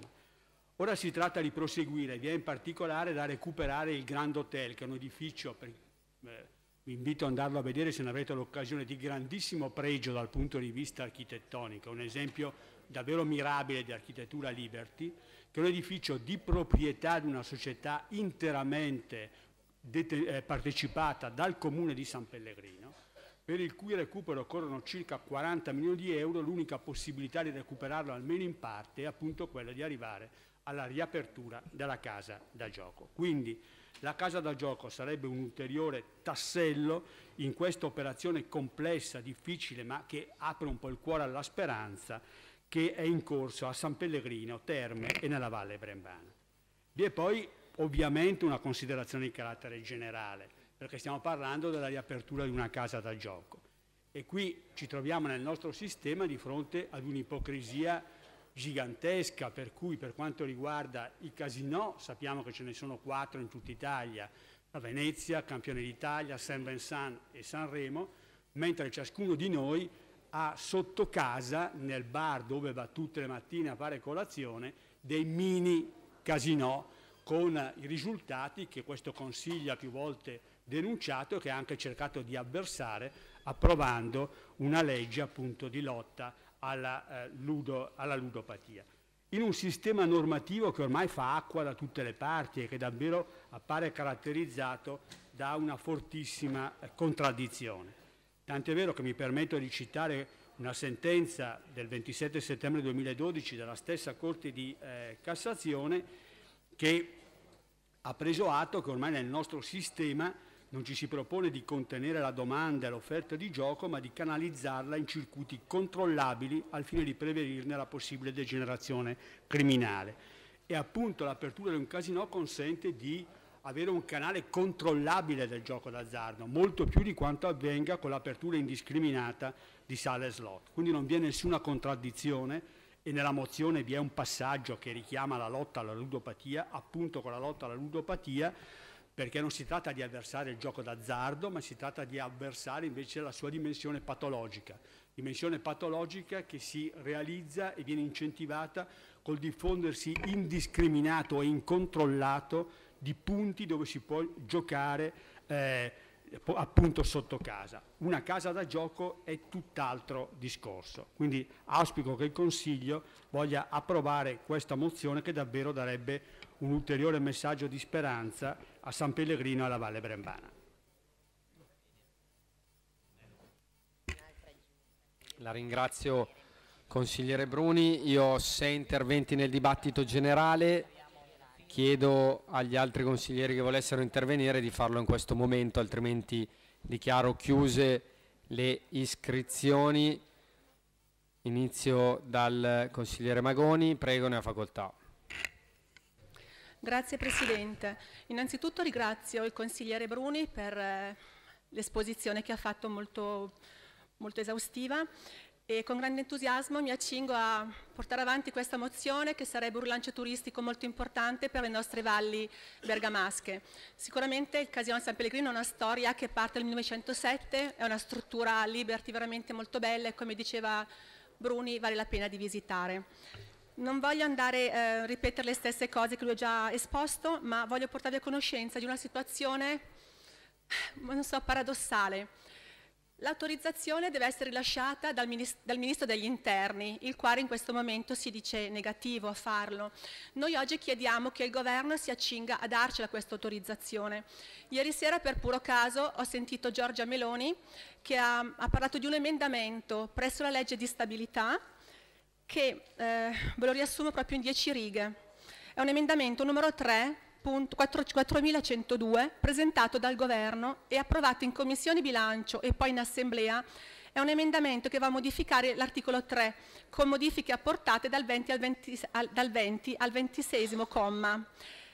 Questa legge prevede, questo emendamento approvato prevede infatti una specie di sanatoria per le migliaia di negozi e di scommesse privi di concessione statale, ai quali verrebbe offerta un'opportunità di redenzione nella direzione del circuito ufficiale legale di raccolta di scommesse. Sostanzialmente i titolari di queste agenzie, per la legge illegali, pagherebbero una multa più una tassa e diventerebbero a tutti gli effetti parte integrante del circuito, con il risultato ovvio di recuperare grandi somme finora evase, ma con la seguente, altrettanto ovvia, di legalizzare altre 7.000 sale scommesse. Questi sono i calcoli della Guardia di Finanza. Quindi oggi mi, mi trovo a chiedermi come mai il Governo non ci dà questa grande opportunità. Sappiamo benissimo che la ludopatia, che sta combattuto molto bene tramite una legge del mese di ottobre e la Regione Lombardia, va a tutelare le fragilità, fragilità che nascono nei pensionati, nei disoccupati, nelle casalinghe, coloro che hanno più tempo di frequentare bar dove facilmente possono gettare i loro soldi. Sappiamo benissimo che una casa da gioco, un casino è tutelata sotto questi aspetti la stessa provincia, gli stessi abitanti della provincia non potranno accedere al casino, quindi già l'avvicinamento di una casa da gioco diventa più difficoltosa. Proprio a fronte di questo vorrei avvalermi di questo emendamento per far forza sui nostri parlamentari lombardi in sede del governo affinché San Pellegrino possa riportare attraverso il casino una rinascita di tutto il territorio. Grazie.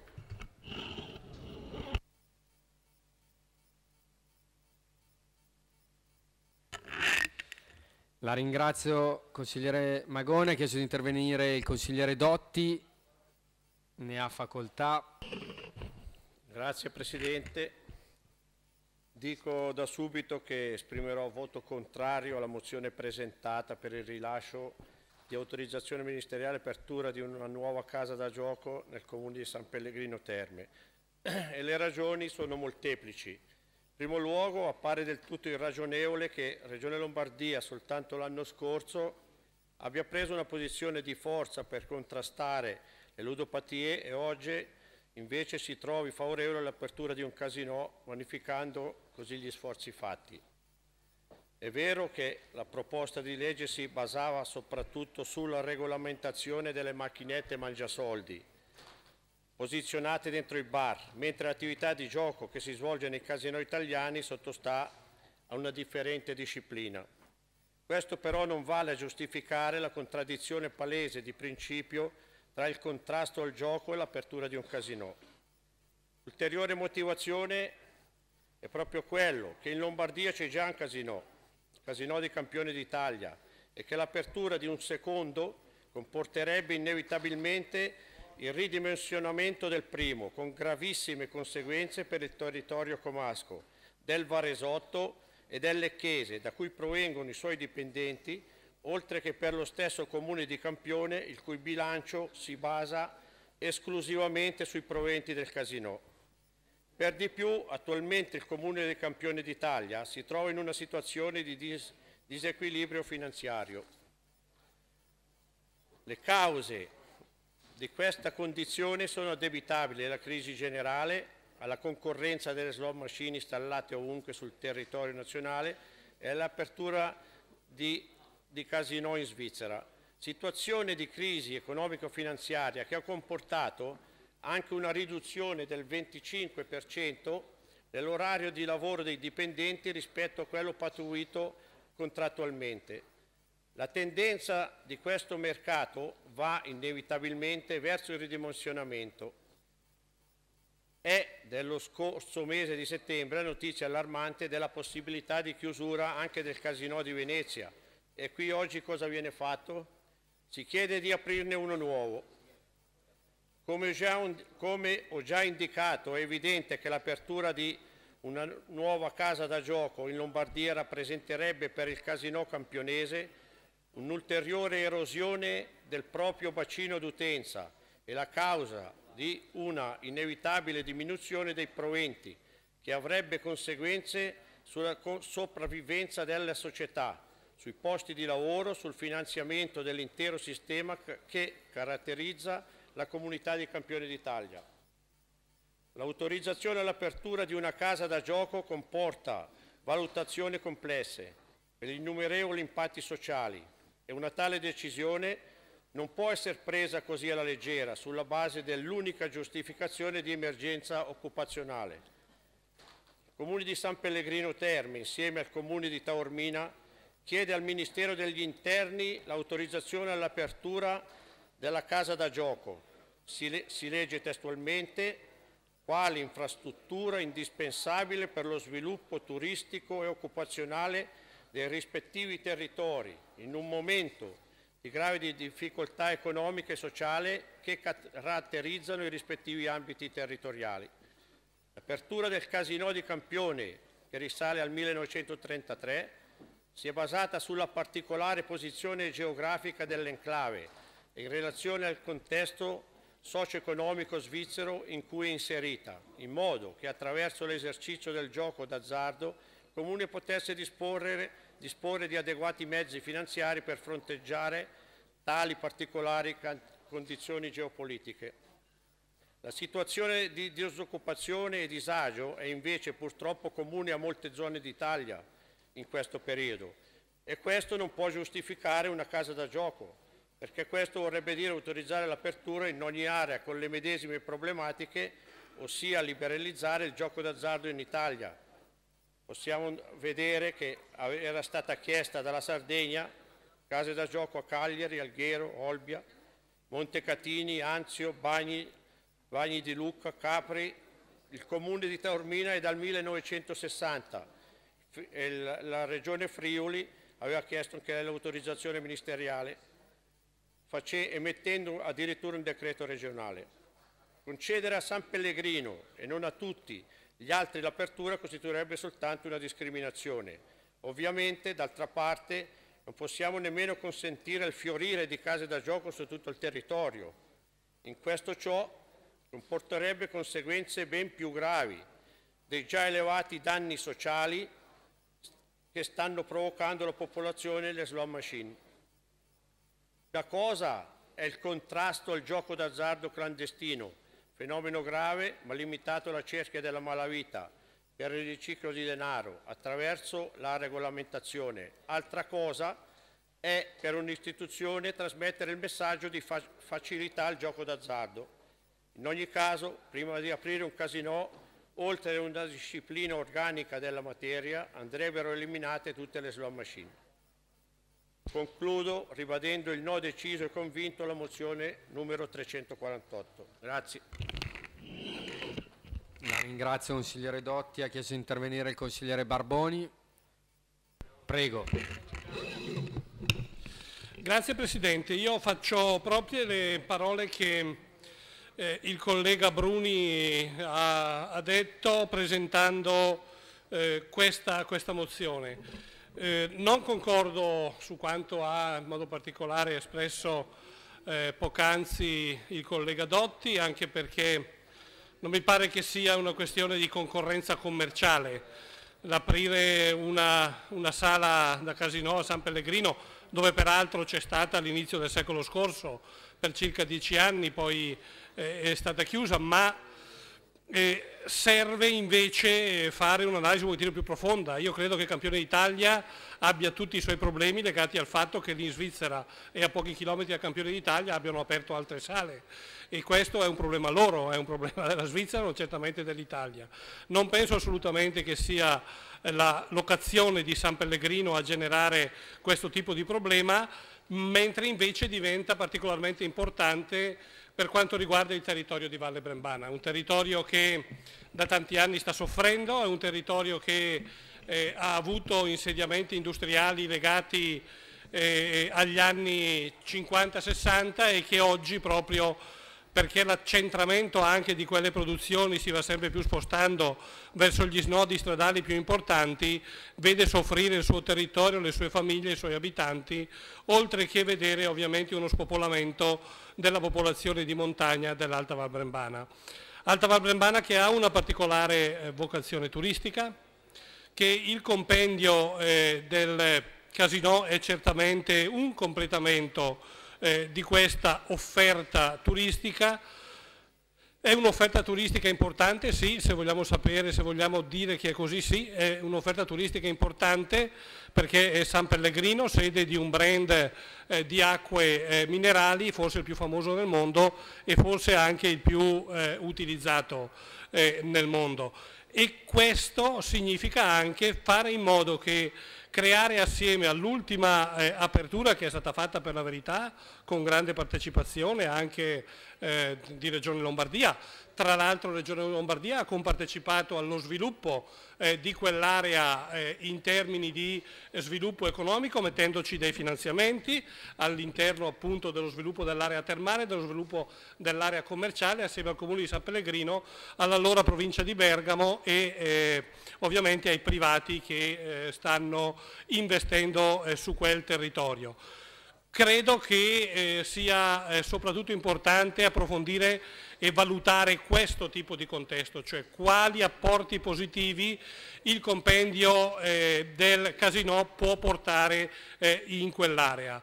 Certamente una vocazione turistica, eh, come ho detto prima, anche di un certo tipo che completerebbe con, con l'apertura del casino, per la verità ricercata da diversi anni e, e che noi crediamo sarebbe anche ora di dire e dare un parere favorevole eh, all'apertura, anche perché non verranno aperti 20 casinò e non sono certamente i casinò, ve lo dice uno che eh, ha, seguito dalla prima ora il gruppo di lavoro le per le ludopatie e c'è stato fino all'ultimo minuto.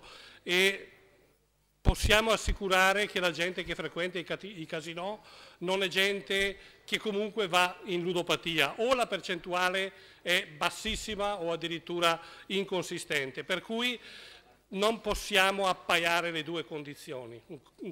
Un, conto è le slot machine, le VLT sparse su tutto il territorio comunali di tutta Regione Lombardia, di tutta Italia, un conto sono i 4 più 1, 5 casinò che eh, ci sarebbero e verrebbero ad esserci in Italia. Quindi proprio eh, in ragione di in funzione a eh, dare la possibilità ad un territorio montano con, tutti, eh, eh con tutte le gravosità e gli impegni che ci sono di vivere su un territorio di montagna, dare la possibilità di avere una ulteriore opportunità di creare anche posti di lavoro, perché sappiamo benissimo non ne creeremo tanti come a campione d'Italia, anche perché non sarebbe sostenibile una condizione di questo tipo, ma creare i posti di lavoro adeguati allo sviluppo di quell'attività è certamente un colpo di mano a quel territorio e ovviamente a quei comuni e a quelle famiglie che su quel territorio gravitano. Per cui a nome del Partito Democratico che eh, ovviamente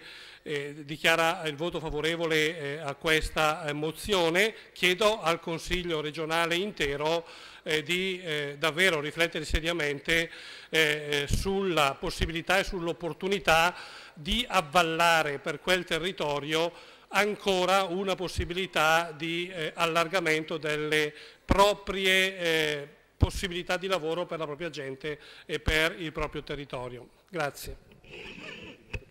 La ringrazio consigliere Barbone, ha chiesto di intervenire il consigliere Piazza.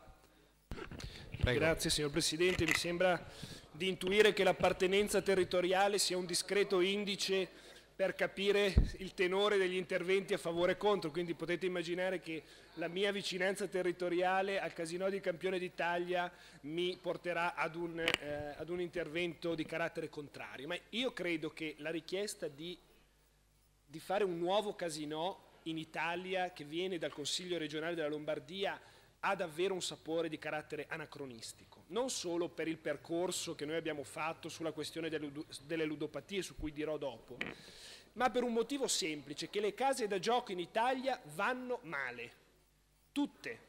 I bilanci delle case da gioco in questo Paese sono mediamente disastrosi, soprattutto negli ultimi due o tre anni. E eh, una delle prove provate, senza fare riferimento alle difficoltà del casino di campione d'Italia, che tuttavia è uno dei casinò che negli ultimi tre anni ha mantenuto una, un discreto livello rispetto agli ingressi e, gli, e rispetto al, al, suo fatturato, la, la, più evidente prova è quella del casino di Venezia, il, il più importante casino d'Italia, uno dei più importanti casino d'Europa, eh, che oggi è in uno stato di sostanziale dissesto e che non ha nemmeno trovato una collocazione nel, eh, nel mondo del privato. Il, il, Comune di Venezia ha cercato di vendere il Casino di Venezia, ma nessuno ha comprato il Casino di Venezia. Ecco, questo io credo sia il primo motivo che dovrebbe indurci a una riflessione sul fatto che le case da gioco non funzionano e non funzionando non possono nemmeno essere un buon veicolo per il rilancio turistico di alcune località. Io ho seguito vicino, da vicino la vicenda di San Pellegrino e sono molto lieto del rilancio turistico che sta avvenendo.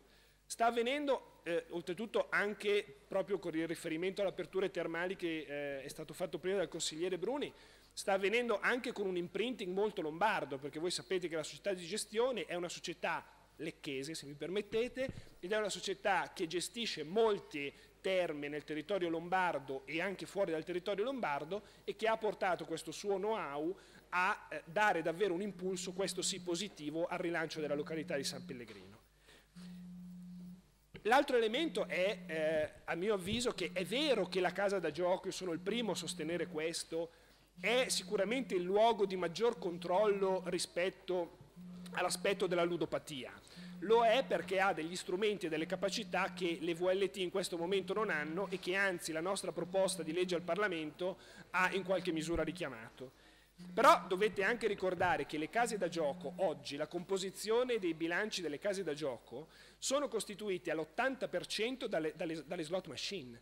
Al Casino di Campione d'Italia l'80% degli incassi circa è fatto eh, dalle slot machine, che non sono, diciamo per così dire, un gioco d'azzardo particolarmente qualificato.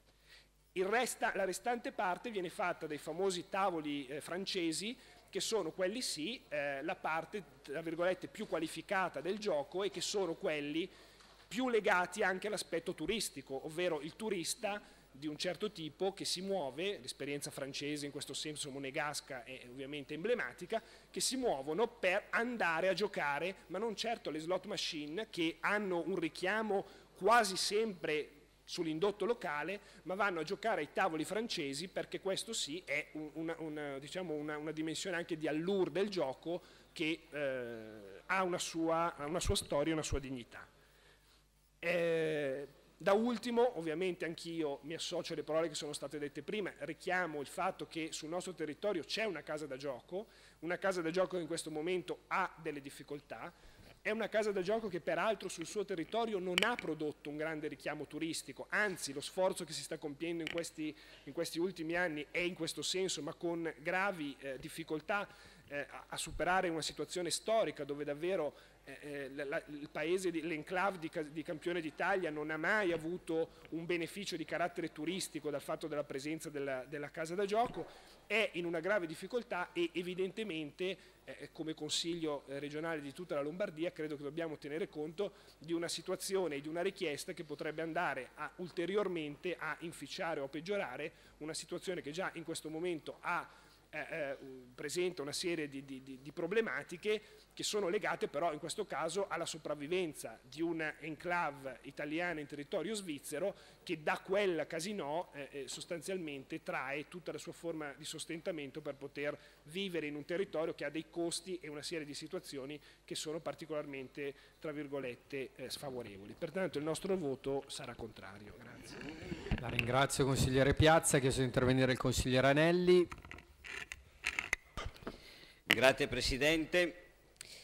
Beh, mi piace far osservare una cosa, che oggi qui non abbiamo consiglieri regionali, ma mi sembra che ci siano consiglieri provinciali da come difendono il proprio territorio, giustificabile, però quantomeno anomalo.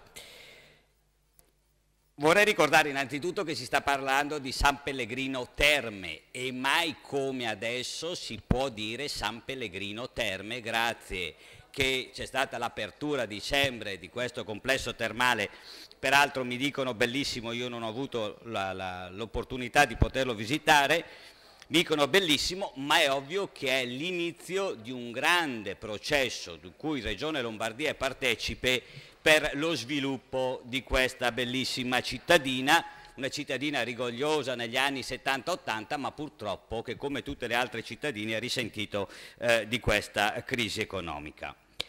Ora, quando si dice che campione d'Italia è in disgrazia e quant'altro, onestamente si dice una falsità, perché campione d'Italia oggi ha un mancato incasso rispetto agli incassi precedenti, ma non è assolutamente in default. Che questo sia chiaro, che allora è ovvio che nell'attimo in cui due anni fa si guadagnava 40 milioni all'anno e oggi se ne guadagnano 30, uno dice in perdita, ma non è in perdita, è un mancato guadagno, che sono due cose completamente eh, diverse.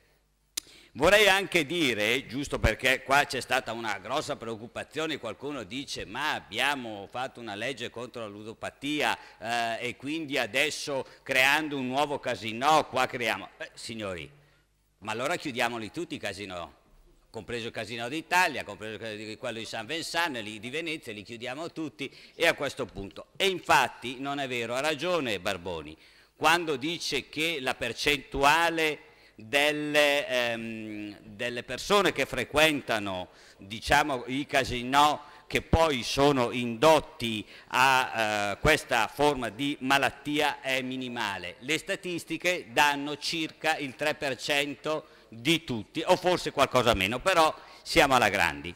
E allora io dico, benvenga e sosteniamo volentieri questa iniziativa che peraltro voglio ricordare, questa delibera è un facsimile che la delibera nel gennaio 2013 in Consiglio provinciale di Bergamo è stata votata dalla maggioranza di centrodestra. Che sia chiaro, perché il Consiglio provinciale a Bergamo, il centrodestra, ha votato una delibera che è quasi la fotocopia, mi permette il Presidente Bruni di dire, di quella che è stata proposta oggi. E allora secondo noi benvenga il casino, benvenga l'investimento che è un investimento importante per la città di San Pellegrino, con un investimento che vede in tutto circa 200 milioni di euro. E poi voglio anche ricordare una cosa, se proprio proprio abbiamo questa diciamo, diffidenza o problema di eh, possibile ludopatie, eh, San Vincent ha fatto una cosa bellissima. Il casino di San Vincent Vedevo ha fatto un accordo quadro con l'ASL della regione Aosta, la quale tengono monitorati e controllati i cittadini che vanno a, che frequentano sistematicamente i casinò e da questo punto traggono ovviamente tutte le relative conseguenze, addirittura arrivando a impedire ai cittadini di frequentare il casino stesso. Detto questo, quindi, se, mh, ovviamente, torno a ripetere, siamo in regione, ma probabilmente in questo momento ragioniamo da consiglieri provinciali, il nostro eh, voto sarà un voto favorevole perché non solo permetterà alla Val Brembana ma l'intera provincia di Bergamo e non solo, di poter avere quello sviluppo che San Pellegrino Termo peraltro ha avuto negli anni passati, come giustamente ricordavamo, già nei primi anni del 1900 il casino c'era e la struttura è ancora lì, bellissima, stile Liberty e speriamo di riaprirla. Grazie. La ringrazio consigliere Anelli, che intervenire il consigliere Violi. Prego. Sì, grazie Presidente. Questa mozione chiede eh, un impegno alla Giunta di farsi carico presso, presso il Governo per eh, l'apertura o riapertura, anche se si tratta di più di un secolo fa, eh, della casa gioco di San Pellegrino Terme. Certo è che sicuramente è un provvedimento che è abbastanza fumo negli occhi per il territorio bergamasco, perché i parlamentari bergamaschi si erano già espressi, almeno nell'ultimo anno, in diversi incontri anche con il sindaco Milesi e si erano presi un impegno di intervenire con degli emendamenti affinché si procedesse ad avviare l'iter per la concessione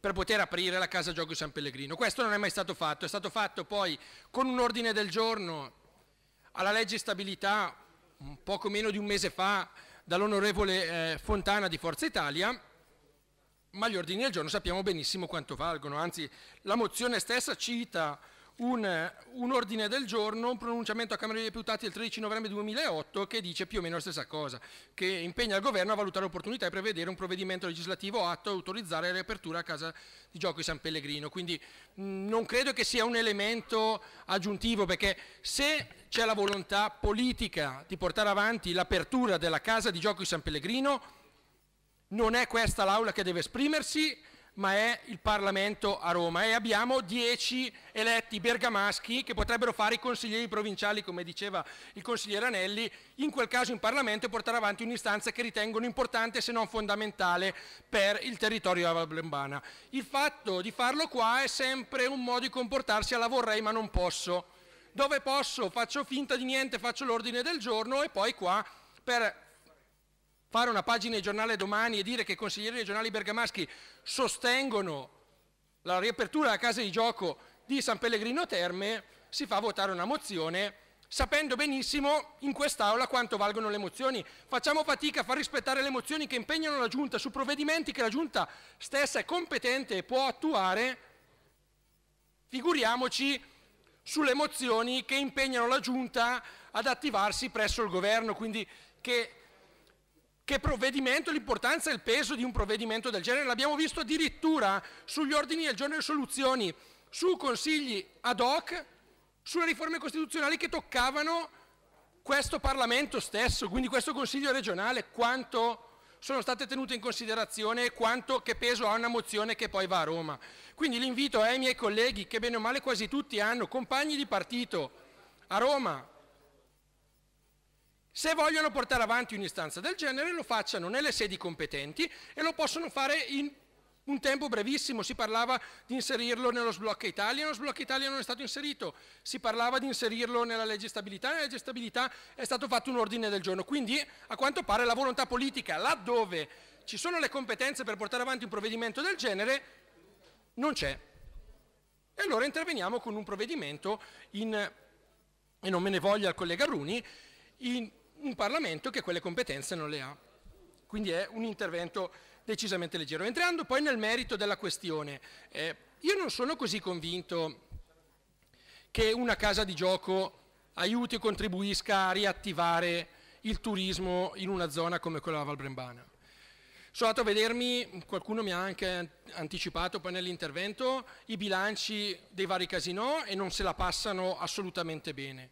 Vero è anche che se si volesse fare un provvedimento serio sulle case da gioco, ed è vero quello che diceva il consigliere Barboni, che nelle case da gioco è più facile controllare i giocatori, è più facile controllare anche da dove provengono i soldi, perché sappiamo benissimo eh, che spesso i, le sale a videopoker servono per riciclare denaro a parte de, della, della, malavita e delle, delle organizzazioni criminali, questo lo sappiamo benissimo, e probabilmente facendo poche case da gioco sarebbe più facile controllare la gestione del denaro stesso, quindi questo è fuori di dubbio, ma questo vorrebbe poi un provvedimento sempre carattere di governo nazionale e di Parlamento che sia a 360 gradi. Allora a quel punto abbiamo visto negli ultimi 3, 4, 10 anni una completa liberalizzazione di videolottery, video slot eh, con jackpot da 200-300 mila euro, che quindi hanno aumentato sì la ludopatia anche in un momento di crisi economica, e poi adesso chiediamo la deroga per San Pellegrino, poi domani lecitamente uscirà un altro territorio che magari ha già avuto storicamente un, un casino e chiederà giustamente un'altra deroga, allora a questo punto dico chiediamo un provvedimento perché si riordini tutto il sistema del gioco, ma credo che nell'ultimo anno e mezzo abbiamo, abbiamo visto che intenzione c'è da parte del governo di intervenire su quello. Sono state tagliate le multe di diversi miliardi di euro ai concessionari del gioco. Diceva prima la consigliera Magoni, emendamento legge stabilità, è lì emendamento, non ordine del giorno, per sanare la situazione di tutte quelle sale da gioco, tra virgolette, clandestine.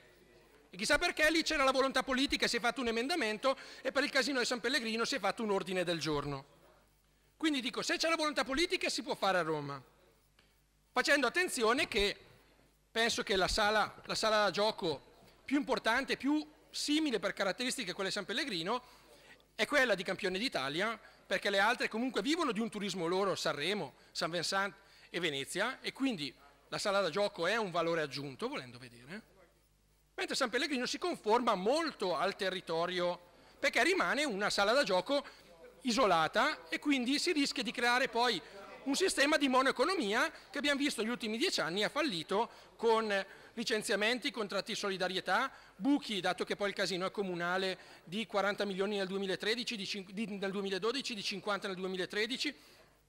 E quindi io starei attento, non sono assolutamente contrario, ma starei attento a fare un investimento del genere e a pensare che lo sviluppo di una vallata che ha un turismo che dovrebbe svilupparsi sulla natura, sull'agroalimentare, che dovrebbe essere valorizzato, invece sposti il suo orientamento e sposti gli investimenti su un casino che non credo siano in grado di dare uno sviluppo economico, così come qualcuno vuole immaginarsi, al territorio della Val Brembana.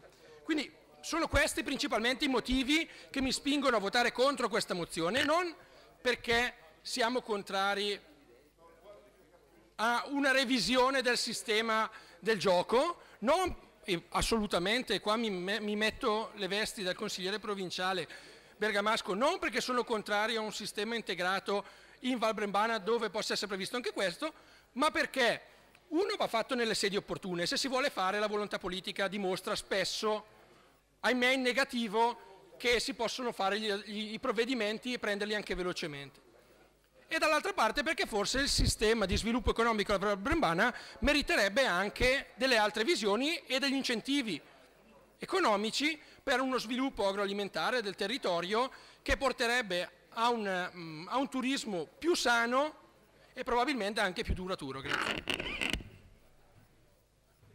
La ringrazio consigliere Violi, ultimo intervento in discussione generale, quello del consigliere Fermi. Sottosegretario ne ha facoltà. Sì, grazie Presidente. Intervengo su questa mozione, mh, come peraltro fatto già da alcuni colleghi, non solo come rappresentante eletto in provincia di Como, eh, ma anche perché volevo contribuire nel merito rispetto a quello che eh, gli argomenti che sono stati portati dai firmatari a sostegno di questa mozione. Parto dalla coda. Eh, non sono d'accordo, il mio voto sarà contrario a questa mozione. Ma lo è per un ragionamento che non è semplicistico rispetto ad una, anche se vogliamo, mh, giustificabile e dimostrabile poca coerenza rispetto alla lotta sulle ludopatie, perché non mi si venga a dire che nei casinò non c'è questo problema perché c'è una parte di tavoli da gioco ma c'è una parte amplissima che tra l'altro lo ricordo per chi conosce i numeri dei casinò senza parlare, senza parlare effettivamente conoscendo amplissima degli incassi del casino che arrivano dalle slot machine che sono identiche a quelle che troviamo nei bar dove ci sono decine e decine di famiglie che si rovinano e lasciano lo stipendio. Per cui io comunque ci vedo una incoerenza da parte di questo Consiglio regionale che ha fatto una bella legge, una battaglia rispetto al tema della ludopatia. Se questa battaglia doveva essere finalizzata solo alla distanza di alcune macchinette dalle scuole o dalle chiese, penso che potevamo anche fare a meno di farla. Ma lo dico anche perché c'è un motivo per il quale è stato fatto un casino a campione d'Italia. Non è che il casino a campione d'Italia è nato perché il campione d'Italia è un paese più o meno fortunato nell'averlo. Poi anche qui bisogna capire se è una fortuna o una sfortuna avere un casino sul proprio territorio. Ma per chi non lo sapesse, Casino di Campione d'Italia è un'enclave che è totalmente circondata non da valli, non da monti, per quanto è sfortunato, per quanto possa essere una zona come tante altre della nostra regione montana, ma è una zona che ha attorno solo la Svizzera. Questo significa tantissime cose, significano questioni economiche importanti, significa pagare in franchi, significa vivere in un contesto che è assolutamente unico nel territorio nazionale ed è il motivo per cui c'è il casino. Voi dovete sapere che il Comune di Campione d'Italia basa il proprio bilancio, che peraltro lo dico che per una diminuzione dei, dei proventi della casa da gioco è in disequilibrio finanziario con un piano autorizzato dalla Corte dei Conti di riequilibrio 2013-2015 perché i casinò, come si diceva poc'anzi, vuoi la concorrenza, vuoi la concorrenza svizzera perché negli ultimi anni sono stati aperti casinò a Mendrisio e a Lugano, certamente non navigano in ottime acque. Il casino di Campione, devo dire, dei quattro casinò italiani è forse quello che grazie ad un piano abbastanza rigido va meglio degli altri. Ma a Campione il casino c'è perché Casino di Campione d'Italia, il comune di Campione d'Italia è un enclave. Ricordo a tutti che nel casino lavorano di Campione d'Italia qualcosa come 530 dipendenti.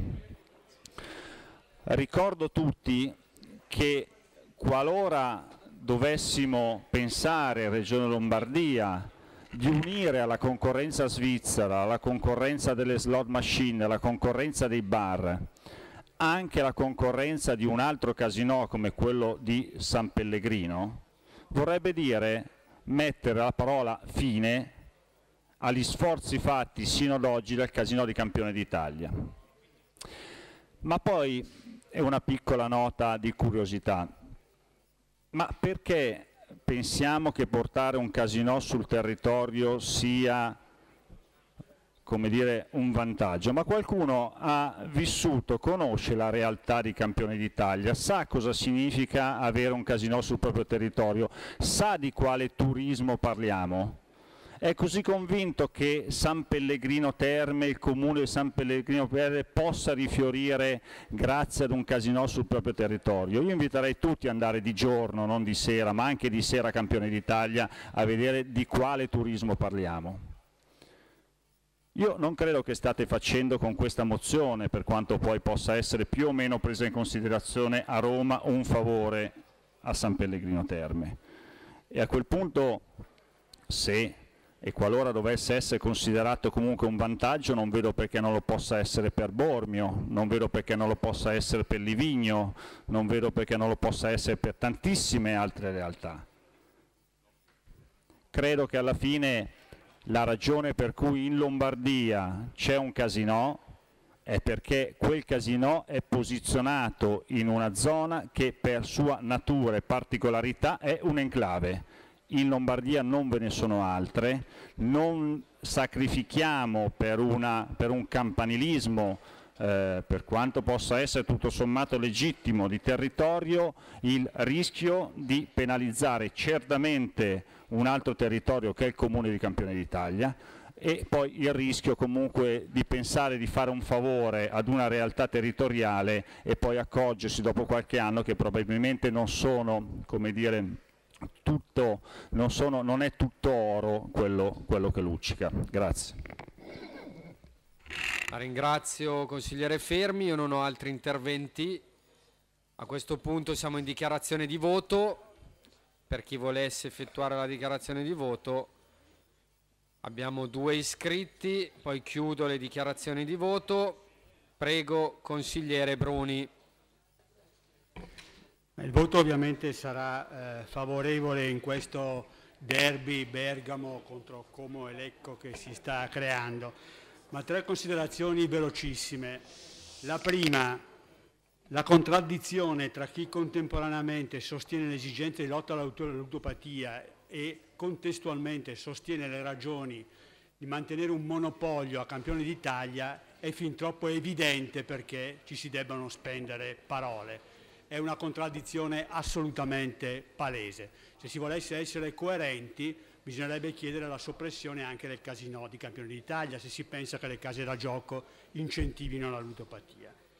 La seconda considerazione è che le altre case da gioco sopportano tutto il peso della concorrenza straniera, tutte quante le quattro case da gioco che ci sono in Italia. Sanremo e San Bensan quella francese, campione d'Italia quella svizzera e Venezia quella slovena. Non è così invece per la posizione di San Pellegrino Terme.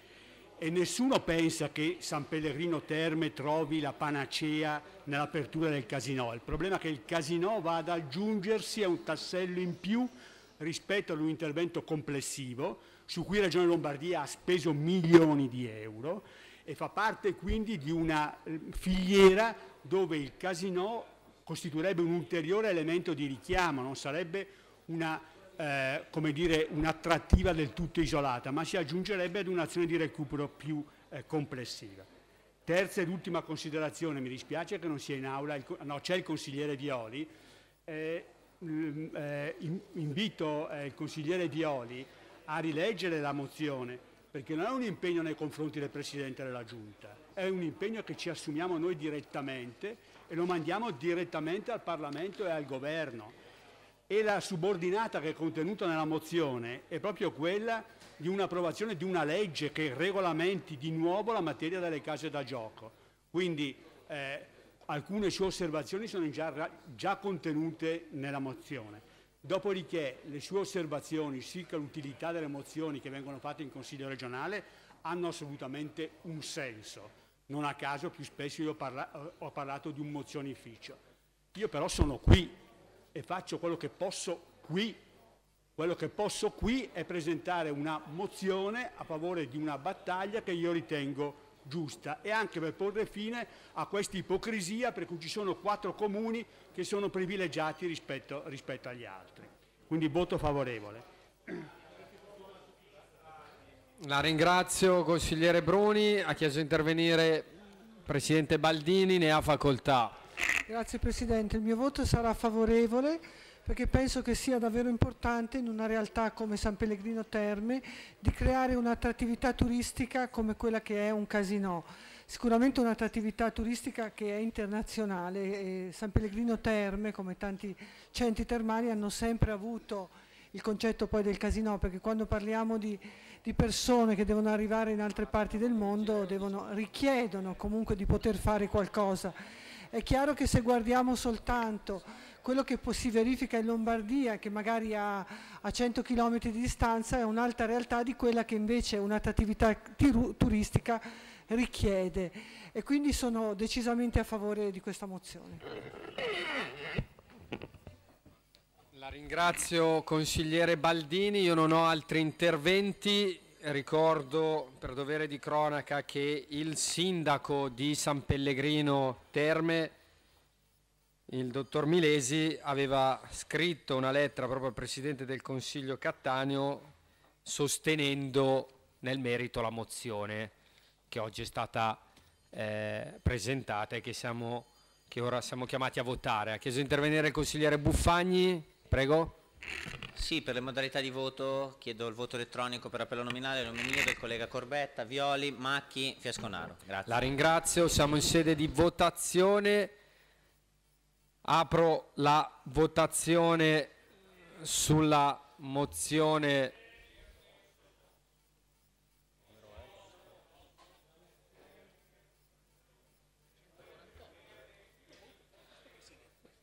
la mozione 348 è aperta la votazione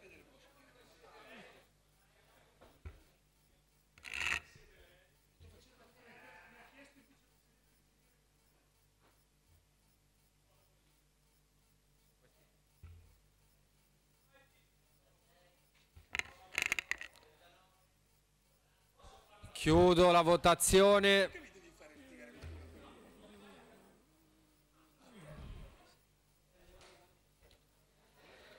Favorevoli 28, contrari 22, astenuti 1. Il Consiglio approva la mozione.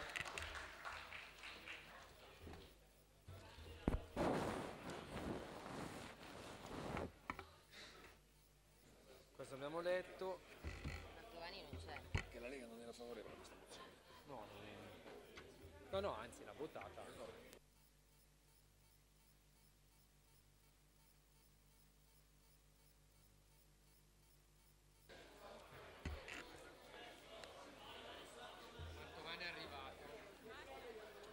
Proseguiamo l'ordine del giorno, colleghi,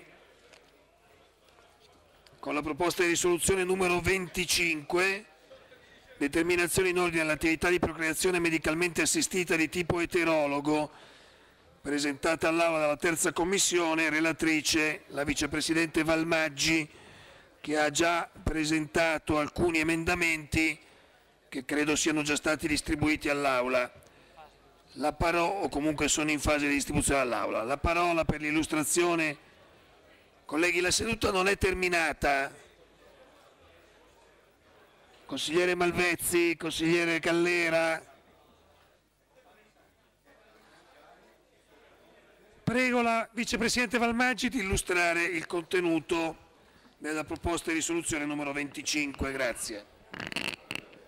Grazie Presidente. Come già è stato ricordato questa risoluzione è una risoluzione che ha interessato un confronto anche abbastanza, abbastanza approfondito in, in, terza, in terza commissione un confronto sui contenuti che non ha visto quella eh, divisione forte di opinioni che c'è stata invece nel dibattito pubblico.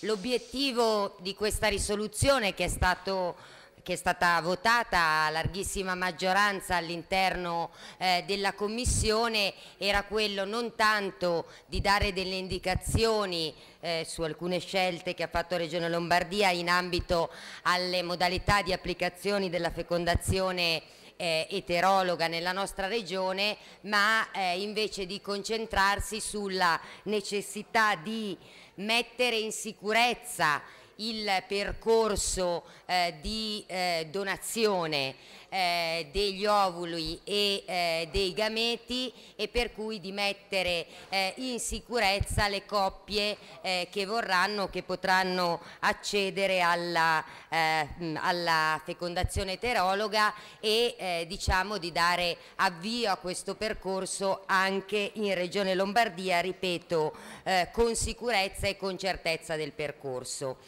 Ad onol del vero, Regione Lombardia appunto aveva con la DGR 10 23 44 del 12 settembre 2014 aveva preso tutta una serie di impegni tra cui quello di istituire il registro regionale dei eh, donatori e di eh, consegnare al Policlinico eh, di Milano con il supporto di Lombardia Informatica l'archivio informatico eh, dei, eh, dei donatori.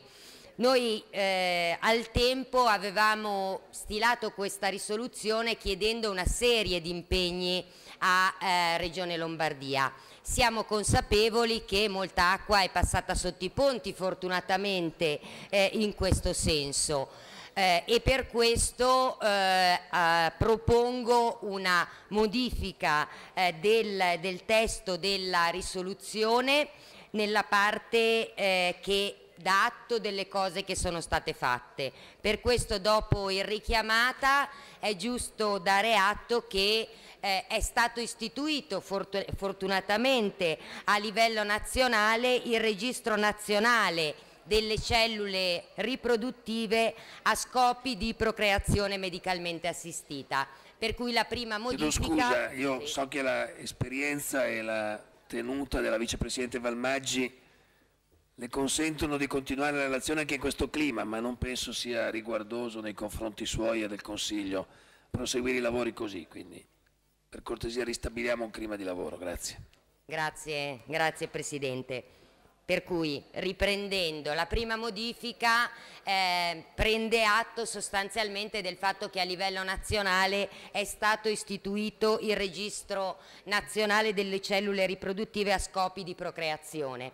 Essendo stato istituito a livello nazionale eh, sono sicure sicuramente eh, il, la banca dati regionale come previsto tra l'altro dai documenti sanciti in conferenza Stato-Regioni eh, sarà in contatto e comunicherà con eh, e reciperà i dati di tutte le banche dati eh, regionali. Questa è la prima modifica, essendo anche io consapevole che nel frattempo c'è un percorso che sta portando avanti il livello nazionale di inserimento eh, del, di tutto il tema della sterilità all'interno dei livelli essenziali di assistenza.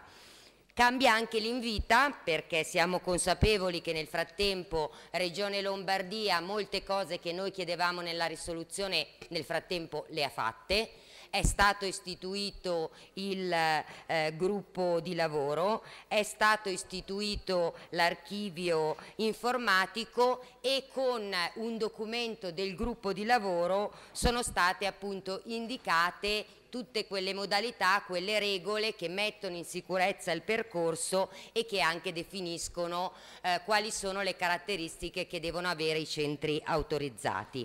Per cui nella parte dispositiva si propone di cancellare sostanzialmente tutto quello che è previsto oggi nella parte dispositiva ed ad invitare sostanzialmente Regione Lombardia a formalizzare i contenuti della relazione proposta dal gruppo di lavoro regionale per l'attivazione, il monitoraggio e il controllo contenuti nelle indicazioni della delibera regionale stessa. Ecco, al di fuori e al di là delle opinioni eh, diverse che possono dividerci eh, su questi temi, l'approvazione di questa risoluzione eh, sarebbe comunque, eh, credo, un sostegno alle attività nella, della, della Giunta e anche del Governo nazionale del procedere nella massima sicurezza, cosa che è stata sempre richiesta da tutti. Grazie. Grazie. Uh... Il vicepresidente Mantovani chiede di intervenire subito, ne ha facoltà, poi apriremo la discussione generale. Sì, intanto ringrazio la consigliere, il vicepresidente Valmaggi per la modifica che è stata apportata alla, alla risoluzione. Infatti i tre impegni che, stati, che, che erano previsti come si sa Regione Lombardia li ha già in buona parte eh, attivati, in particolare per quanto riguarda i tempi brevissimi per l'archivio informatico, voi sapete che siamo in attesa, del, in attesa, delle indicazioni di carattere nazionale, visto che tale registro è stato istituito presso l'Istituto Superiore di Sanità, ma in attesa delle indicazioni Regione Lombardia ha già stabilito che il Policlinico di Milano abbia attivato al suo interno un gruppo multidisciplinare con il compito di formulare una proposta di attivazione di archivio de, del Policlinico di Milano del 7 ottobre del 2014.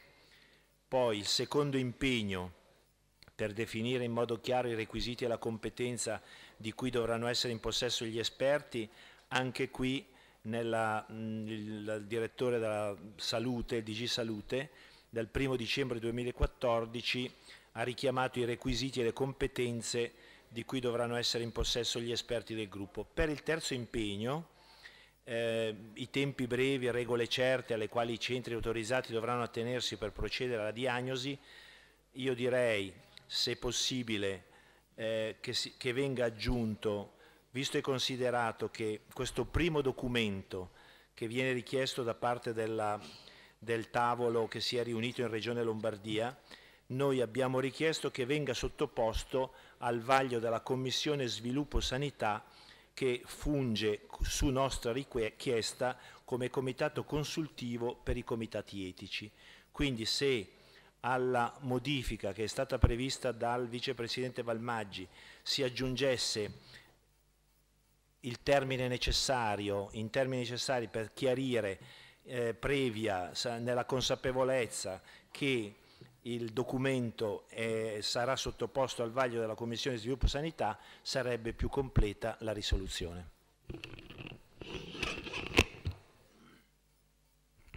Bene, aperta la discussione generale, poi la relatrice dirà se la richiesta dell'assessore può essere accolta. Prego i colleghi che intendono intervenire di prenotarsi. Al momento non ci sono prenotazioni.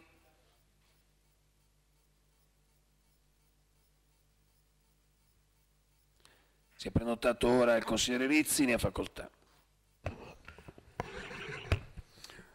Sì, no, grazie Presidente, fondamentalmente solo per eh, apprezzare il lavoro svolto dall'assessorato eh, indipendentemente dal contenuto della risoluzione che certamente è servita eh, da stimolo, eh, concordo con la richiesta di riformulazione e quindi di aggiornamento della problematica da parte della Presidente Valmaggi e quindi con questa riformulazione annuncio il voto favorevole da parte del gruppo della Lega Nord. Grazie.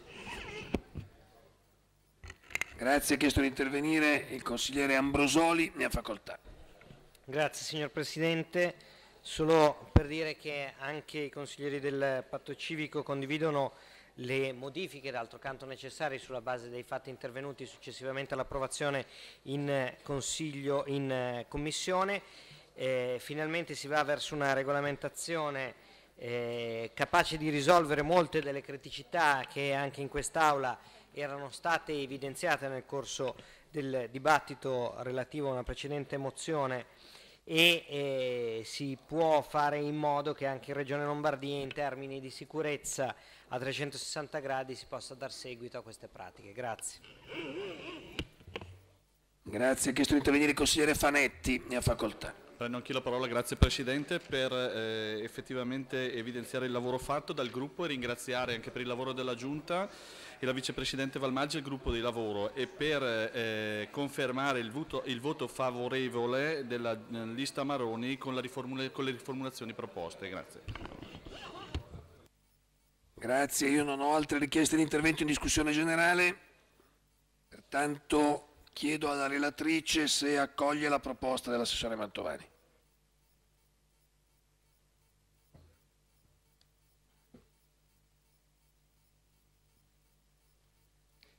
Grazie Presidente, sì, accolgo la proposta dell'assessore Mantovani, tra l'altro è anche per me almeno eh, una novità la formalizzazione di questa commissione che era una richiesta di un altro lavoro che ha fatto eh, la Commissione Sanità in relazione alla Commissione di indagine su Stamina, per cui la modifica dovrebbe essere a formalizzare i contenuti della relazione prodotta dal gruppo di lavoro regionale per l'attuazione, il monitoraggio e il controllo delle indicazioni contenute nella DGR eh, 10 23 44 del 12 09 2014 una volta sottoposta alla Commissione Sviluppo Sanità comitato consultivo per i comitati eh, etici.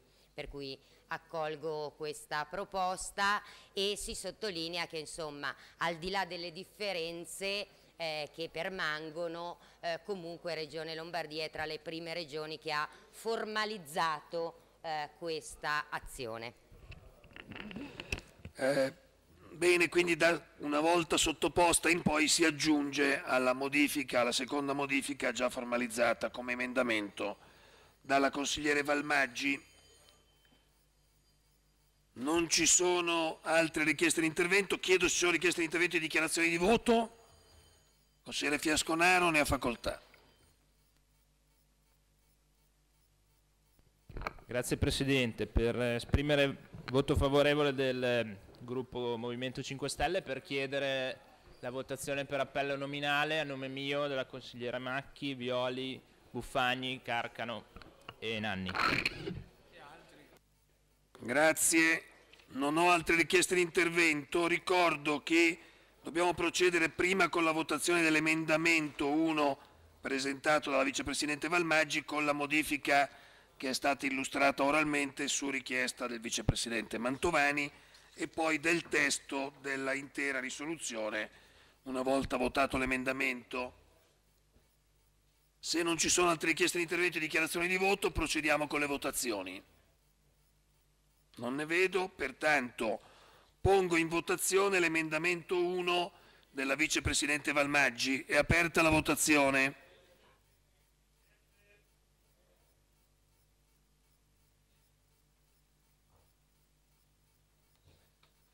15 secondi per consentire a tutti di votare.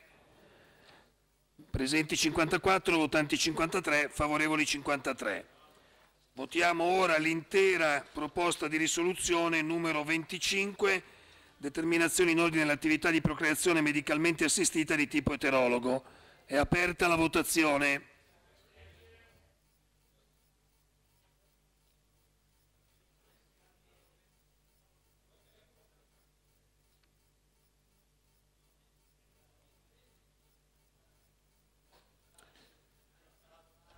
Presenti 52, votanti 51, favorevoli 51. Il Consiglio approva all'unanimità dei votanti.